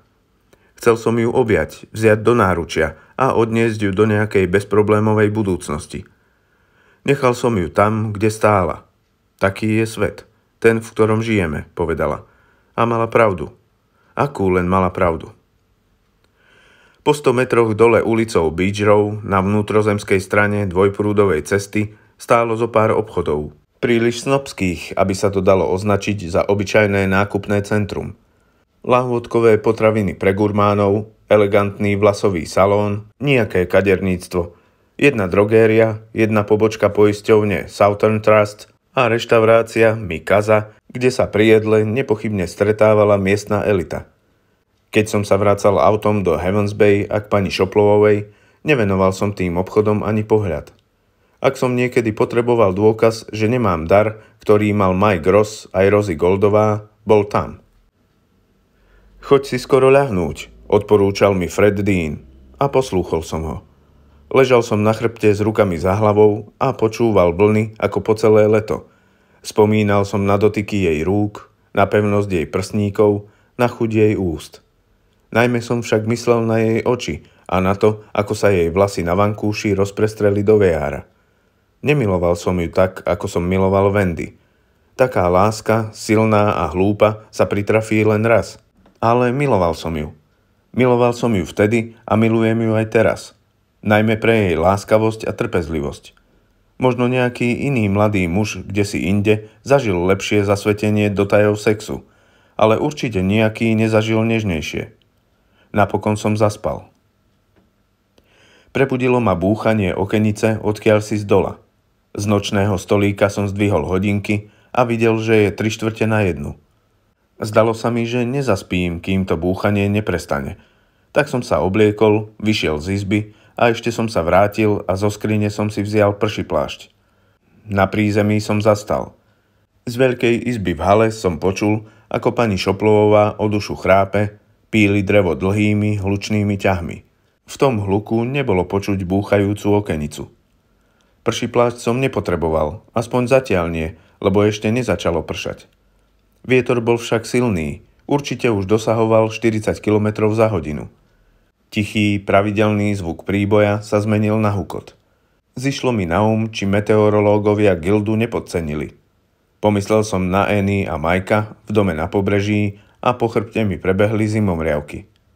Našiel som uvoľnenú okenicu a zaistil ju háčikom. Vrátil som sa dnu, vyšiel po schodoch, vyzliekol sa a znovu si ľahol. Zase som nemohol zaspať. Okenica stíchla, no zostalo zavíjanie vetra v odkvapoch – a rinčanie, vždy keď plech poriadne narazil. Nemohol som ani vypnúť mozog, keď sa už znovu rozbehol. Nie je to biele, pomyslel som si. Tá veta mi vôbec nič nehovorila, ale chcela mi niečo povedať. Chcela sa spojiť s niečím, čo som videl dnes v parku. Vysí nad tebou tieň, mladý muž. To mi oznámila Rozy Goldová, keď som ju poprvý raz stretol. Kto vie, ako dlho pracuje v Joylande a kde pracovala predtým? Je arcikolotočiarka a záleží na tom. Jedno z tých detí má dar jasnozrivosti. Neviem, ktoré. Ja som to už vedel. Mike uvidel Lindu Grejovú a vyslobodil ju. Dalo by sa povedať, že jej otvoril dvere. Sama ich nevedela nájsť. Prečo by mu inak ďakovala? Zavrel som oči a uvidel Freda na strelnici vo famóznom obleku a kúzelníckom cylindri. Videl som Lejna s 22 pripútanou k pultu. Eny. Koľko mám nábojov? Fred. V zásobníku je ich 10. Koľko len chcete. Dnes je váš deň. Otvoril som oči a v mysli sa mi zrazilo niekoľko vecí. Posadil som sa a počúval vietor a divý príboj. Potom som zapol lampu a vybral zo zásuvky fastikel od Erin. Znovu som fotografie rozložil na dlážku a srdce mi prudko bylo. Fotky boli dobré, ale svetlo nie. Druhý raz som sa obliekol, všetko vrátil do fascikla a zase som zišiel na prízemie. Uprostred stolíka na skrebl vysela lampa a počas mnohých večerov, keď som tu dostával na frak, som zistil, že svieti veľmi jasne. Medzi obývačkou a chodbou vedúcou do izie pani Šoplovovej boli posuvné dvere. Zatiahol som ich, aby ju nevyrušovalo svetlo. Potom som zapol lampu Škatuľu Scrabble som odložil na televízor a povykladal fotografie. Od rozrušenia som si nemohol sadnúť. Zohol som sa nad stôl a presúval fotky. Práve som sa to chystal spraviť tretí raz, keď mi zmeravela ruka. Uvidel som to. Uvidel som ho. Na súde by to neobstálo, ale mne to stačilo. Podlomili sa mi kolená a napokon som si sadol. Odrazu zazvonil telefón, z ktorého som tak často volal otcovi a vždy som telefonát zapísal. Ibaže vo veternom tichu skorého rána to znelo ako výkrik. Vrhol som sa k telefónu a zdvihol, kým stihol znovu zazvoniť. Ha, ha, hal? Viac som zo seba nedostal. Príliš prúdko mi bylo srdce. To si ty? Ozval sa hlas na druhej strane. Znel pobavene aj prekvapenie. Myslel som, že zdvihne tvoja domáca. Mal som pripravenú rozprávku o súrnej rodinnej záležitosti. Pokúsil som sa prehovoriť. Márne. Devin?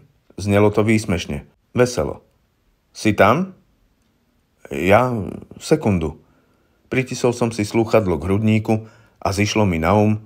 Zvláštne, ako myseľ funguje v strese. Či tam uňho počuť, ako mi bije srdce – ja som na svojom konci linky nastražil uši, či nezačujem pani Šoplovovú. Počul som ju, tlmené chrápanie. Dobre, že som zavrel dvere na obývačke. Ešte lepšie, že v spálni nemá prípojku. Priložil som si slúchadlo k uchu a povedal som. Čo chcete? Prečo voláte? Myslím, že to vieš, Devin. A keby si aj nevedel, už je neskoro, však. Aj vy máte dar jasnozrivosti? Bolo to hlúpe, ale v tom okamihu ako by mi mozog a ústa bežali po inej trase. Ten má Rosie, odvetil. Naša Madame Fortuna. Dokonca sa zasmial. Znelo to uvoľnenie, ale pochyboval som, že je uvoľnený. Vrahovia nečakane netelefonujú uprostred noci, ak sú v pohode. Najmä keď nie sú si istí, kto zdvihne telefón. Lenže on mal pripravenú rozprávku, pomyslel som si. Je to scout, šialený, ale vždy pripravený. Napríklad to tetovanie. To človeka zaujme, keď sa pozrie na fotky. Nie tvár, nie šiltovka. Vedel som, čo máš za ľubom, povedal. Vedel som to ešte predtým, ako ti to dievča prinieslo ten fascikel. Ten s fotkami. Potom dnes, keď si prišiel s tou peknou mamičkou a s tým kriplom, povedal si im to, Devin. Pomáhali ti s tým? Oni nič nevedia. Zarachotil vietor. Počul som to aj z jeho konca. Asi bol vonku. Neviem, či ti môžem veriť. Môžete, jednoznačne. Pozrel som na fotky. Tetovaný muž s rukou na zadku Lindy Grayovej. Tetovaný muž jej na strelnici pomáha mieriť. Lane. Ukážte nám, či viete strieľať ako Annie Oakleyová, Annie. Fred. Ostrostrelkyňa. Tetovaný muž v šiltovke, tmavých okuliaroch a s plavou briadkou. Na ruke mu bolo vidieť vytetovaného vtáka, lebo kožené rukavice mal v zadnom vrecku, až kým s Lindou Grejovou nevošli do strašidelného zámku – až kým ju nedostal do tmy. Kto vie, zopakoval. Dnes po obede si bol v tom starom dome dosť dlho, Devin. Rozprával si o fotkách, ktoré priniesla tá kúková, alebo si ju len preťahol. Možno oboje. Mamička je kočka. Čože o to? O ničom nevedia, zdôraznil som. Hovoril som potichu a oči som upieral na zavreté dvere. Stále som očakával, že sa otvoria a na Prahu zastane pani Šoplová v župane a s tvárou strašidelne bielou od krému. Ani ja nemôžem nič dokázať. Asi nie, ale to je len otázka času. Vypovedané slovo sa nedá vziať naspäť. Poznáš to príslovie. Jasné. Nepoznal som ho, no v tej chvíli by som s ním súhlasil, aj keby vyhlásil, že Bobby Rydell, každoročný účinkujúci v Joylande, je prezident. Tak toto spravíme. Prídeš do Joylandu a porozprávame sa z oči v oči, ako chlap s chlapom. Prečo by som to robil? Bolo by to šialenstvo, ak ste ten, kto si... Ty dobre vieš, kto som. Znelo to netrpezlivo. A ja viem, že keby si šiel na políciu, zistili by, že som nastúpil do Joylandu asi mesiac po smrti Lindy Grayovej. Potom by si ma spojili s Wellmanovou show a zo Southern Star a mal by som po chlebe tak by som im mal hneď zavolať, nie? Vieš, kde som? Do hlasu už mu prenikal hnev. Nie hnev, jed. Vieš, kde teraz som, ty zvedavý sráč? Asi v Joylande, v kancelárii. Ani náhodou. Som v obchodnom centre na Beach Row. V tom, kde bohaté suky nakupujú makrobiotické potraviny. Bohaté suky, ako tvoja frajerka ako by sa mi studený prst vybral na veľmi pomalú prechádzku po chrbtici, od temena až k štrbine zadku. Nič som nepovedal. Pred lekárňou je telefónny automat. Búdka nie, ale to je fuk, lebo ešte neprší. Len fúka. Takže tam som. Vidím dom tvojej frajerky. V kuchyni sa svieti. Asi tam celú noc necháva zasvietené. Ale inak je tma. Mohol by som zavesiť a o 60 sekúnd byť tam. Je tam alarm. Nevedel som, či tam naozaj je. Zasmial sa. Myslíš, že teraz mi na tom záleží? Nezastaví ma to, aby som jej podrezal hrdlo. Ale najprv sa pozrie, ako podrežem toho jej kripla. Ale neznásilníš ju, pomyslel som si. Nespravil by si to, ani keby si mal čas. Myslím, že nemôžeš. Takmer som to povedal nahlas, ale zháčil som sa. Aj na čisto vydesený som vedel, že podpichovať ho je veľmi zlý nápad. Dnes ste k ním boli milí, povedal som hlúpo. Kvety, ceny, atrakcie. Jasné, to sú staré triky na vidlákov. Porozprávaj mi o tom autíčku, čo vyšlo zo strašidelného zámku. Čo to malo byť? To neviem. Ale vieš, možno sa o tom porozprávame v Joylande. Poznám tvoju Fordku, Jonesy. Bliká jej predné ľavé svetlo a na anténe má vrtulku. Ak nechceš, aby som vošiel do domu a podrezal tých dvoch, sadneš i hneď do auta a pôjdeš po Beach Road do Joylandu. Ja... Drž papuľu, keď sa s tebou rozprávam. Keď budeš prechádzať okolo nákupného centra, uvidíš ma pri nákladiaku z parku. Zložím a máš 4 minúty, aby si sa tam dopravil. Ak ťa neuvidím, zabijem tú ženu aj dieťa. Rozumieš? Ja? Rozumieš? Áno. Pôjdem za tebou do parku. S bránou si nerob starosti, je otvorená. Takže zabijete buď mňa, alebo ich. Mám si vybrať. Je to tak? Zabiť ťa? V hlase mu zaznelo úprimné prekvapenie. Nezabijem ťa, Devin. To by som si nepomohol. Nie, zmiznem. Nebude to prvý raz a zrejme ani posledný. Chcem sa len porozprávať. Chcem vedieť, ako si ma odhalil. To vám poviem aj cez telefón. Zasmial sa. A premárniš šancu premôcť ma a stať sa znovu hrdinským hovým? Najprv to dievčatko, potom Eddie Parks a vo vzrušujúcom finále pekná mamička a mrzáčik. Necháš si to ujsť? Prestal sa smiať. Máš 4 minúty. Ja? Zložil. Zízal som na lesklé fotografie.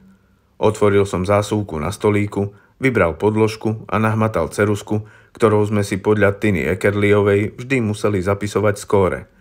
Napísal som. Pani Šoplovová, ak toto čítate, niečo sa mi stalo. Viem, kto zabil Lindu Grejovú, aj tie ostatné dievčatá. Napísal som jeho meno veľkými písmenami. Potom som sa rozbehol k dverám. Fordka kašľala a nechcela naskočiť. Potom začala spomaľovať. Celé leto som si hovoril, že musím vymeniť batériu a celé leto som peniaze míňal na iné veci. Otcov hlas. Prechlastáš motor, Devin. Stiahol som nohu z plynového pedála a sedel v tme. Čas bežal ako o preteky.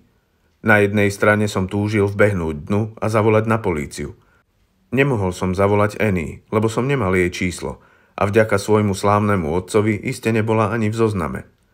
Vedel vrah o tom? Asi nie, ale mal z pekla šťastie. Toho drzého zabijaka mali už aspoň trikrát chytiť, no nechytili, lebo mal z pekla šťastie. Annie začuje, ako sa pokúša dostať dnu a zastrelí ho. Lenže zbrane má pod zámkou kým by nejakú vybrala, ten sviniar by už držal britvu Majkovi na krku. Znovu som otočil kľúč, zdvihol nohu z plynu a Fordka s plným karburátorom znovu naskočila. Vycúval som po prístupovej ceste a obrátil sa k Joylandu. Na pozadí nízkych, rýchlo sa pohybujúcich oblakov svietil okrúhly červený neón Karolíny a modré neonové oblúky guľového blesku – tieto dve atrakcie boli počas nočných búrok vždy osvetlené, čiastočne ako maják pre lode na mori a čiastočne ako výstraha pre nízko letiace malé lietadlá smerujúce na letisko v Parish County. Beach Row bola prázdna. Pri každom nápore vetra sa na cestu sypal piesok a niektoré nápory boli také silné, že by mi dokázali prevrátiť auto. Na asfalte vytváral piesok čudné vzory. Vo svetle reflektorov vyzerali ako kostry. Keď som prešiel okolo nákupného centra, uprostred parkoviska som uvidel nákladiak z Joylandu a vedľa neho postavu. Zdvihol ruku a raz mi vážne mávol. Prešli sme popri viktoriánskom dome na pláži. V kuchyni sa naozaj svietilo. Zrejme lampa nad drezom. Spomenul som si, ako Annie vošla do miestnosti so svetrom v ruke, s opáleným bruchom. Podprsenka mala takmer rovnakú farbu ako jej džínsy – Nechceš ísť so mnou hore, Devin? V spätnom zrkadle sa zjavili svetlá a priblížili sa. Zapol diaľkové reflektory, takže vozidlo za nimi sa strácalo v tme, ale to bolo jedno. Vedel som, že je to dodávka. Presne tak, ako som vedel, že klamal, keď povedal, že ma nezabije. Odkaz, čo som napísal pani Šoplovovej, tam ráno bude. Prečíta si ho a s ním aj meno, ktoré som tam pripísal – len kto vie, koľko potrvá, kým tomu moja domáca uverí. Veď je to taký fešák, ako rímuje, ako sa usmieva a ako frajersky si na hlavu nasadzuje pinč. Všetky ženy milujú Lejna Hardyho. Brána bola otvorená, ako slúbil. Prešiel som cez ňu a pokúsil sa zaparkovať pred zatvorenou strelnicou. Krátko zatrúbil a blikol svetlami. Znamenalo to choď ďalej. Keď som sa dostal ku Karolíne, znovu blikol. Vypol som motor a veľmi dobre si uvedomoval, že ho už možno nenaštartujem. Červený neón z Karolíny vrhal krvavé svetlo na prístrojovú dosku, na sedadlá, na moju pokožku. Reflektory na nákladiaku zhasli. Počul som, ako sa otvorili a zavreli dvere. A počul som, ako cez spice Karolíny fúka vietor. Dnes to znelo ako škrekot harpie. Ozýval sa aj pravidelný, takmer synkopický rachot. Koleso sa na osi hrubej ako strom otriasalo. Vrah Lindy Grayovej, aj Didi Mowbrayovej, Claudine Sharpovej a Darlene Stamnakrovej prešiel k môjmu autu a pištoľou zaklopal na okno. Druhou rukou mi kývol. Otvoril som dvere a vystúpil. Vraveli ste, že ma nezabijete. Znelo to tak slabo, aké som mal slabé nohy. Lane sa šarmantne usmial. No, uvidíme, ako sa to vyvinie. Dobre? Dnes večer mal pinč posunutý naľavo a pevne narazený, aby mu neodletel. Vlasy, uvoľnené z chvosta, ktorý nosieval v práci, mu lietali okolo krku. Zafúkal vietor a Karolína nešťastne zaúpela. Zatriaslo ňou a jemu sa na tvári zachvela červená žiara neónu. Ozdvihák sa neboj, povedal. Keby bol z jedného kusa, vietor by ho možno zhodil, ale prefúkuje medzi spice. Mali by ťa trápiť iné veci – Porozprávaj mi o tom autíčku zo strašidelného zámku. To ma zaujíma. Ako si to spravil? Ďalkovým ovládaním? Takéto veci ma veľmi zaujímajú. Podľa mňa je v nich budúcnosť. Ja som nič nespravil. Ako by ma nepočul. O čo šlo? Chcel si ma vyprovokovať? Ak áno, nemusel si si robiť starosti. Už som o tom vedel. To spravila ona, povedal som. Nevedel som, či je to presne tak, ale nemienil som spomínať Majka. Linda Grejová. Nevideli ste ju? Úsmev mu zamrzol. Nič lepšie si nevymyslíš? Len duchársky príbeh o strašidelnom zámku? Trochu sa pousiluj. Takže ju nevidel. Tak ako ja. Ale celkom isto vedel, že tam niečo bolo. Nikdy sa to nedozviem, no tuším, že preto sa ponúkol, že pôjde za Majlom. Nechcel, aby sme sa priblížili k strašidelnému zámku. Bola tam. Videl som jej čelenku. Pamätáte sa, ako som sa pozrel do autíčka? Ležala tam, pod sedadlom. Zahnal sa tak rýchlo, že som nemal šancu zdvihnúť ruku. Hlaveň pištole ma zasiahla do čela a otvorila ranu. Uvidel som hviezdičky. Potom sa mi do očí nahrnula krv. Zatackal som sa a chrbtom som vrazil do zábradlia na rampe, čo viedla ku Karolíne. Chytil som sa, aby som nespadol. Tvár som si utrel rukávom prši plášťa. Neviem, prečo sa ma pokúšaš nastrašiť takými táraninami, povedal. A ani trochu sa mi to nepáči. O čelenke vieš preto, lebo si videl fotku v tom fascikli, ktorý ti priniesla tá tvoja pizda z Vysokej. Usmial sa. Na tomto úsmeve nebolo nič šarmantné, len ceril zuby. Neskúšaj odrbať odrbávača, ty ciciak. Ale vy ste ten fascikel nevideli, Odpovedou na to bola jednoduchá dedukcia, aj keď mi v hlave zvonilo. Videl ho Fred. Aha, a povedal vám to. Však. Áno, v pondelok. Obedovali sme spolu uňho v kancelárii. Povedal, že ty a tá pizda z Vysokej sa hráte na detektívov. Hoci presne tak to nepovedal. Jemu sa to zdalo milé. Mne nie, lebo som videl, ako si Edimu Parksovi stiahol rukavice, keď dostal infarkt. Odvtedy som vedel, že sa hráš na detektíva. A ten fascikel, Fred mi spomenul, že tá pizda priniesla niekoľko stranové poznámky. Bolo mi jasné, že je len otázka času, kedy si ma nájde u Velmena a Southern Star. Vynorila sa mi znepokojivá predstava Lejna Hardyho, ako cestuje vlakom do Enedelu s britvou vo vrecku. Erin o ničom nevie. Ale čo, upokoj sa. Myslíš, že po nej pôjdem? Daj si vzduchu, uber vzruchu a trochu sa pritom prejdi a porozmýšľaj. Švíhaj hore, kde sú zore. My dvaja sa teraz povozíme. lebo Karolína je ako žiadna iná. Mal som na jazyku otázku, či mu preskočilo, ale potom všetkom by asi vyznela trochu hlúpo, však. Na čom sa uškrňaš, Jonesy? Na ničom, odpovedal som. Hádam len nechcete ísť tam hore, keď takto fúka. Lenže Karolínin motor už bežal. V hukote vetra, príboja a prízračného škripotania kovovej konštrukcie samotného čertovho kolesa som si to dosiaľ neuvedomil. No keď som napol sluch, začul som ho. Pravidelné vrčanie. Takmer pradenie. A zišla mi na um logická myšlienka. Keď skončí so mnou, asi tú zbraň obráti proti sebe. Možno si myslíte, malo mi to zapnúť skôr, lebo šialenci to mávajú vo zvyku, veď o tom čítame stále v novinách. A možno máte pravdu. Iba že ja som bol vtedy fakt v strese. Stará Karolína stojí pevne ako skala, povedal. Ja by som sa na nej vyviezol aj v dvojnásobnom vetre, človeče. Keď sa pred dvoma rokmi o pobrežie obtrel hurikán Karla, vietor vyťahol dobrých 130 km za hodinu a vydržala to. Ako ju chcete riadiť, keď budeme obaja sedieť v kabínke? Nasadaj a uvidíš. Ak nie, výhražne zdvihol pištoľ. Pokojne ťa môžem zastreliť aj tu dole. Mne to vyhovuje. Vyšiel som po rampe, otvoril dvere na kabínke, ktorá bola práve na nástupišti a liezol som dnu. To nie, to nie, zastavil ma. Posadíš sa na vonkajšiu stranu. Budeš mať odtiaľ lepší výhľad. Odstúp, a daj si ruky do vreciek. Lane ma obišiel. Neprestajne na mňa mieril. Do očí sa mi ešte stále balila krv. Stekala mi po lícach, no neodvážil som sa ani len vytiahnuť ruku z vrecka na prši plášti, aby som sa poutieral. Videl som, aký biely je jeho prst na spúšti. Posadil sa dnu na vnútornú stranu kabínky. A teraz ty. Nastúpil som. Nevidel som inú možnosť. A dvere sa zatvárajú. Na to ich tu predsa majú. Nechceli by ste písať detské básničky? Uškrnul sa. Lichôdky ti teraz nepomôžu. Zatvor dvere, inak ti prevrtám koleno guľkou. Myslíš, že to v tomto vetre niekto začuje? Ja si to nemyslím. Zatvoril som teda za sebou dvere.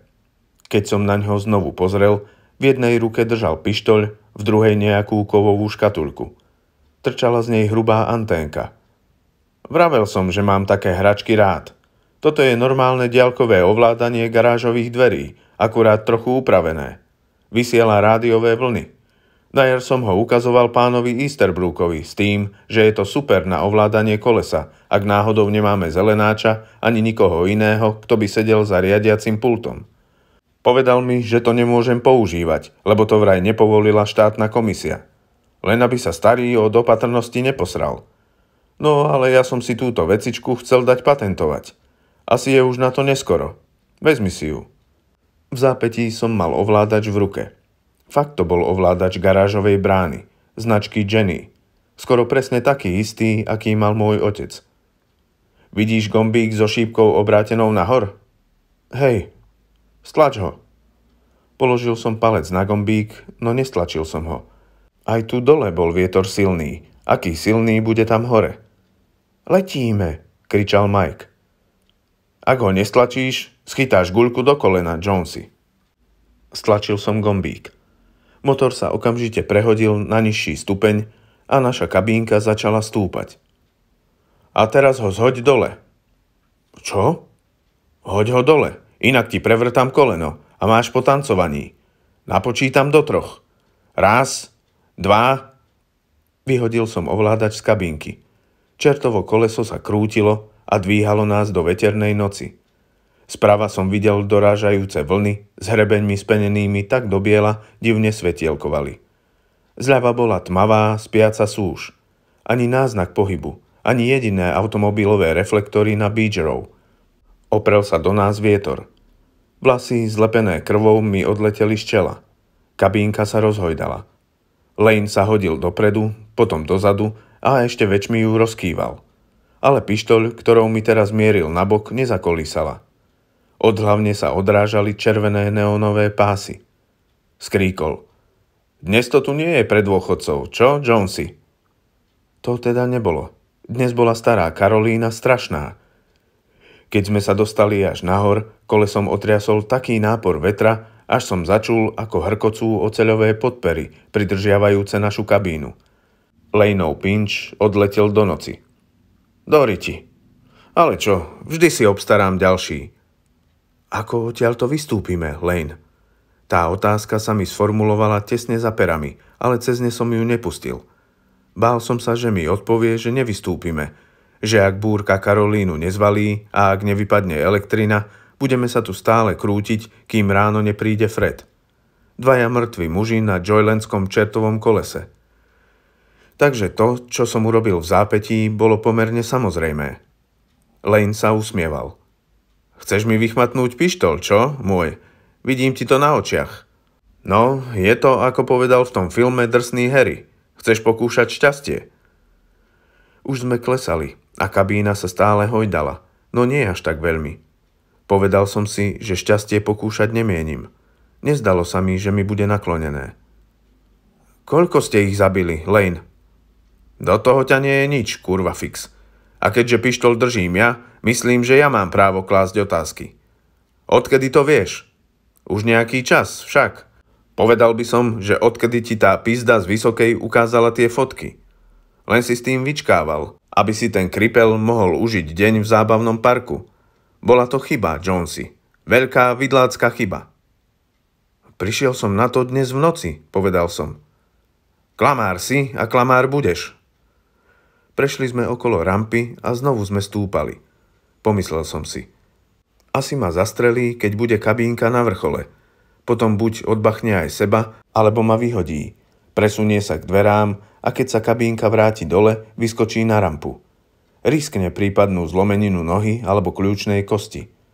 Bol by som stavil skôr na vraždu a samovraždu, ale vedel som, že najskôr si chce uspokojiť zvedavosť. Povedal som.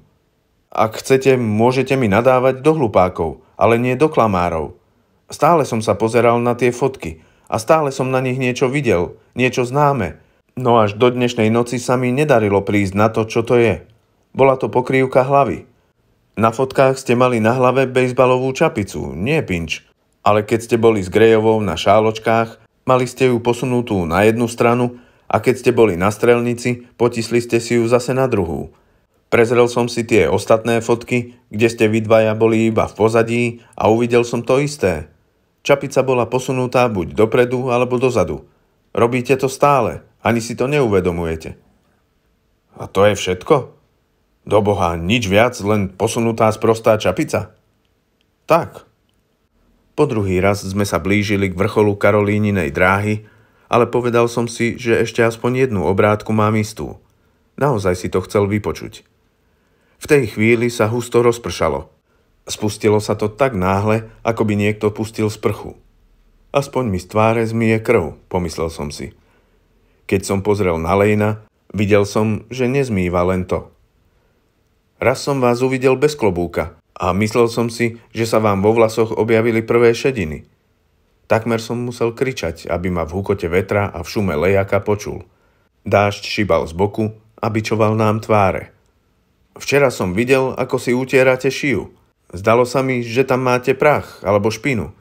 A dnes večer, keď som pochopil to s čapicou, zamyslel som sa nad falošným tetovaním vtáka. Erin si všimla, že tetovanie sa vám na spotenej pokožke rozpíjalo. Policajtom to zrejme uniklo. Videl som, ako sa moje auto aj údržbárska dodávka zväčšujú, keď nás Karolína už druhý raz zniesla k najnižšiemu bodu svojej dráhy. Za autami sa vo vetre nad Joyland Avenue vznášalo niečo veľké – asi vietor uvoľnil nejaký kus plátna. Neutierali ste si zo šije špinu, ale farbu na vlasy. Stekala z vás, tak ako sa vtedy rozpíjalo to tetovanie. A steká z vás aj teraz. Máte ju na celom krku. To, čo som považoval za šediny, neboli sivé pramene. Boli to plavé vlasy. Obtrel si krk a pozrel na začiernenú dlaň. Takmer som vtedy na ňo skočil, ale zároveň zdvihol pištoľ a odrazu som pozeral do hlavne ako do čierneho oka. Bolo malé, no desivé. Kedy si som mal plavé vlasy, povedal, ale pod tou čiernou farbou mi takmer úplne osiveli. Môj život je plný stresov, Jonesy.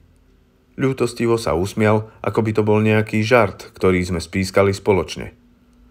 Znovu sme stúpali a zišlo mi na um, že to, čo som práve videl letieť nad cestou, to, čo som pokladal za uvoľnený kus plátna, mohlo byť aj auto, ale s vypnutými reflektormi.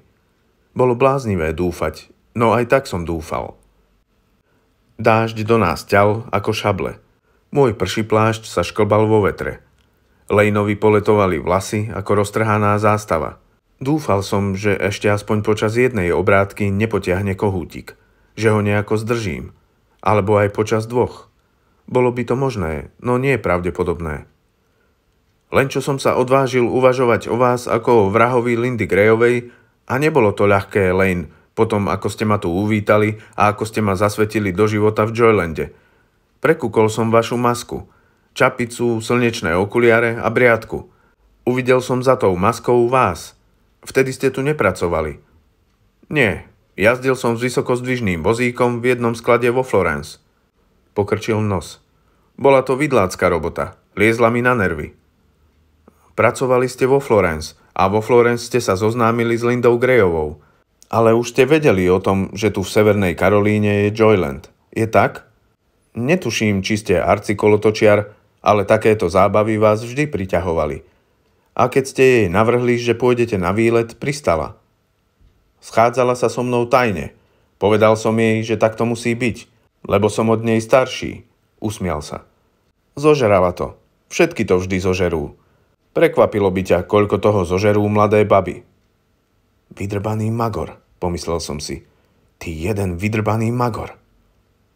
Priviedli ste ju do Heavens Bay a potom ste ju zabili tu v Joylande, hoci ste vedeli, že všade pobehujú hollywoodske dievčatá s foťákmi.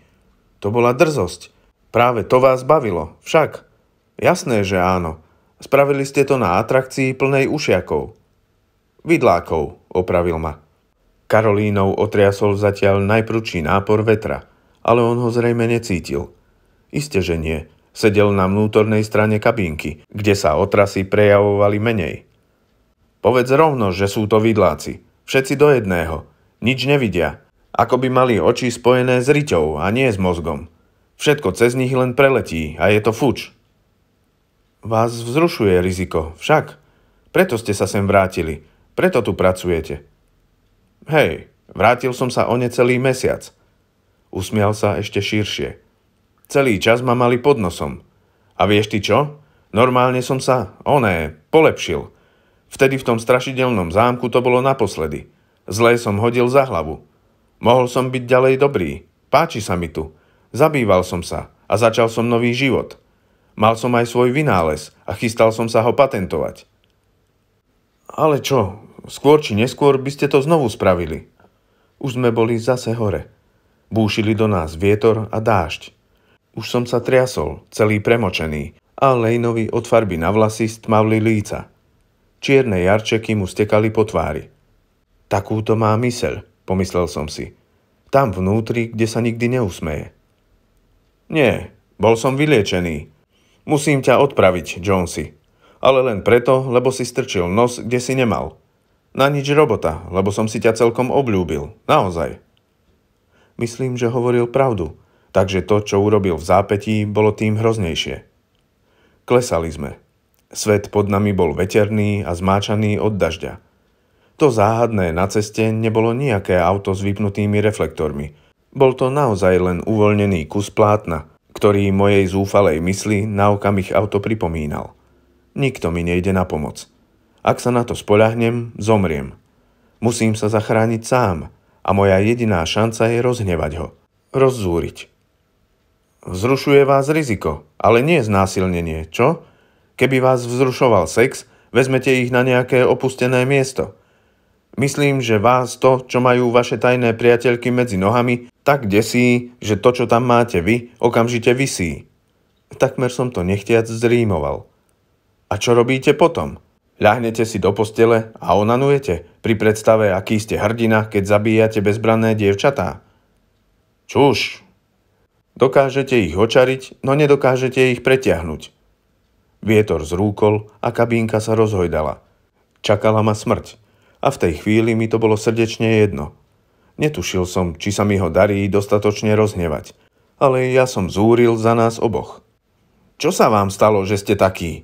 Dala vám mamička na pipíka štípček, keď ste sa vycikali do kútika? Alebo vás stríčko sem prinútil, aby ste mu vyfajčili? Alebo vstal na prikrčených kolenách, v jednej ruke zvieral bezpečnostnú tyč, v druhej pištoľ a mieril na mňa. Udrel blesk a osvetlil ho. Vyvalené oči, mokré vlasy, pohybujúce sa ústa. A pištoľ. Zavri tú sprostú papuľu, Devin, k zemi! Nerozmýšľal som, len som sa hodil na dlášku. Zadunel výstrel. V tej rozviatej noci znel takmer vláčne. Guľka určite preletela tesne popri mne, no nepočul som ju ani necítil, ako sa to stáva postavám z kníh. Kabínka, v ktorej sme boli, sa prehúpla popri nástupnej stanici a na rampe som uvidel Eny Rosovú. Stála tam s puškou. Za ňou bola dodávka.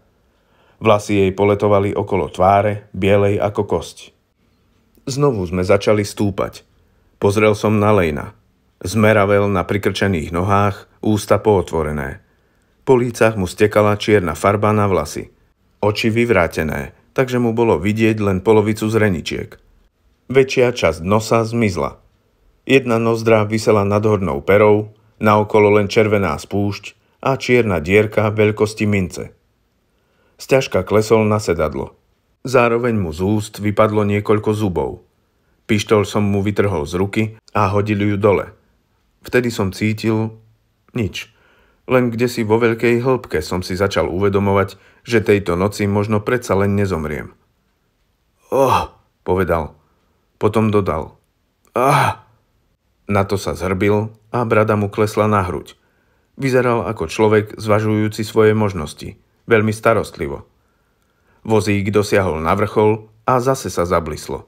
Môjho spolucestujúceho osvetlil roztrasený modrý oheň. Fúčal vietor a Karolína zastonala. Opäť sme klesali. Zo spodu sa v búrke takmer strácalo volanie. Dev, ako sa to zastavuje? Najprv som jej chcel povedať, aby pohľadala diaľkové ovládanie, ale v tej búrke by mohla hľadať aj pol hodinu a nič by nenašla a keby ho aj našla, mohlo by byť pokazené alebo vyskratované v mláke. Okrem toho existoval aj lepší spôsob. Choď k riadiacemu pultu, zvolal som. Pohľadaj červený gombík. Červený gombík, Eny. To je núdzová brzda. Prefrčal som okolo nej, všimol som si tie isté džínsy a svetrík, čo mala na sebe cez deň, no teraz boli premočené a lepili sa na ňu. Nemala bundu ani čiapku – Prišla narýchlo. Vedel som, kto ju poslal. Okoľko by to bolo jednoduchšie, keby sa Mike od začiatku sústredil na Lejna. Lenže to nespravila ani Rosie, hoci Lejna poznala celé roky a ja som neskôr zistil, že Mike sa na Lejna nesústredil vôbec. Znovu som stúpal. Lejnovi z premočených vlasov kvapkal na kolená čierny dážď. Počkaj, kým zase klesnem. Čo? Viac som to neskúšal, Vietor by aj tak odvial moje slová preč.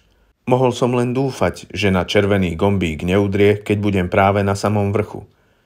Vozík stúpal do najhoršej oblasti búrky, znovu sa zablislo a zarachotil hrom. Lane zdvihol hlavu, ako by ho to prebralo, a možno aj áno, a pozrel na mňa. Teda pokúsil sa na mňa pozrieť, lebo oči sa mu síce prevrátili naspäť, ale škúlili každé opačným smerom – ten strašný obraz mi nikdy nezmizol v zmysle a stále sa vracia v tých najneočakávanejších okamihoch. Keď platím mýto pri automate, keď ráno pijem kávu a moderátori na CNN vytrubujú do sveta zlé správy, keď o tretej ráno vstanem a idem sa vymočiť, v čase, ktorý nejaký básnik výstižne nazval hodina vlka. Otvoril ústa a vyliala sa z nich krv. Vydal chrčivý hmyzí zvuk, ako keď sa cikáda zavrtáva do stromu. Zatriasol ním krč. Nohy mu krátko zastepovali na oceľovej podlahe. Potom znehybneli a hlava opäť klesla dopredu. Buď už mŕtvy, pomyslel som si. Prosím ťa, buď už konečne mŕtvy. Keď sa Karolína spustila dolu, do guľového blesku udrel blesk. Na okamih osvetlil koľajnice. Tak som mohol skončiť aj ja, pomyslel som si. Do vozíka sa ešte silnejšie zaprel vietor. Držal som sa ako o život. Lane sa knísal ako handrová bábika. Pozrel som dolu na Annie. Bielu tvár mala obrátenú dohora a oči prižmurovala v daždi. Stála vedľa motora a riadiaceho pultu. Zatiaľ to šlo. Ruky som si priložil k ústam. Červený gombík! Vidím ho! Počkaj, kým ti poviem. Zem sa dvíhala ku mne. Chytil som sa tyče. Keď stál pri riadiacej páke nebohý, aspoň som dúfal, Lane Hardy, Karolína vždy zabrzdila zľahka a vozíky sa jemne pohojdávali. Netušil som, ako bude vyzerať núdzové pristátie a chystal som sa to zistiť. Teraz, Annie, stlač! Ešte dobre, že som sa držal. Vozík zastal asi 3 metre nad výstupiskom a ešte pol druha metra nad zemou. Vozík sa zaknísal. Lejna hodilo dopredu, hlava a trup sa prevalili cez tyč. Bez rozmýšľania som ho chytil za košeľu a strhol naspäť. Jeho ruka mi spadla do lona Znechutene som ju odtiahol. Tyč nechcela povoliť, tak som sa spod nej musel vyvliecť. Opatrne, Dev! Eny stála vedľa vozíka so zdvihnutými rukami, ako by ma chcela zachytiť. Pušku, ktorou ukončila Hardyho život, oprela o kryt motora. Cúvni, povedal som a jednu nohu som prehodil cez okraj vozíka. Znovu sa zablislo. Vietor zavíjal a Karolína mu odpovedala – Chytil som sa opory a vyšvihol sa. Ruky sa mi pošmykli na vlhkom železe a spadol som. Dopadol som na kolená. O chvíľu ma dvíhala na nohy. Si v pohode? Áno. No nebol som. Svet okolo mňa plával a brali mám dloby. Sklonil som hlavu, objal si nohy tesne nad kolenami a zhlboka dýchal. Chvíľu hrozilo, že to dopadne všeliako. Potom sa veci začali usádzať. Vstal som a dával si pozor na prudké pohyby. V hustom lejaku to nebolo jednoznačné, ale bol som si istý, že plače. Musela som to spraviť, inak by ťa bol zabil. Však, prosím, Dev, povedz, že by ťa zabil. Mike povedal, že áno a to ťa naozaj nemusí trápiť. Bol by ma zabil a nebol by som prvý. Mal na svedomí štyri ženy. Spomenul som si na Erinine úvahy o rokoch keď sa nenašli nejaké telá. Možno aj viac. Pravdepodobne viac. Musíme zavolať políciu. Telefón je v... Chcel som ukázať na mystériov zrkadlový zámok, ale chytila ma za ruku. Nie, nemôžeš. Ešte nie. Eny. Pritisla ku mne tvár, takmer na vzdialenosť bosku, ale na boskávanie teraz nemyslela. Ako som sa sem dostala? Mám policajtom povedať, že uprostred noci sa synovi zjavil v izbe duch a povedal mu, že ak neprídem, zomrieš na čertovom kolese? Mike s tým nesmie mať nič spoločné a ak mi povieš, že to preháňam s materinskou opatrnosťou, tak zabijem aj teba. Nie, to teda nepoviem. Takže ako som sa sem dostala? Najprv som nevedel.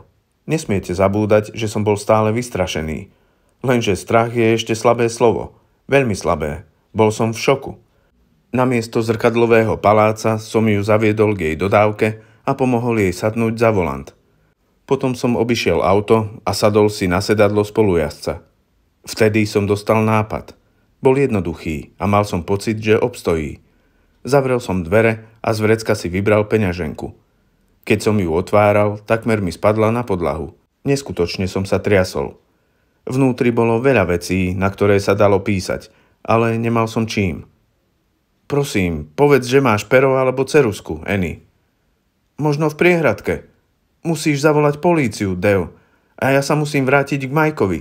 Ak ma zatknú za to, že som odišla z miesta činu, alebo za vraždu, nie, nikto ťa nezatkne, Eny. Zachránila si mi život. Prehrabával som sa v priehradke. Bola tam príručka, kopa účteniek za benzín, lieky, cukríky, ba aj letáčik od svetkov Jehovových s otázkou, či viem, kam sa dostanem po smrti. Ale ani jedna ceruska či pero. Nemôžeš čakať v takejto situácii, tak ma to vždy učili, hovorila trhane, lebo jej drkotali zuby. Len namieriť a stisnúť spúšť, kým, vieš, nezačneš pochybovať. Mala som ho trafiť medzi oči, ale vietor, asi vietor. Ruka jej vyletela a zovrela ma tak silno za plece, až to zabolelo. Oči mala vytreštené. Zasiahla som aj teba, Dev? Na čele si mal ranu a na tričku krv. Nie, nezasiahla si ma. To on mi vrazil pištoľou. Eny, nemáme čím písať. Napokon sa však niečo našlo. V zadnej časti priehradky bolo guľočkové pero. Bol na ňom vyblednutý, ale ešte stále čitateľný nápis Nakupujte u Krogera. Nevravím, že to pero zachránilo Annie a Majka pred vážnymi problémami s políciou, ale viem, že im ušetrilo kopu otázok o tom, čo priviedlo Annie do Joylandu v noci a v búrke. Podal som jej pero a vizitku z mojej peňaženky, obrátenú prázdnou stranou nahor. Keď som predtým sedel v aute a strašne som sa bál, že Annie a Mike zomrú, lebo som si nekúpil novú batériu, zišlo mi na um, že by som sa mohol vrátiť do domu a zatelefonovať jej. Žiaľ, nemal som jej číslo. Teraz som jej povedal, aby ho napísala. A po číslo napíš. Volať, ak sa zmenia plány. Kým písala, naštartoval som dodávku a naplno zapol kúrenie. Vrátila mi vizitku. Zasunul som si ju do peňaženky, peňaženku som si strčil do vrecka a pero hodil do priehradky. Objal som Eny a poboskal ju na studené líce. Stále sa triasla, ale už menej. Zachránila si mi život, povedal som. Teraz musíme zariadiť, aby sa preto tebe ani Majkovi nič nestalo. Pozorne ma počúvaj. Počúvala. O 6 dní sa do Heavens Bay vrátilo babie leto, ale len na krátky flám. Bolo ideálne počasie na obed na konci Rosovskej promenády, iba že tam sme nemohli ísť. Obsadili ju reportéri a fotografi. Mohli to spraviť, lebo na rozdiel od dvoch akrov okolo veľkého viktoriánskeho domu bola pláž verejné priestranstvo. Príbeh o tom, ako Annie jedným výstrelom skolila Lejna Hardyho, už naveky známeho ako kolotočiarsky vrah, sa rozšíril po celej Amerike. Nie, že by tie články boli kritické. Naopak. Wilmingtonské noviny viedli s titulkom Céra evangelizátora Buddyho Rossa dostala kolotočiarského vraha. New York Post bol úsečnejší. Mama hrdinka. Pomohli aj fotografie z jej mladosti, keď Annie nevyzerala len úžasne, ale absolútne sexy. Inside View, v tom čase najpopulárnejší supermarketový bulvár, pripravil zvláštne vydanie. Vyhrabali fotku Annie, na ktorej bola ako 17-ročná po streleckej súťaži v Periho tábore. Mala na sebe priliehavé džínsy, tričko Národnej asociácie pre strelné zbrane, koubojské čižmy a stála so zalomenou starou brokovnicou Purdy a vo voľnej ruke držala belasú kokardu.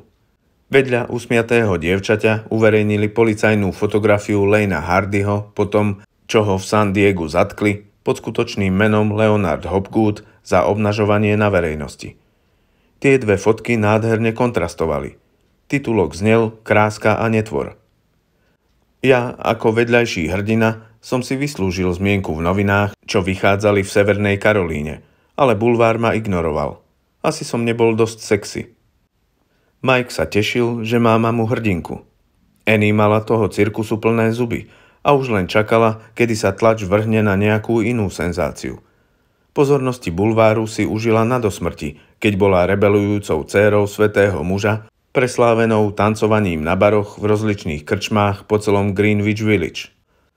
Preto nikomu neposkytla interviu a spoločnú fotografiu na rozlúčku sme si spravili v kuchyni. Vlastne sme na nej piati, lebo pod stolom čakal Milo na kúsky z jedla a na štvrtej stoličke bol opretý Ježiš na Majkovom Šarkanovi. Batožina ich čakala v chodbe. Po jedle som ich mal odviezť na medzinárodné letisko vo Wilmingtone. Súkromné lietadlo poskytla firma Buddyho Rossa. Odvezie ich do Chicaga a preč z môjho života.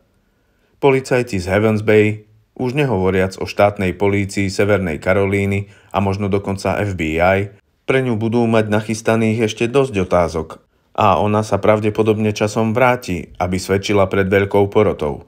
Nič jej však nehrozí. Je totiž mama hrdinka a vďaka reklamnému peru od Krogera, čo ležalo v dodávke až celkom vzadu pod prístrojovou doskou, Post nikdy neuverejní Majkovú fotografiu s titulkom Jasnovidec a záchranca. Náš príbeh bol prostý A Mike v ňom nehral nejakú rolu. Znel takto. Vražda Lindy Greyovej ma zaujala, lebo v Joylande sa tradovalo, že v strašidelnom zámku máta jej duch. Požiadal som o pomoc svoju letnú kolegyňu a kamarátku Erin Kúkovú, ktorá vie robiť rešerše. Vrah na fotkách s Lindou Greyovou mi niekoho pripomínal, ale došlo mi to, až keď bol v Joylande Mike. Kým som stihol zavolať políciu, Lane Hardy zavolal mne a vyhrážal sa, že zabije Annie aj Majka, ak okamžite neprídem do Joylandu. Toľko pravdy a iba jedna malá lož. Mal som od Annie telefónne číslo, aby som jej mohol zavolať, keby sa zmenili plány Majkovej návštevy Joylandu.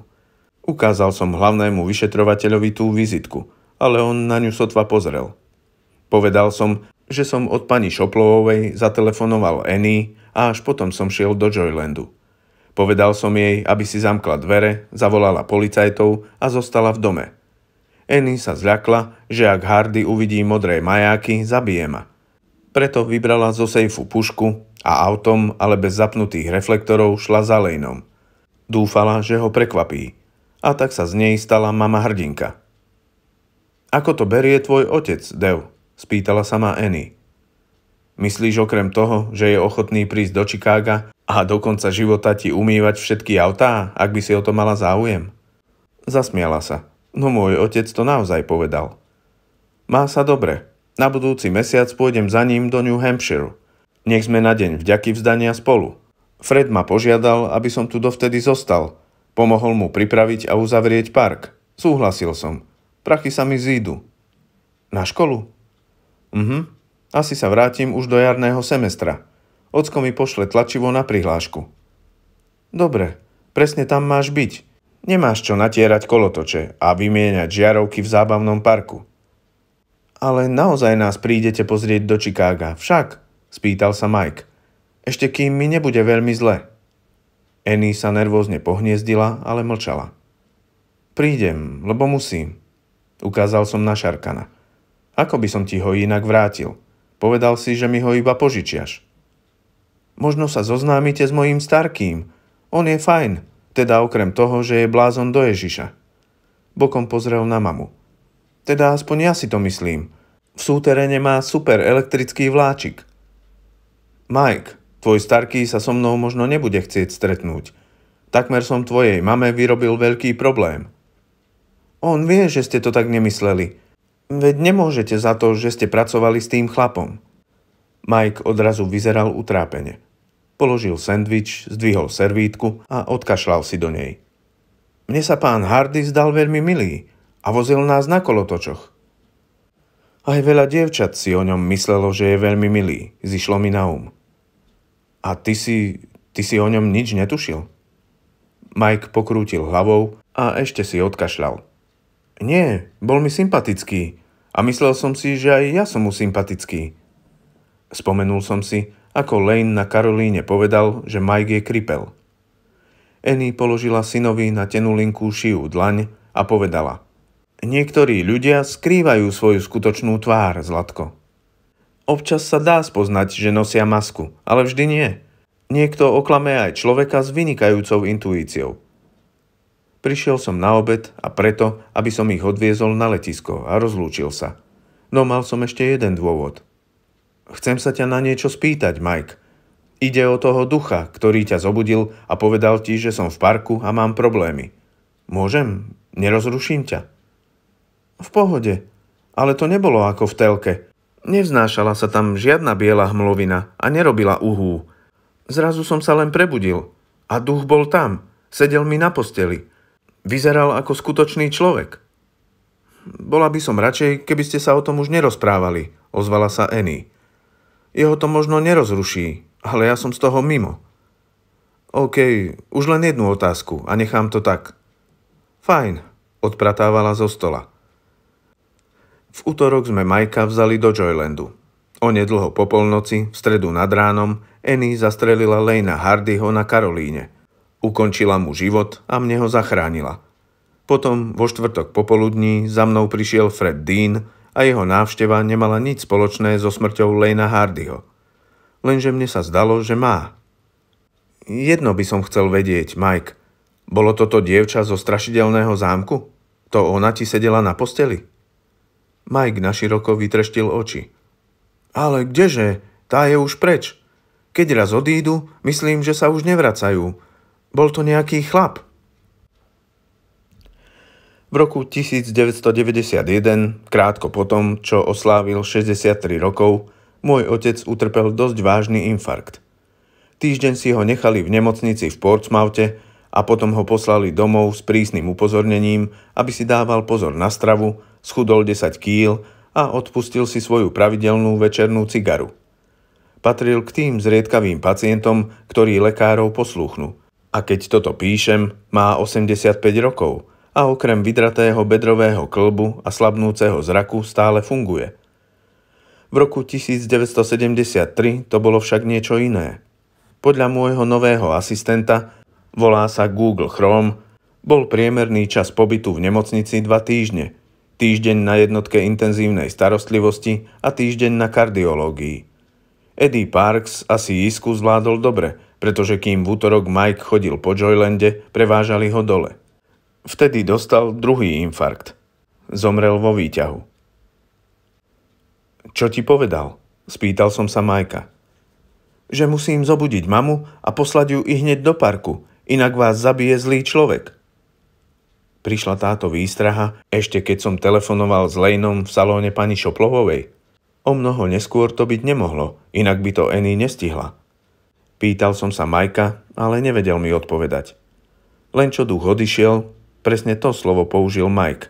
Duch nezmizol, nevyšiel z dverí, nevyliezol oknom, ale jednoducho odišiel. Mike stlačil gombík interkomu pri posteli. Keď sa Annie ozvala, začal kričať. To by stačilo, povedala Annie tónom, ktorý nezniesol námietky. Stála pri dreze s rukami založenými v bok. Mne to neprekáža, mami. Naozaj. Má pravdu, povedal som. Stačilo. Zjavil sa Eddie Majkovi preto, lebo som tomu mrzutému starcovi zachránil život? Ťažko povedať niečo bližšie k úmyslom a motívom tých, čo nás opustili.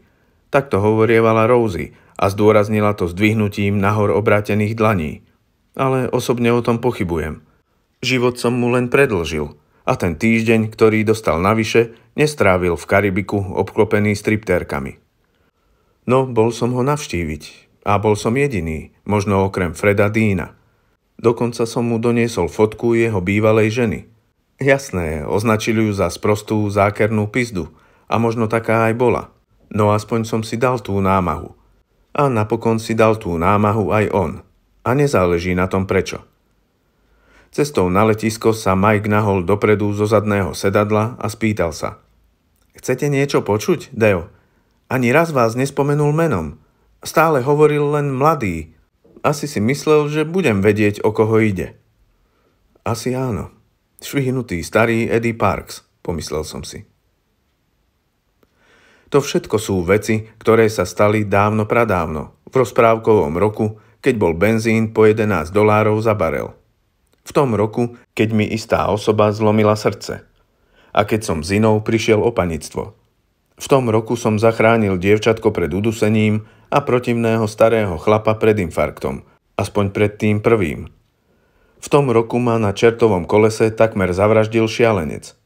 V tom roku som chcel vidieť ducha a nevidel som ho, no myslím, že minimálne jeden duch videl mňa.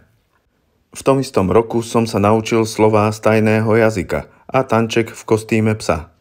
V tom roku som zistil, že sú aj horšie veci, ako stratiť dievča. V tom roku som mal 21 a stále som bol zelenáč. Odvtedy som na tomto svete žil fajn život, to nepopriem, no aj tak mám tohto sveta niekedy plné zuby. Napríklad Dick Cheney, zástanca mučenia väzňov a už príliš dlho slúžiaci kazateľ cirkvi Svetej Moci, dostal, kým toto píšem, noučičké srdce. Čo vy na to? On žije, iní zomreli. Talentovaní ľudia ako saxofonista Clarence Clemons, a bystrí ľudia ako Steve Jobs. Slušní ľudia ako môj starý kamarát Tom Kennedy. Človek si na to do značnej miery zvykne.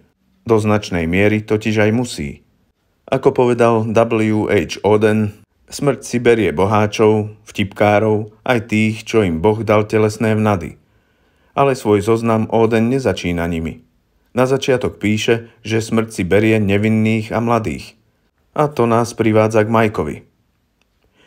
Keď som sa na začiatku jarného semestra vrátil do školy, prenajal som si ošumelý byt mimo areálu školy – Jedného chladného večera koncom marca som dusil nakrájané meso na panvici pre seba a pre dievča, do ktorého som bol práve blázon, keď zazvonil telefón.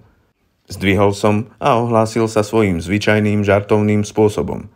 Krčma u Červíka, pri telefóne Devin Jones. Devin?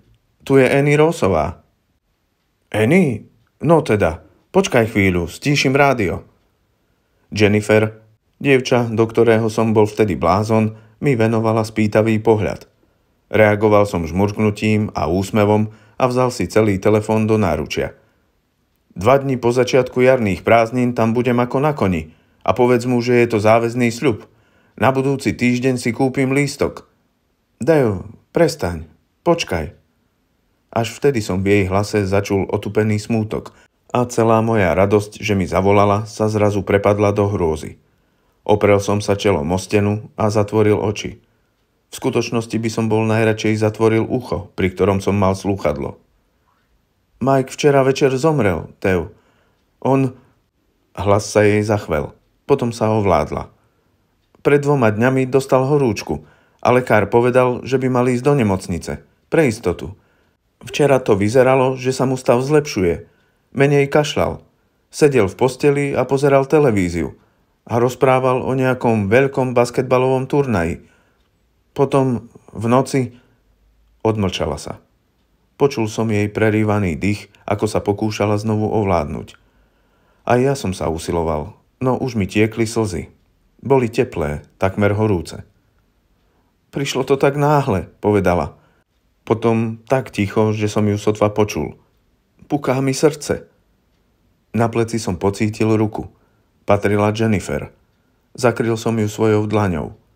Zišlo mi na um, či je v Chicagu človek, ktorý by teraz položil ruku na plece Annie. Je tam tvoj otec? Je na tej svojej krížovej výprave, vo Phoenixe. Zajtra príde. A tvoji bratia? George je teraz tu. Phil by mal priletieť posledným lietadlom z Miami. George a ja sme tam, tam, kde... Nemôžem sa na to ani pozerať, hoci to chcel. Usedavo sa rozplakala. Nemal som ani potuchy, o čom hovorí. Eny, čo pre teba môžem urobiť? Nech je to čokoľvek. Povedala mi to. Skončíme v jeden slnečný aprílový deň v 74. Skončíme na tom krátkom úseku severokarolínskej pláže, ležiacom medzi mestom Heavens Bay a Joylandom, zábavným parkom, ktorý o dva roky neskôr zatvoril svoje brány, lebo ho veľké parky napokon dohnali do krachu aj napriek všetkému úsiliu Freda Dína a Brandy Refertiovej o jeho záchranu. Skončíme pri peknej žene vo vyblednutých džínsach a pri mladom mužovi v tričku s logom New Hampshireskej univerzity. Mladý muž niečo drží v ruke. Na konci drevenej promenády leží s ňufákom na jednej lapke Jack Russell Terrier a vyzerá, ako by stratil všetku energiu. Na piknikovom stole, kde žena kedysi servírovala ovocné poháre s jogurtom, stojí urna spálenej hliny. Vyzerá trochu ako váza, v ktorej chýba kytica. Nekončíme presne tam, kde sme začali, ale končíme dosť blízko. Dosť blízko. Znovu som sa posekala s otcom, povedala Annie. Tento raz nás už vnúk nedá dokopy – keď sa vrátil z tej svojej prekliatej krížovej výpravy a zistil, že som Majka dala spáliť, rozzúril sa. Chabo sa usmiala. Keby sa bol vykašľal aspoň na to posledné zhromaždenie, možno by mi to bol aj vyhovoril. Pravdepodobne áno. Lenže Mike to tak chcel, nie? Na dieťa je to zvláštne prianie, ale naozaj to vyjadril veľmi jasne. A obaja vieme prečo. Áno, vedeli sme to.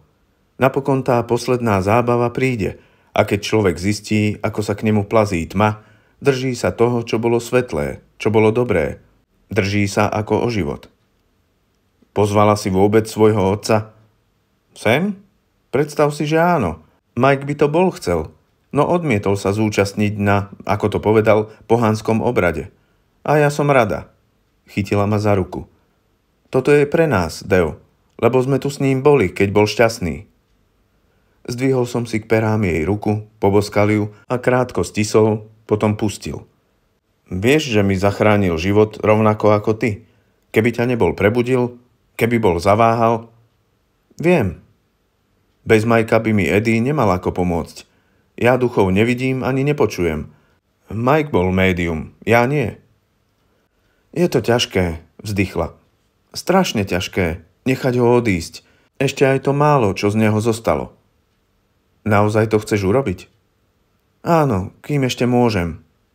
Zdvihla urnu z piknikového stola. Milo zdvihol hlavu a pozrel na hlinenú nádobu, potom znovu spustil ňufák na lapku. Neviem, či chápal, že v tej urne sú Majkové pozostatky, ale rozhodne vedel, že Mike je preč. Čertovsky dobre to vedel. Obrátil som Šarkana s Ježišovou tvárou hrubom k nej – podľa Majkových pokynov som k nemu už predtým prilepil malé vrecúško, veľké tak možno na polovicu šálky jemného sivého popola. Pridržal som ho otvorené a Eny naklonila urnu. Keď bolo vrecko plné, urnu položila do piesku medzi svoje chodidlá a vystrela ruky. Podal som jej cievku s namotanou šnúrou a obrátil sa k Joylandu, kde na obzore stále kráľovala Karolína. Letím, povedal v ten deň, a zdvihol ruky nad hlavu. Ortézy ho neťažili, ani vtedy, ani teraz. Som presvedčený, že Mike bol o mnoho múdrejší ako jeho svetuškársky starý otec. Možno múdrejší ako my všetci. Ktoré postihnuté dieťa nikdy nezatúžilo aspoň raz vzlietnúť. Pozrel som na Eny. Prikývla, že je pripravená. Zdvihol som Šarkana a pustil ho. Okamžite ho nadvihol reský mrazivý vetrík, čo dul od mora. Sledovali sme jeho vzostup. Teraz ty, povedala a natiahla ku mne ruky. Teraz si na rade ty, Dev. Povedal mi to. Vzal som do ruky cievku a pocítil ťah šarkana. Prúdko ožil, vzlietol nad nás, pokývkával sa pod oblohou. Eny vzala urnu a odniesla ju dole po piesočnom svahu. Myslím, že ju nechala tam na kraji mora, ale díval som sa na Šarkana – a len čo som zazrel, že z neho veje sivá stužka popola, ktorú vietor ešte nadnáša k oblohe, pustil som šnúru. Pozeral som sa, ako sa ničím nespútaný šarkan prebojúva čoraz vyššie a vyššie. Mike by bol určite zvedavý, ako vysoko sa dostal, kým celkom zmizol. A aj ja som to chcel vedieť. Aj ja som to chcel vedieť.